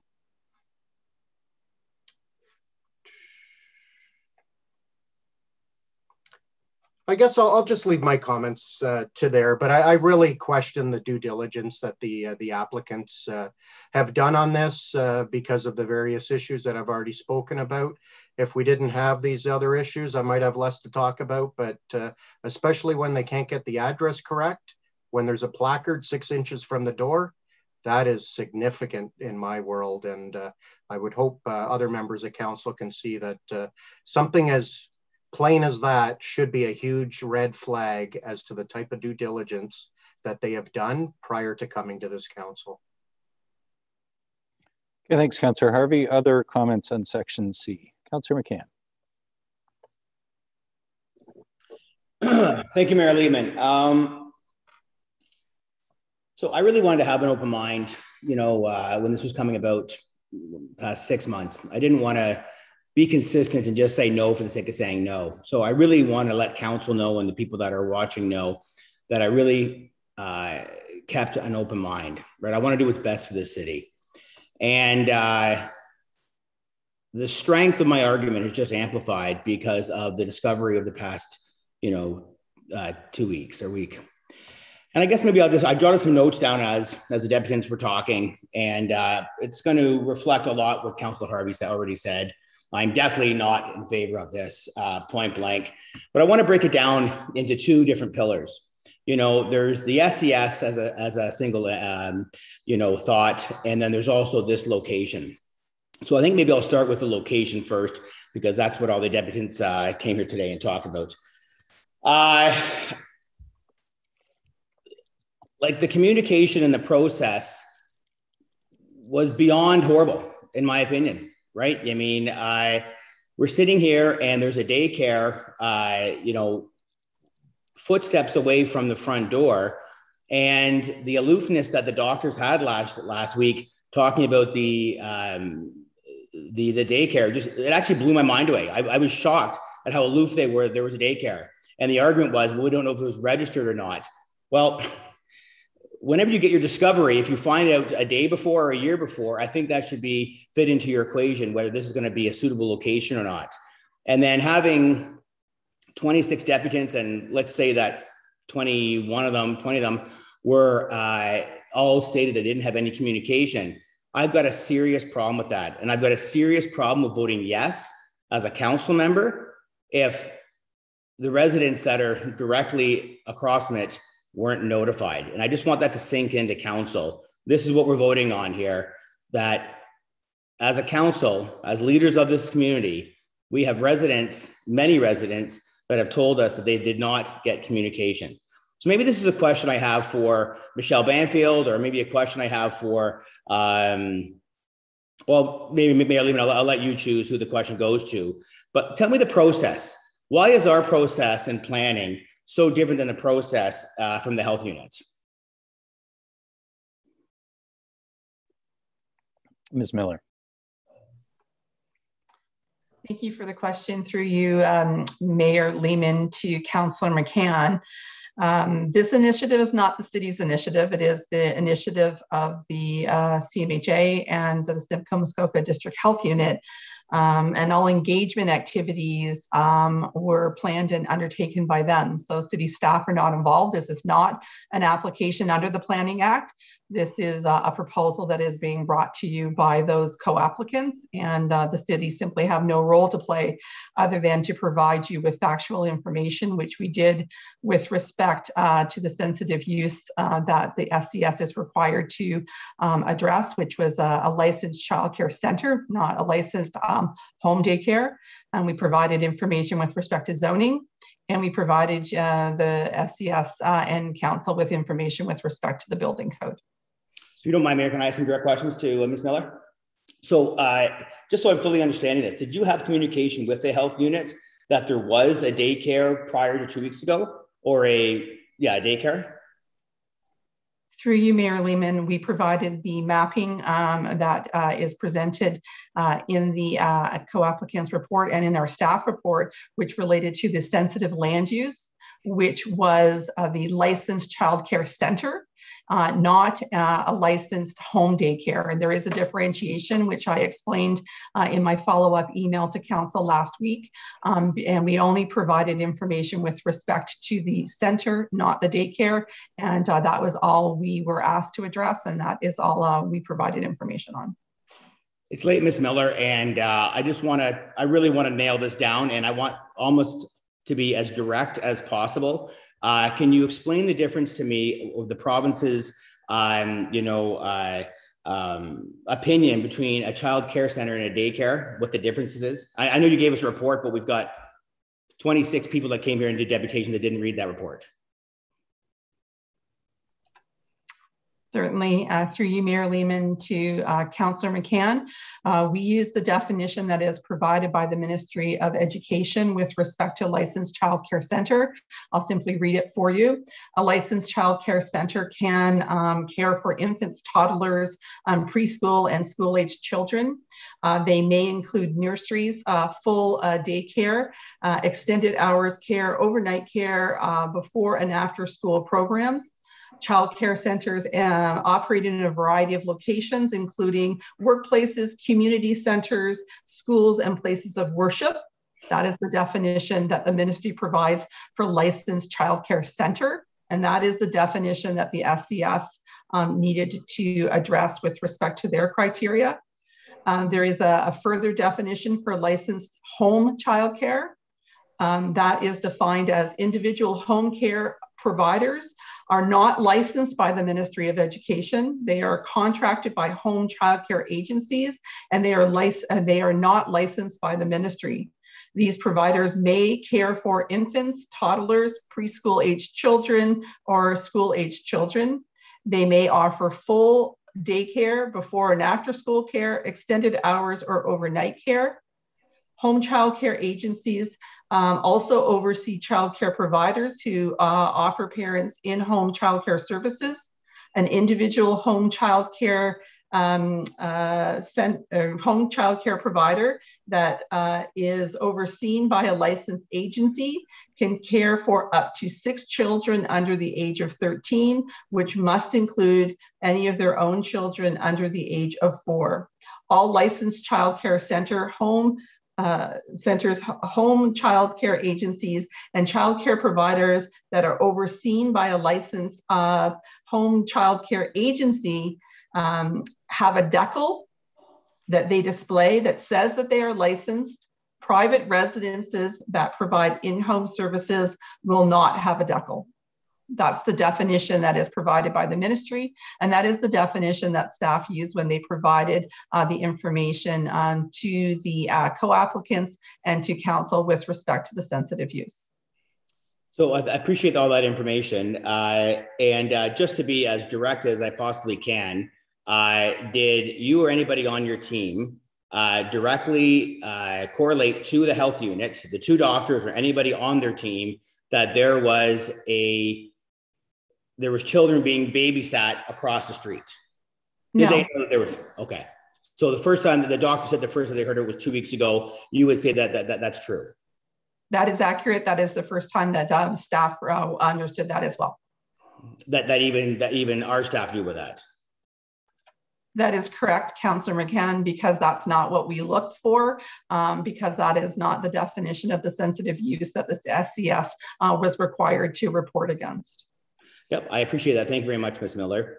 And uh, this really comes down to, uh, you know, you know, I've done a lot of research on uh, safe consumption sites across Canada, and uh, you know, this was my my stance maybe two, three years ago when it came, is that they work and they don't work. And I'm a firm believer that it's to do with the management inside that building. And here we are having a injection site that uh, has different management than last time, uh, did a much better presentation, but with their lack of discovery, they didn't find out that there was a childcare center with Wee watchers uh, registered uh, minutes away. I'm sorry, uh, footsteps away. Like I have a real issue with that. If they're if they're missing the boat on that one, what else are they going to miss the boat on? Um, maybe I have a question for uh, Council, uh, Council Aylwin just about management. Uh, he had mentioned earlier uh, minutes ago that once the uh, the clients uh, go in and uh, they do their drugs, that there's going to be some type of management with these um, patients, I'm not sure that's the correct word or not, clients, patients, once they're high, that they're going to not just release them into the public, like they can't stop them from leaving, at least, or can they? Like, I, I want a little bit more in depth uh, discussion on what you meant, if you don't mind, Mayor Lehman. Thanks for the question, Councillor McCann. Uh, and I can answer to the best of my ability, but I won't be operating the site. But um, from my conversations with CMHA, who will be operating it, uh, they advise that there's going to be a cool off room. So, um, as a condition of accessing the service, um, people will go in, uh, access the service, and then there's a separate room where they uh, can sit and wait. Uh, and there's medical professionals there uh, who can help monitor them and uh, so there's a process that happens after they've accessed the service. And then beyond that, uh, they're looking at having outreach teams uh, escort people as needed or you know having a taxi ordered for people to get to where they need to go um, so something they're thinking about and I, I do want to make it clear that the viability of the site relies on having the least amount of impact on the surrounding neighborhood. Uh, CMHA and the health unit want this site to succeed, and it won't succeed if they uh, impact the neighborhood in a drastic way. So they're going to do everything in their power to ensure that there's the least amount of impact po- as possible, and the people who access the service will understand that as well. And that's the experience that the Guelph site had. Um, everyone was working together to ensure that there was less of an impact on the mm-hmm. surrounding neighborhood. And I think we can have that here as well. Well, uh, Councilor Aylwin, I appreciate your answer. Uh, but what I don't appreciate is when you talk to this council with such authority and such deliberance about the process that's going to happen after these people are high. And then your first statement to me is, well, you don't really know too much about it, right? I'm just telling you right now, this is a super sensitive uh, subject. This isn't uh, a playground. This isn't something that uh, um, that isn't going to have such an impact. And so I'm just letting you know that, that I'm not appreciative of that. All right. Um, my I suggest you talk to the applicants. Well, you brought it up, counselor. Okay. Uh, councillors, uh, I understand it's late. Councillor McCann, we'll go to the applicants who are going to operate the site. So uh, I will ask that uh, Dr. Uh, Gradisa be brought into the call uh, and she can answer your question, Councillor McCann. So I wasn't aware they were here.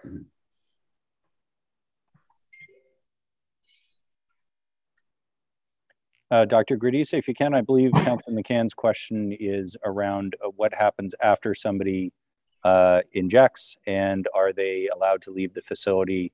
Uh, what's the chill process and that sort of thing? Uh, through you, Mr. Mayor, thank you. Um, Councillor McCann, so yes, when, when they've actually used the substance, then they would actually sit in what's called like a, a quiet area and uh, when the team assesses that they're physically stable and they're feeling supported and have a plan and upon departure, then the team would support them in that departure. And again, as per Counselor Aylwin, it could be that the outreach counselor walks them out the door. It could be that we connect them with uh, a peer support worker, or it could be that they, they go on their way. Doctor, I appreciate your answer. Um, and uh, I guess I can't remember who it was, but I do recall one of the uh, deputants had mentioned that uh, one of their fears, uh, because it's a fear that they actually have, is fearful that they're going to inject themselves, or I'm guessing there, there's other means of, of uh, ingesting the drugs, uh, that the effects may not kick in for, for a while and they may be fine for the first 10 minutes. And then there may be a delayed, um, my vernacular is not the best here, but high, you know, later on. And that's where maybe the instability and maybe the, uh, the fear comes from residents. Could you maybe comment on that? Um, yes, again, through you, Mr. Mayor. Again, I think uh, it was highlighted, and I, I, did want to, on behalf of CMHA and Simcoe Muskoka District Health Unit, just thank everybody. It was it was really enlightening for me to listen to the neighborhood, um, you know, discussion and thoughts and concerns. But at the end of the day, depending on the substance used and the assessment, um, we would not, uh, and you're right, there could be a delayed effect, but most of the individuals that are using use these substances quite regularly. And they actually have a better understanding of the substances and how they impact them than we might anticipate or understand. So it would be, it's a, it's a conversation with them when they use to see how they're feeling, if they're feeling safe and to actually depart the space because that's the most important thing for us that when they do depart that they are safe they feel, have had the supports they need and that um, they know they can come back if there was any um, impact or um, you know access other services and supports through the outreach counselors etc well maybe uh, maybe i'll just ask you a couple of direct questions then. I made a few statements earlier that uh, i didn't give you a chance to comment on uh, and it's about the management of the SCS and and uh, you know i'm i'm the foundation to my um, to my um, insecurity about this team running this uh, facility uh, stems from that there was no communication from 20 plus residents today that came on that live within, you know, I think one woman said she can hold her breath and get to the site and she's 75 years old, right? Uh, so just a blanket statement. How do you, how, how, how would you comment on that? For you, Mr. Mayor. Thank you, Councillor McCann. Sorry, how would it, if comment on the experience of them living across the street with the services there, or is that what you're uh, asking? No, uh, Dr. Goody's, I think the specific question, the specific question is around consultation. We had a number of deputants oh, okay, okay. say okay, that great. they were not okay. they were not consulted. So if you could just review for okay. council the consultation efforts that were made with the local neighborhood in this area. Thanks. Okay, great. Thank you. So we, you know, it started out with the survey based on the identified site, and then it went into mailouts of um, over 7,000 mailouts, including that entire region. And the letters went through Canada Post starting on March 29th. And um, that particular location, based on tracking with Canada Post, would have received it in between March 29th and April 1st, with the first session starting on April 9th, and they ran four sessions in total. And as this particular site bubbled up, then there was efforts uh, to actually connect with the tenants and or any um, neighbors that during the consultation sessions with the third party vendor who had specific questions or concerns. And the consultation process was overseen by the district health unit with the third party vendor. Okay, so you did 7,000 mailouts, right? Was, was, that one mailout or was that a series of, of mailouts? I wasn't fully understanding. So there were four sites identified. And so with those four sites, the radius around those particular sites actually accounted for 7,000 unique addresses. So if I was just to, if I was just to do some uh, guesstimating, then for the for 11 Innisfil, you would have done maybe 1,500, 2,000 uh, mailouts in the area. Through you, Mayor Lehman, may I make a comment? It's Lisa Simon. Yep, go ahead. Thank you. Just thank thank you very much to Dr. Gurdisa for um, speaking to this so far. I just wanted to clarify that piece around the mail out. Um, we ideally actually did want to pick each of the four sites and do a mail out around each of them, but Canada Post was un unable to do that. So we picked the most central of the four sites, which happened to be 11 Innisfil Street from there had a one kilometer radius around that particular site because that encompassed all of the other sites and that whole region is what led to the 7,700 pieces of mail that Canada Post confirms were mailed out and should have been received well before the start of the consultation sessions. We do have confirmation from several members of that Innisfil Street and Perry Street region that they did receive the mail. Both they said it and they called us to, to indicate that. So it's difficult to explain why some didn't. Was it not received? Was it missed? we don't know. Um, I think, you know, we certainly feel that, that we did our very best effort, you know, our best due diligence. We actually learned from the last time when the same concern was raised. So we changed the approach this time. We went with Canada Post instead of a postcard, which wasn't well received last time. We went with a letter this time with big, bold writing on the front, you know, indicating it was an invitation to provide feedback on the SCS. Um, so that's you know we certainly very genuinely made every effort we could to uh, to try to have every individual be aware of the consultation we of course want to hear people's voices and that's what's helped to uh, to inform the decision Thank you, doctors. And please, uh, I need you to understand this. I am not uh, putting your integrity um, or your heart uh, on uh, the, the block here. I'm just looking at the end result, right? So please uh, don't think I was attacking your integrity because I definitely was not.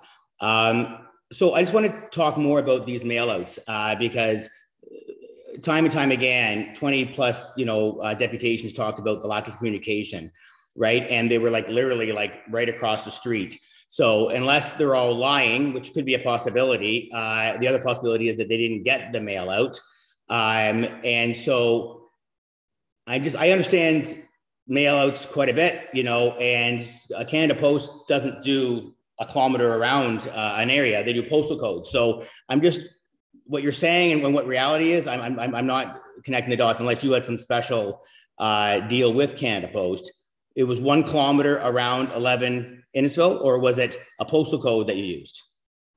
Through you, Mayor Lehman, um, we have a precision mail out approach that was used. Very happy to forward it to you. We've just forwarded it to Andrea Miller uh, that was the approach. So I'm not sure I have more that I can explain than that, but happy to forward you the information from Canada Post if it uh, if it helps.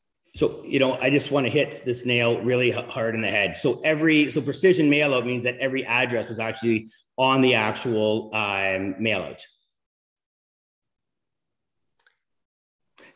I'm not sure I can. I know more detail than I've indicated. Other than that, uh, we have a circle on a map that is a one kilometer radius around 11 Innisfil Street. And we were informed that every single address in that one kilometer radius would receive a piece of mail. Okay, I'll um, I'll just leave that up in the air because obviously there's a disconnect either with Canada Post or with the residents. Um, and uh, I think I've made my point pretty clearly. Um, the Wee Watch. I just like now that I have you both on here. Did, did both of you listen to all the deputations, or did you come on afterwards? Through you, Mayor Lehman, I listened to the deputations and I believe that Dr. Gurdisa did as well. Okay. And so do you want to comment on any, any of the deputy on the, the deputants? Sorry, Through just you, before just just before you get into this, um, I, I, don't think it's for Dr. Simon and Dr. Gurdisa to comment on 27 different deputations, Councillor McCann. If you do have a specific question about the issue, and given there is a motion on the floor, I just encourage you to. They're here as a reference to council. It's up to council to uh, discuss the deputations and the concerns that they've heard. Uh, I don't think it's particularly fair to give the doctors a chance after the deputants to counter those specific or the each deputation, and we'd be here all night. So if you have a specific question for the applicants, the the two doctors representing them, I think that's fine. But I don't think asking them to comment on all 27 is really feasible. Well, thank you, Mayor Lehman. And that's not what I was referring to. Uh, but we do speak and think very differently. So I guess that's why you said that. Uh, I just wanted the doctors to have a, a, um, a, uh, a, time to reflect on anything that maybe they felt strongly about from the deputants that they would like to comment on, given the opportunity. Is where is the platform I was wanting to give them. So if there's nothing, then I'll move on. Well, for you, Mr. Mayor, and thank you, Councillor McKenna. I, I, think the only thing Sorry, I Dr. Add, Dr. Gurdiza, I, I, I, will let you make your comment, but it's uh, 5 to 12. We're in the midst of a council debate. We don't normally uh, allow extra guests into a meeting during a council debate, but given the importance of this issue and the factual nature of what's been called into question, uh, I'm fine with asking questions of fact. But uh, I don't think it's fair to the process to give uh, Dr. Gurdiza and Dr. Simon, and we know where I, uh, I stand on the issue.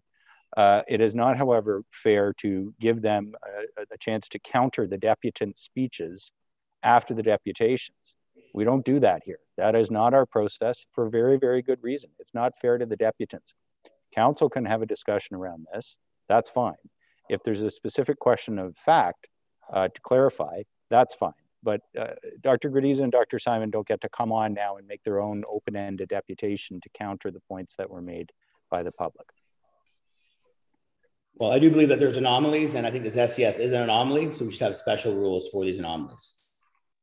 Well, we uh, might consider that uh, before tonight, but every deputant signed up uh, understanding that they were making a deputation, then council, who is charged with making the decision, uh, would follow the process that we have with every other decision. So uh, if you have a specific question, uh, go ahead, Councillor McCann.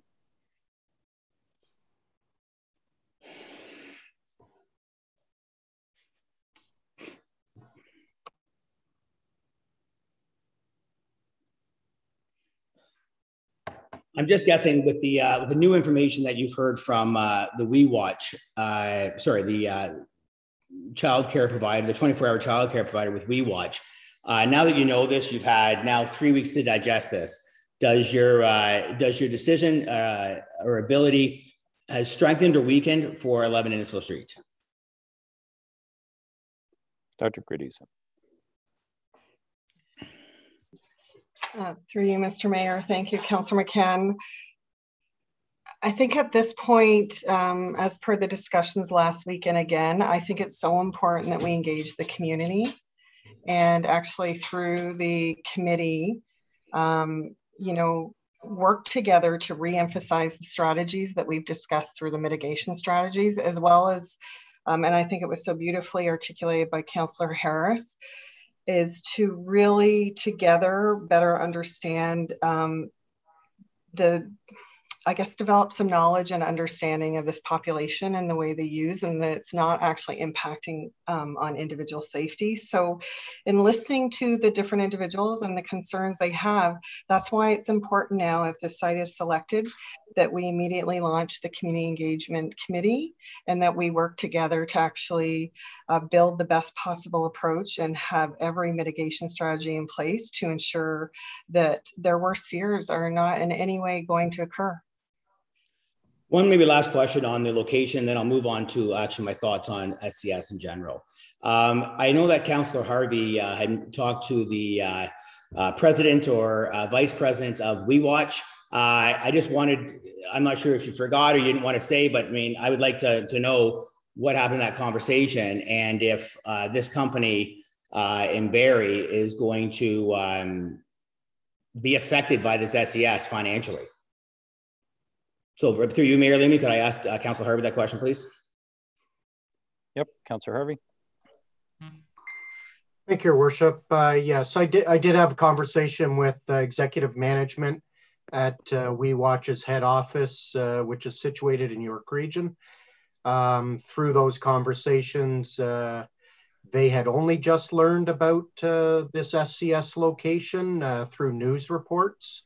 Um, and uh, how they're situated is they have their head office and then each area will have their own office that oversees that area. So Barrie does have its own office um, with management there that will uh, assess moving forward.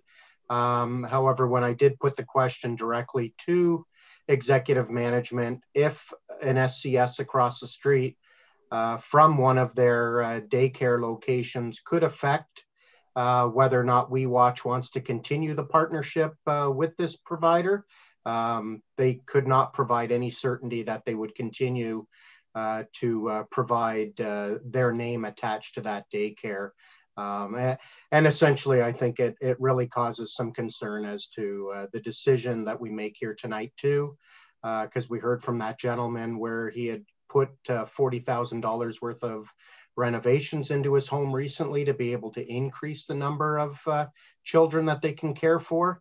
Um, effectively, we could be shutting that person down and, and putting them out of business. Um, so th those are my comments that I had with them. There's no guarantees. Um, I was just wondering if I could touch on the Canada Post thing, just because I, I have Harvey, I, I, need to. I'm sorry. Yeah. I need to extend that. We need to vote to extend the meeting after oh, yeah. midnight. So uh, I do think it's important that we continue the discussion. Uh, so I would like a motion to set aside the procedural bylaw uh, because we technically can't meet after midnight, but we can vote uh, to set aside our own bylaw. Uh, do I have a motion, a mover and a seconder? Councillor Kungl and Councillor McCann. Uh, all those in favor of setting aside the procedural bylaw and continuing to meet after midnight? Everyone's in favor. Okay. Sorry, Councillor Harvey. Um, Councillor McCann technically has the floor. Can I come back to you about the Canada Post thing? By all means. Okay. Thanks, Councillor. Uh, Mayor Lehman, it's, it's late. It's 12 o'clock. I've been up since 4.30. I just think for context, uh, I don't mind uh, uh, Councillor Harvey putting that spot in because it's, it's, it's um, on all of our minds right now. I know it's your floor, but uh, I think it'd be it'd be right to have uh, Councillor Harvey talk now. Okay, you can give Councillor Harvey the floor. Councillor Harvey, you're next. Great. Thank you, Your Worship. Yeah, no, un unfortunately, I had an issue with uh, with one of my mailouts too, uh, where we had a uh, a planning uh, application come forward that uh, I knew had caused uh, some issues with my residents. So I wanted to make sure that everybody was aware of it because of the guidelines within the perimeters of the Planning Act. Um, and ironically, it was in the same issue that we had are hearing about tonight, where it was my residents that were actually the ones that lived closest to the application that told me they didn't receive anything. Uh, I know when uh, the clerk's office confirmed with uh, Canada Post, they were adamant everything had been delivered. And then lo and behold, about two months later, didn't they find several boxes of my uh, my brochures that uh, did not get delivered. Uh, so quite evidently, uh, whenever you put anything out by Canada Post, unless it's registered mail, there's never a guarantee that uh, these things are reaching the uh, the area that you expect it to. Okay, thanks, Councillor Harvey. Councillor Natalie Harris. Thank you, Mayor Lehman. Um, I just, I, I know we keep on focusing on uh, the mail out, and I get it's absolutely uh, a valid point, but we had people on Perry Street say that they got it, Perry Street say that they didn't get it. And this has been all over the media. Like this isn't a new topic. And this is this is a, the latest uh, proposed site, but I mean, come on, guys, like seven seven seven thousand mail outs went and um, a couple people maybe threw it out by accident and they're upset about that but we have confirmation that it received it, it landed on perry street 100% the doctor stated that so let's move on from this topic and get to other um, more data driven um, uh, arguments because I think we're just beating this around the bush right now. We have people that received it. Sorry, Councillor Harris. I, I, I had thought you were um, on the um, the question that Councillor McCann had asked, but uh, you had already you have already spoken at council, and my I'm bad. sorry. It, we, yeah, uh, no, my bad for allowing it. Uh, we're in city council. Everybody gets to speak once. Uh, and uh, Councillor McCann, because you'd last asked a question, I will ask you, and you had indicated you had other comments. Yeah. Uh, so notwithstanding, you've gone well past your five minutes. Uh, do you have additional comments on the, the motion that's on the floor that you want to Make sure, man. We're only allowed five minutes. Yep. Procedural bylaw and council. Okay, well then you know what? Let me speed this up then because I do have something important to say, and uh, I do appreciate the the time, counselor, councilors, council. Uh, you know, it comes down to uh, the SCS as a whole, and uh, this is something that uh, you know I was uh, I've talked to many people about this, and I woke up Tuesday or Wednesday of last week, like at two three o'clock in the morning, and it just hit me like an anvil you know i just did i hired a coach to do go through my my core beliefs and core values and my my biggest core belief and core value is connecting to people and when i connect to people my biggest strength is empowerment and instilling confidence into people. And just hit me clearly, right? Like we as leaders, whether you're the mayor, whether you're the CAO, whether you own a garbage company, whether you own a drugstore, right? You have to empower your, your employees, your staff, and you have to, uh, you know, um, increase their uh, their confidence, right, to move forward. And I have to ask this council, and this is this is just this is going to be a redundant question: How are we empowering and how are we instilling confidence, right, increasing their confidence in these people, right? These people that are vulnerable, these people that are addicted to uh, some of the, the, the heaviest drugs in humankind, and they're, in my opinion, you know, uh, be careful my words here because I know this is super sensitive. You know, it's my belief that you know you have individuals that just aren't making great decisions, right? And I think the best decision that we can make as a council is to reject this injection site, to reject this location, and actually forcefully uh, you know, uh, rally uh, with uh, Mayor Lehman and the big city mayors. I know they're working hard, and I'm the mayor wants to comment on that. And we need to put pressure on the federal government, put pressure on the provincial government, and we need to have treatment. We need to have education. We need to have rehabilitation, and we need to have recovery. And I believe that we need to be strong because, quite frankly, if we accept this location and we accept these millions of dollars that we get for one spoke in the wheel, right? I just really believe that we're missing the boat and we need to do better for these, uh, for our society, right? So, point of order, Mayor Lehman. This is not up to Miss uh, Councillor McCann to determine how someone recovers. It's not up to Councillor McCann to determine what kind of angle someone should go to. You said that we're, we're not being hard enough, or we should we should be going to the federal government. May I remind you that when I was originally elected, I brought a, a, motion to set an emergency on the opioid crisis that was turned down that would have addressed all of the things that you just pointed out with the federal, the provincial government. So, and we are bringing treatment to Barrie. So, there are many other things that are happening. And this SCS is one point and I don't think it's fair um, for anyone to say that this won't be a successful way for anybody to recover. Um, that's just not fair in any way. Well, respectfully, okay. uh, so the, as I have. Uh, councillors, the point, the point of order there would be uh, to speak to the motion that's on the floor. And the motion that's on the floor is with regards to whether or not to approve an SCS in this location. I think Councillor McCann's within his rights to give his views on SCS. However, Councillor McCann, uh, I'm, I'm not sure uh, this broad discussion around individuals is getting too close to the actual motion on the floor. So I will ask you to make your comments. Uh, you've had lots and lots of airtime here tonight. Yep, this is a really important uh, issue. So I appreciate the time, Mayor Lehman. And uh, so getting back to uh, my finishing arguments, you know, I really believe that, you know, treatment, education, rehabilitation, recovery, which is outlined in Chief Greenwood's um, community hub uh, you know report that we had last week right? I agree with that. And i think that we need to put our efforts towards that. And um, i just think that uh, there's only so much money that we're going to be given from the provincial government. And if we do with the uh, safe injection site we may miss an opportunity to do something better finding a better way. So council mayor lehman i appreciate the long time but i've got a lot of passion towards this too. It just may be uh, at the opposite end, of the stick of, of your arguments. Thank you Next, I have Councillor Riepma. Thank you, Mr. Mayor. Um, and I, I, think tonight I've, I've, been listening to the to the to the deputants uh, very carefully, and I've also listened to the discussion that's been going on around the table. Um, and I, there was a couple of things that struck me. Um, one of them was that every single person that spoke tonight said that they uh, we're in favor of an SCS. Um, and it seems to me that, um, you know, uh, I, I, think that we've all come to pretty much an agreement that uh, an SCS is, some, is, a, is one piece of this intractable puzzle that we need to deal with. Um, the other thing that they said was, yes, we need an SCS, but it needs to be someplace else.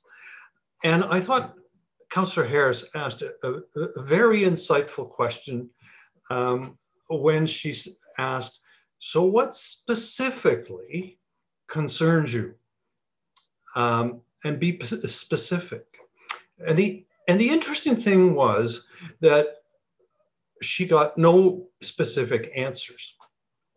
And I, I and I understand that perfectly well because I I think that um, when people confront change um, in their neighborhood, um, there is no doubt there's going to be anxiety about that. Um, anything that is different is, is going to raise the anxiety level because we don't really know um, what the outcome is going to be.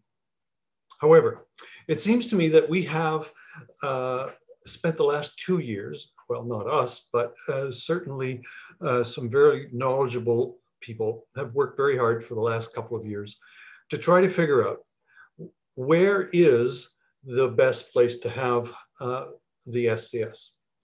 And uh, they've landed at um, 11 Innisfil.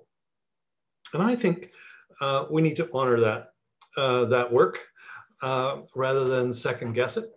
Um, and I think, um, you know, they have done, uh, they have done their, their due diligence. And I know that it doesn't really matter where we put it. There's going to be somebody that says, you know, it should be, you know, down the street somewhere. Um, I, I, do think that um, we really need to um, start thinking about exactly what Councillor McCann was saying. We need to start empowering um, people, um, empowering people so that they can recover. Uh, we need to um, find a way that they can um, live with a greater dignity. Um, I, you know, I, I don't have much experience with addiction, um, but I must say that um, it's a very unhealthy, uh, unsafe way to live. And it seems to me that um, we need to do everything in our power to help these people uh, recover, um, if that is at all possible. So I'm um, I'm going to be supporting uh, this uh, initiative, and um, I'm actually quite pleased about the amount of neighborhood uh, engagement that we have, um, because I think it it, it suggests that we will do well here. Um, yes, there's anxiety about it, but the neighborhood is engaged, the neighbors are engaged, and I, I'm very hopeful that uh, the neighborhood committee is going to be a very effective uh, tool to make sure that this place operates really well. So thank you. Thanks, Councillor Riepma. Uh, next, I have Councillor Thomson. Thanks, Mayor Lehman. I'll be very brief. Um, so I want to thank all the deputations and uh, that their comments didn't fall on deaf ears. They, they have every right to be concerned about the safety. Uh, for council, we've seen the number of things that occur at the bus terminal. We, we get reports on that on a weekly basis. Um, when an organization is looking for provincial funding, and one of the funding formulas is for security, that tells you there are challenges. And, you know, there, there are locations in Toronto that neighborhoods have had GoFundMe pages for extra security because there are challenges with these sites. But I think with the neighborhood engagement and the partners and listening to all the concerns about the entrance, about the busy street, about the stuff that's happening. And I just think that it, it's kind of that thing. Now the ball's in the court of the provider, you know, SMOS. And if they fail, we'll know soon enough. And, but I think at this stage, we we have to respect all views. There are challenges with these services, but I think it's that time where this is an option, and I think we have to take it. And that's my comments. Thanks, Councillor Thomson. Uh, I have it listed that I've had seven members of council speak. Uh, one has a conflict. Uh, do the other two wish to make comments, either of you? Okay. Oh, okay, Councillor Morales. Thank you, Mayor Lehman. Same comments as last week. The only thing I'll add is, as Councillor Thomson put it perfectly, tensions run high and residents have the right to literally feel concern for their families, their safety, their existence. Quick little update. I corresponded with one of the residents, uh, Miss Maynard, um, after her presentation through email. And in a couple of emails, that phone, that email, uh, that discussion turned constructive. Um, she clarified uh, the comments about, um, you know, conflict versus should it be that way. She understood my perspective. I understood hers, and I love the way she closed that email. Um, I'd love to uh, keep the discussion, leave the lines of communication open. Um, and I think that's what I've heard from uh, Councillor Aylwin throughout this night. You know, please connect with me. This is not over. Move forward, and let's let's allow that to be the approach and what comes from tonight.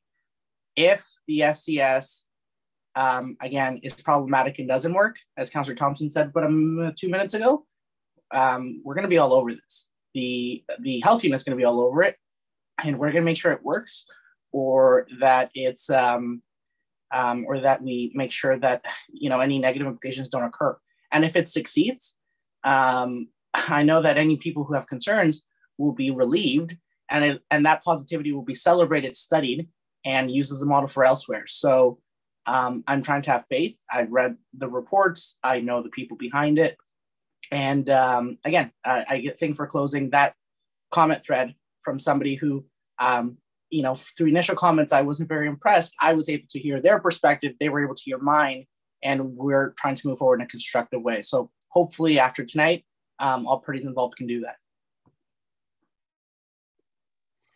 Thanks, Councilor Morales. Any others wish to comment before I call the question? Okay, I just had um, a quick question, one question for the applicants, Dr. Gradiza about the, or Dr. Simon, um, several of the deputants referenced concern about people either milling around waiting to get into the facility uh, or uh, some of the services being delivered on the outside of the building. Uh, can you tell me, uh, is, I mean, is that likely to happen? Is this the kind of facility where you would see a lineup? Have you thought through that piece in terms of what if you had a number of people come at once? Uh, through you, Mr. Mayor, thank you for the question. So we have uh, uh, talked with the property owner about really ensuring that the way the ramp will go in, the accessibility ramp, there will be privacy. They'll move the fence over and there will be a waiting area, not only because it's quite a large space. So people can come in and wait. They can meet with a counselor. They can go in and, you know, get a little bit of nutrition as they wait. And we will have to, depending on the numbers, which we don't anticipate will be huge, if we have to pace individuals out, then that's what we'll do to ensure that there's not significant, um, you know, lineups outside the door. And at this point, there's no um, plan to have an outdoor space.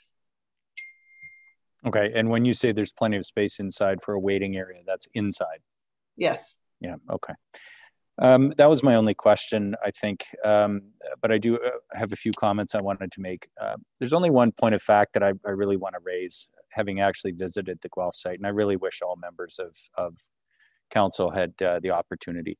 There are two 10-story residential buildings across the street from the supervised the consumption site in Guelph. The facility is located at Wyndham and Woolwich. Uh, there's a street called Cardigan that is literally opposite the entrance where patrons use the supervised consumption site. And there are two 10 story buildings there. Um, and, uh, you know, it, uh, it, it was a major issue um, when that facility opened uh, that the uh, people who lived in those buildings and lived in the neighborhood around them, uh, further around them, because there are residential areas uh, immediately to the north and the northwest, uh, that there was engagement with that community. And I would certainly agree with the comments that were made by uh, members of council tonight. Um, I thought almost all of the deputations tonight were uh, extremely uh, thoughtful.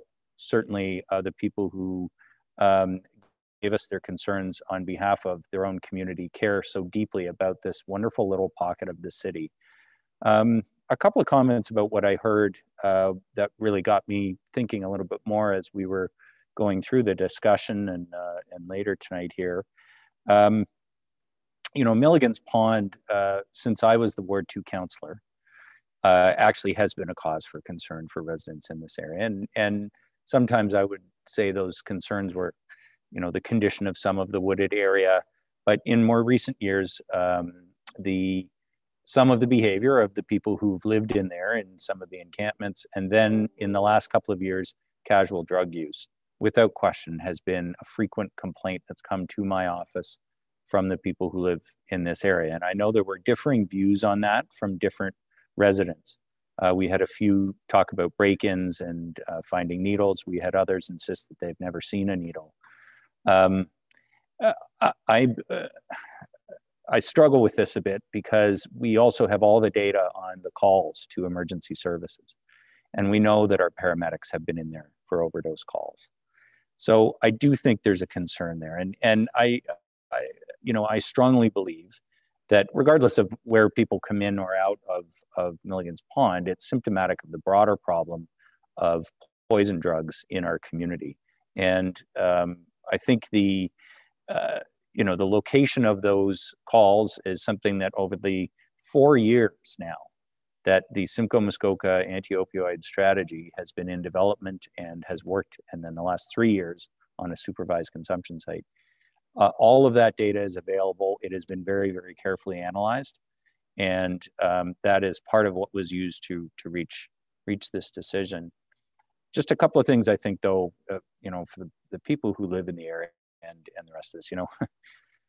sometimes being the level of government that's closest to the people is uh, is not a reward um, because you know we're not making the decision on this facility the province is and do you think the province is going to conduct a consultation process?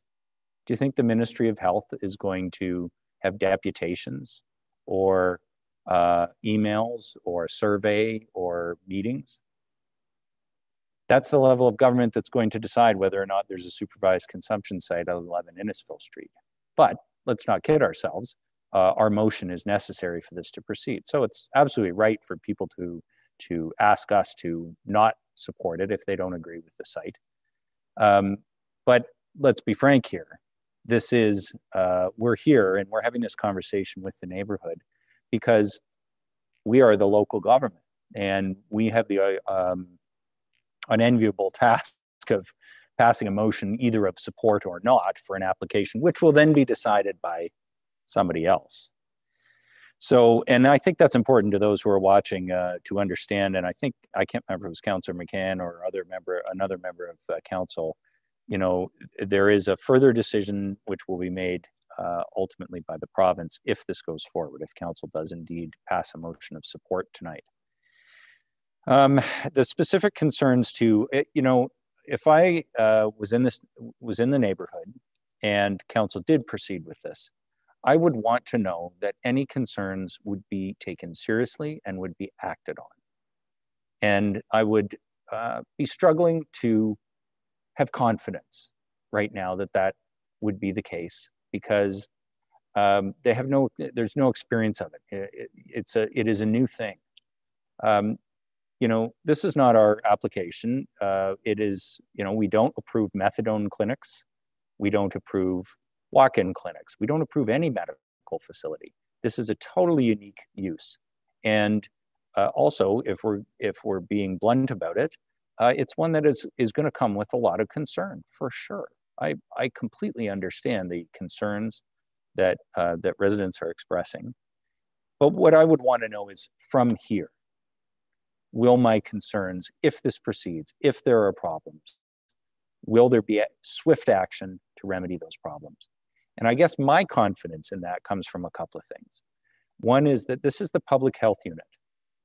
The public health unit reports to a board that includes councillors Harvey and Kungl and elected officials from across Simcoe County. It's a public body with public reporting and a board that oversees it. And uh, the Canadian Mental Health Association, which is a very large organization and well funded, And I believe both of those organizations uh, have reputations and a commitment that they will want to protect by being successful here. But even if that wasn't wasn't the case, and that's not the reason why I think we should support a supervised consumption site. I'm just saying if I'm a resident and I want accountability for what's happening, uh, and how can I have any confidence going forward that there will be? Uh, I believe that the nature of these two bodies, especially having a, a public uh, body like the health unit as one of the co-applicants, uh, is one of those reasons. I would like to say to the residents uh, tonight, I'm a member of the Barrie Police Services Board, and if a community uh, committee, a community committee is part of the proposal here, if this is approved by the province, if it goes ahead, when that committee is formed, that committee should have a straight line to myself as a member of the Police Services Board, so I can immediately bring concerns to Barrie Police. I suspect there may be police representation on that committee anyway. Uh, and I believe Councillor Aylwin should have a direct line. Uh, uh, he may be sitting on the committee uh, regardless, so that he can address issues with city staff and city departments if they're related to things like traffic or lighting. Very good point made tonight by one of the deputants about lighting on Vespra Street. That's the kind of thing the city can and should respond to. Um, two more comments I wanted to make. Uh, several of the uh, deputants referenced, referenced complete services and um, uh, the lighthouse model in Orillia, which I also think is a wonderful model. If you read the Simcoe Muskoka opioid, anti-opioid strategy, it has five pillars and all of the components of those models are part of the strategy. Could they all be located in this facility? No, probably not. The Lighthouse is uh, undertaking a very ambitious project for a much larger facility.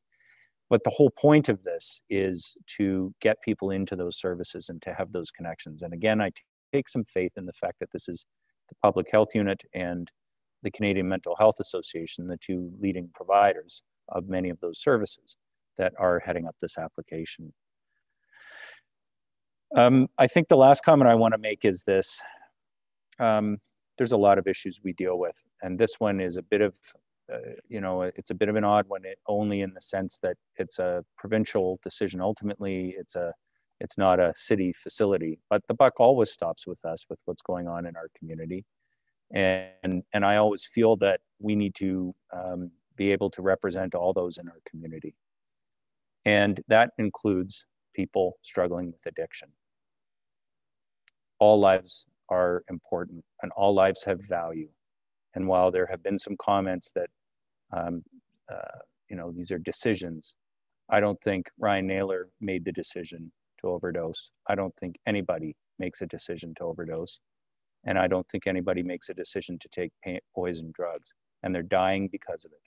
And when I step back and I look at our responsibility as city council to an entire community, there's no higher responsibility than taking action to prevent unnecessary deaths, whether that's a dangerous road whether that is by ensuring that we have fire and police and ambulance who are well equipped and well trained to be able to get to an emergency and save lives there, or whether in this case it's a supervised consumption site that the city needs right now to combat a poison drug crisis that's needlessly taking lives.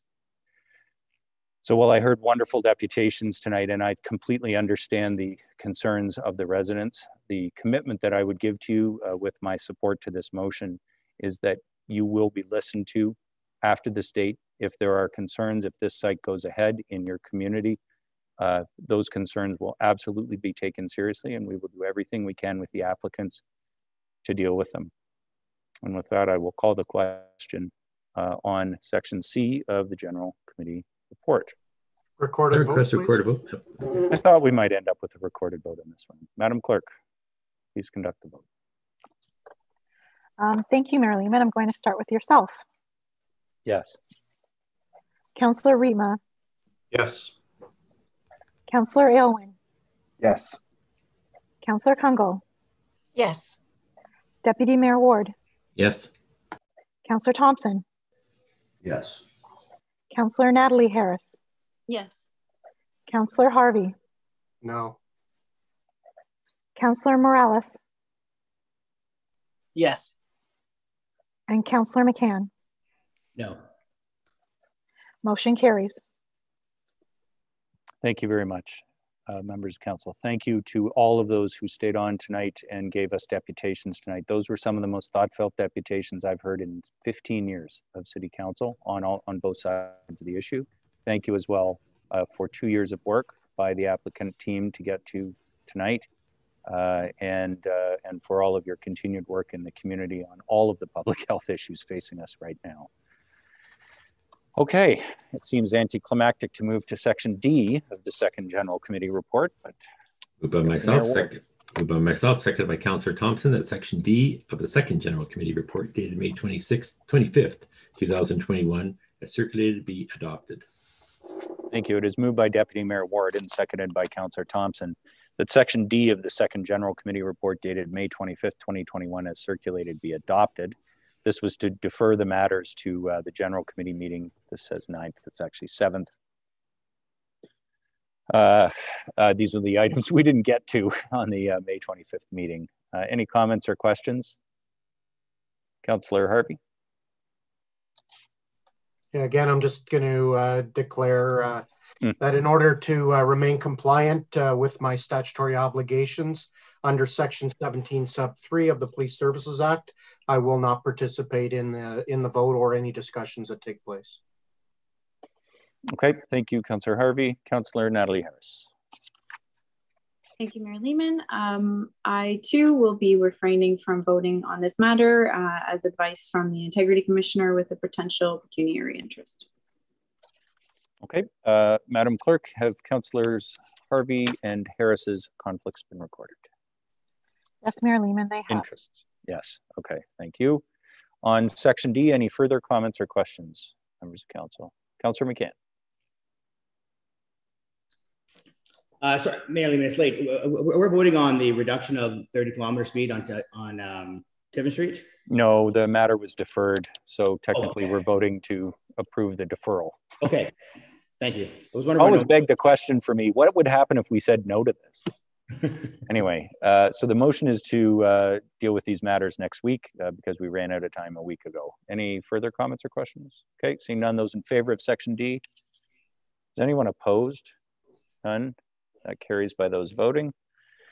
Okay, that completes the committee reports. We have no deferred business, direct motions, or presentation matters. Now we're at inquiries of staff. Deputy Mayor Ward, do you have any inquiries of staff? No. Members of council, any inquiries of staff? Councillor Thomson and then Councillor McCann. I actually did this because Deputy Mayor Ward just rolled his eyes. He didn't want no inquiries to staff. I, I, was just wondering if somebody, um, have we started cutting the parks or do we have a date? Um, that's the grass? Yeah. Yep. Uh, Ms. Miller or Mr. Friary, if he's on the call. Through you, Mayor Lehman, uh, to Councillor Thomson, yes, uh, casual and summer students have started and parks uh, mowing has begun. Okay, thanks, Councillor Thomson. Councillor McCann. I got, uh, I got maybe a couple questions. I'll ask them maybe at the same time to speed things up. Uh, the Caterpillar issue. Do we get a do we get a statement out on the city bear with that? Sorry, is that a question to Ms. Miller? To you, to Ms. Miller, to uh, Ms. Miller. Go ahead. Uh, yes, Councillor McCann, there was um, material circulated last week, and I'm happy to recirculate it to you. Okay, wonderful. No, I'm sorry, I meant out to the public actually. Um, yes, Councillor okay. McCann, out to the public. Thank you. And uh, my last question would be uh, Wilkins Park. Um, there's been quite a bit of vandalism on the sign. I've definitely talked to Rebecca James-Reid about uh, extra signage, which she's very quickly in her team uh, turned around. Uh, what are we doing about the vandalism and the maintenance and management of Wilkins Park? I am getting many inquiries. That's why I ask. Ms. Miller. Through you, Mayor Lehman, to Councillor McCann. Uh, certainly, we have been in um, uh, discussions with uh, enforcement services about their patrols, as well as uh, Barrie Police um, to ask them to increase, increase their community patrols. Um, there will be a, a, construction work starting on, on the rehabilitation plan uh, in the next week. Um, and so there'll be a lot more activity down there. And uh, we are doing everything that we can to, uh, to fix the damage uh, and um, to try and catch the people that are, that are doing it. And so just to be, just to me, a follow-up question about my Mayor Lehman. So there's some boards, I mean, first of all, a beautiful job on the fence. Like what you said you're going to do and what you did do, I think it's three times better. So congrats for you and your team for, for, the, for the material you used. Uh, secondly, I'm guessing it's kids late at night kicking some of the, the boards out. There's probably a dozen boards that are missing. Are they going to be replaced? Are they going to be strengthened at all? Have you decided what the game plan is? You, Mayor Lehman, to Councillor McCann. Um, there were um, of the fencing that you're talking about. Uh, there is going to be a swapping out of the um, the fence rails. Um, the contractor is going to use um, some different ones going forward, and then so the ones that have been damaged and, and are absent will be replaced. Uh, some of that work is uh, likely to happen in the next uh, short period of time. Uh, there were two sections at the end of that fence um, that was not installed at all because they needed the access to be open open for construction work. When that construction work is completed, those will be uh, completed as well. Thank you very much, Ms. Miller. Thanks, Councillor McCann. Uh, any other inquiries of staff? Um, Ms. Miller, I, sorry, you're still on the hot seat. A quick question around textile recycling. Um, be, uh, just around the bags, can you, uh, we've made some changes in terms of what ba bags people can use. Doesn't have to be a clear bag. Could you just highlight what is acceptable for people putting textiles out? We started doing that today. Thank you for the, for the question, Mayor Lehman. Um, uh, definitely the, uh, the, the preference was clear bags, but certainly recognize that that is a challenge for some people. So uh, any bag um, that is, uh, is noted for uh, that it has textiles and it will be collected. Um, and, and, because the pickup day is not uh, on your regular garbage day, um, they should be fine for, for pickup by the, the recycling, textile recycling team. Okay, and do we want people to stick a piece of paper on it that says textiles or a note or something, or is are we just going to assume that if it's out at the curb on that day, it's uh, textiles? We'll assume that it's if it's out on the curb, it's that day. But if people want to put a, a, a little note on it, I'm sure that uh, that will help uh, avoid Be much any confusion. Sure, you could even leave a positive message for your friendly neighborhood textile collector. That's right. Okay. I'm sure that they would appreciate all the support. I'm sure they would. Uh, any other inquiries of staff? Okay, seeing none announcements, members of council, any announcements? Councillor Natalie Harris. Thank you, Mayor Lehman. Um, we're into June 1st now, but I just wanted to um, commemorate that yesterday, May 31st, was the eighth uh, eight year anniversary of the Ornge helicopter uh, crash that happened near uh. Um, and this was where, unfortunately, Captain Don Filliter, paramedic Chris Snowball, uh, paramedic Dustin Dagenais, and uh, First Officer Jack Dupuis all died in that crash. And uh, just want to send my condolences to all family and friends. Uh, eight years later, uh, your family members um, were lost in serving the public, and we owe them always um, a debt of gratitude. Thanks, Councillor Harris. Any other announcements? Councillor Kungl. Thank you, Your Worship. Uh, so just a reminder for Communities in Bloom, uh, an invitation to residents and businesses across the city to register your gardens. We are um, looking at uh, incorporating the color yellow as part of the theme for Hope is Growing. Um, so the opportunity to register your gardens, which is free, is online through the City of Barrie. If you just Google City of Barrie, Communities in Bloom, there is some great media that's coming out on this as well. Uh, so looking forward to uh, participation across the city watch for more opportunities to come. But again, um, while it's virtual, we are asking uh, residents who have seen busy gardening uh, throughout the throughout uh, various wards um, to be uh, posting photos and submitting those, and that will help the city to actually uh, compete in, in this um, initiative, uh, although virtual um, throughout the season. So please do register your gardens, but I believe by July 23rd. Thanks, Councillor Kungl. Any further announcements?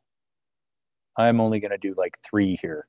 Um, I do want to note, we have proclaimed the month of June as Post-Traumatic Stress Disorder Awareness Month, Philippines Month, Deafblind Awareness Month, Seniors Month, and Recreation and Parks Month. June is a popular month. Uh, I wanted to note that the second draft of the official plan will be presented at Planning Committee on Wednesday night. Um, we are meeting Monday, Tuesday, and Wednesday night probably Tuesday and Wednesday will be a little shorter than tonight. Uh, tomorrow night's planning committee is a, a, public meeting and an application. Uh, Wednesday nights is the new official plan, and that will be a six o'clock start. So members of the public who wish to provide oral or written comments, uh, email cityclerks at barrie.ca, uh, or you can call uh, call City Hall uh, before June 2nd. Please do register to speak at that meeting. The other thing I wanted to note, in addition to the textiles, uh, was that uh, there is a job fair on Wednesday. So for those who are seeking employment, I know COVID has been a difficult time. Um, uh, the City of Barrie is partnering with the county on the Work in Simcoe County Virtual Job Fair. Uh, and there are certainly many industries in our area that continue to have shortages of workers. So please do uh, check this out. It's, it is online. Job seekers and local hiring employers can connect. Registration is open and it's free for both job seekers and employers. The website is workinsimcoecounty.ca. So that's Wednesday job fair. Last, I wanted to note May 31st, which uh, was over about 40 minutes ago, uh, is also a very, very difficult day for people in Barrie, especially in Allandale. Uh, it was 31, 36 years ago now that a F4 tornado struck our city uh, killing eight residents of Barrie. There were four other uh, individuals killed in Ontario, people who lost their lives, uh, 600 homes destroyed. And uh, when you travel around Allandale today, there are few visible um, reminders of the tornado, but there is in Sherr Park uh, a boulder with a plaque and trees, uh, one for each of the eight victims. and so, for all of those who remember, May 31st is a very difficult day. Um, uh, we remember with you uh, on this day, one of the most difficult days in the history of the city of Barrie, May 31st, 1985. With that, uh, could I have the confirmation bylaw, Deputy Mayor Ward? I think we have one other one actually. Oh, sorry, we have two. You're, you're yep. correct. Moved by myself, seconded by Councillor Thomson, that leave be granted to introduce the following bills, and these bills be read a first, second, and third time this day and finally passed. Bills 52 and 53. Thank you. It's moved by Deputy Mayor Ward, seconded by Councillor Thomson, that leave be granted to introduce the following bills. These bills be read a first, second, and third time this day and finally passed. Bill 30, 52 and 53. Comments or questions? Seeing none, those in favor? Any opposed? None. That carries. Moved by myself, seconded by Councillor Thomson, that leave be granted to introduce the following bill, and this bill be read a first, second, and third time this day and finally passed. Bill 54. Thank you. It's moved by Deputy Mayor Ward, seconded by Councillor Thomson, that leave be granted to introduce the following bill. And this bill we read a first, second, and third time this day and finally passed. Bill 54, the confirmation bylaw. Comments or questions? Seeing none, those in favor? Are any opposed to the confirmation bylaw? Can I have a motion to adjourn City Council? Councillor Thomson, seconded by Councillor Jim Harris. Uh, we will be meeting later today, as it turns out, as Planning Committee. Uh, planning committee begins at 7 p.m. tonight. So we will see you all uh, after we get some sleep for planning committee at 7 o'clock. Uh, and I thank you all to the members of staff and the members of the public who have stayed with us till this very late hour. Thank you all. Good night, and we'll see you for planning committee a little later.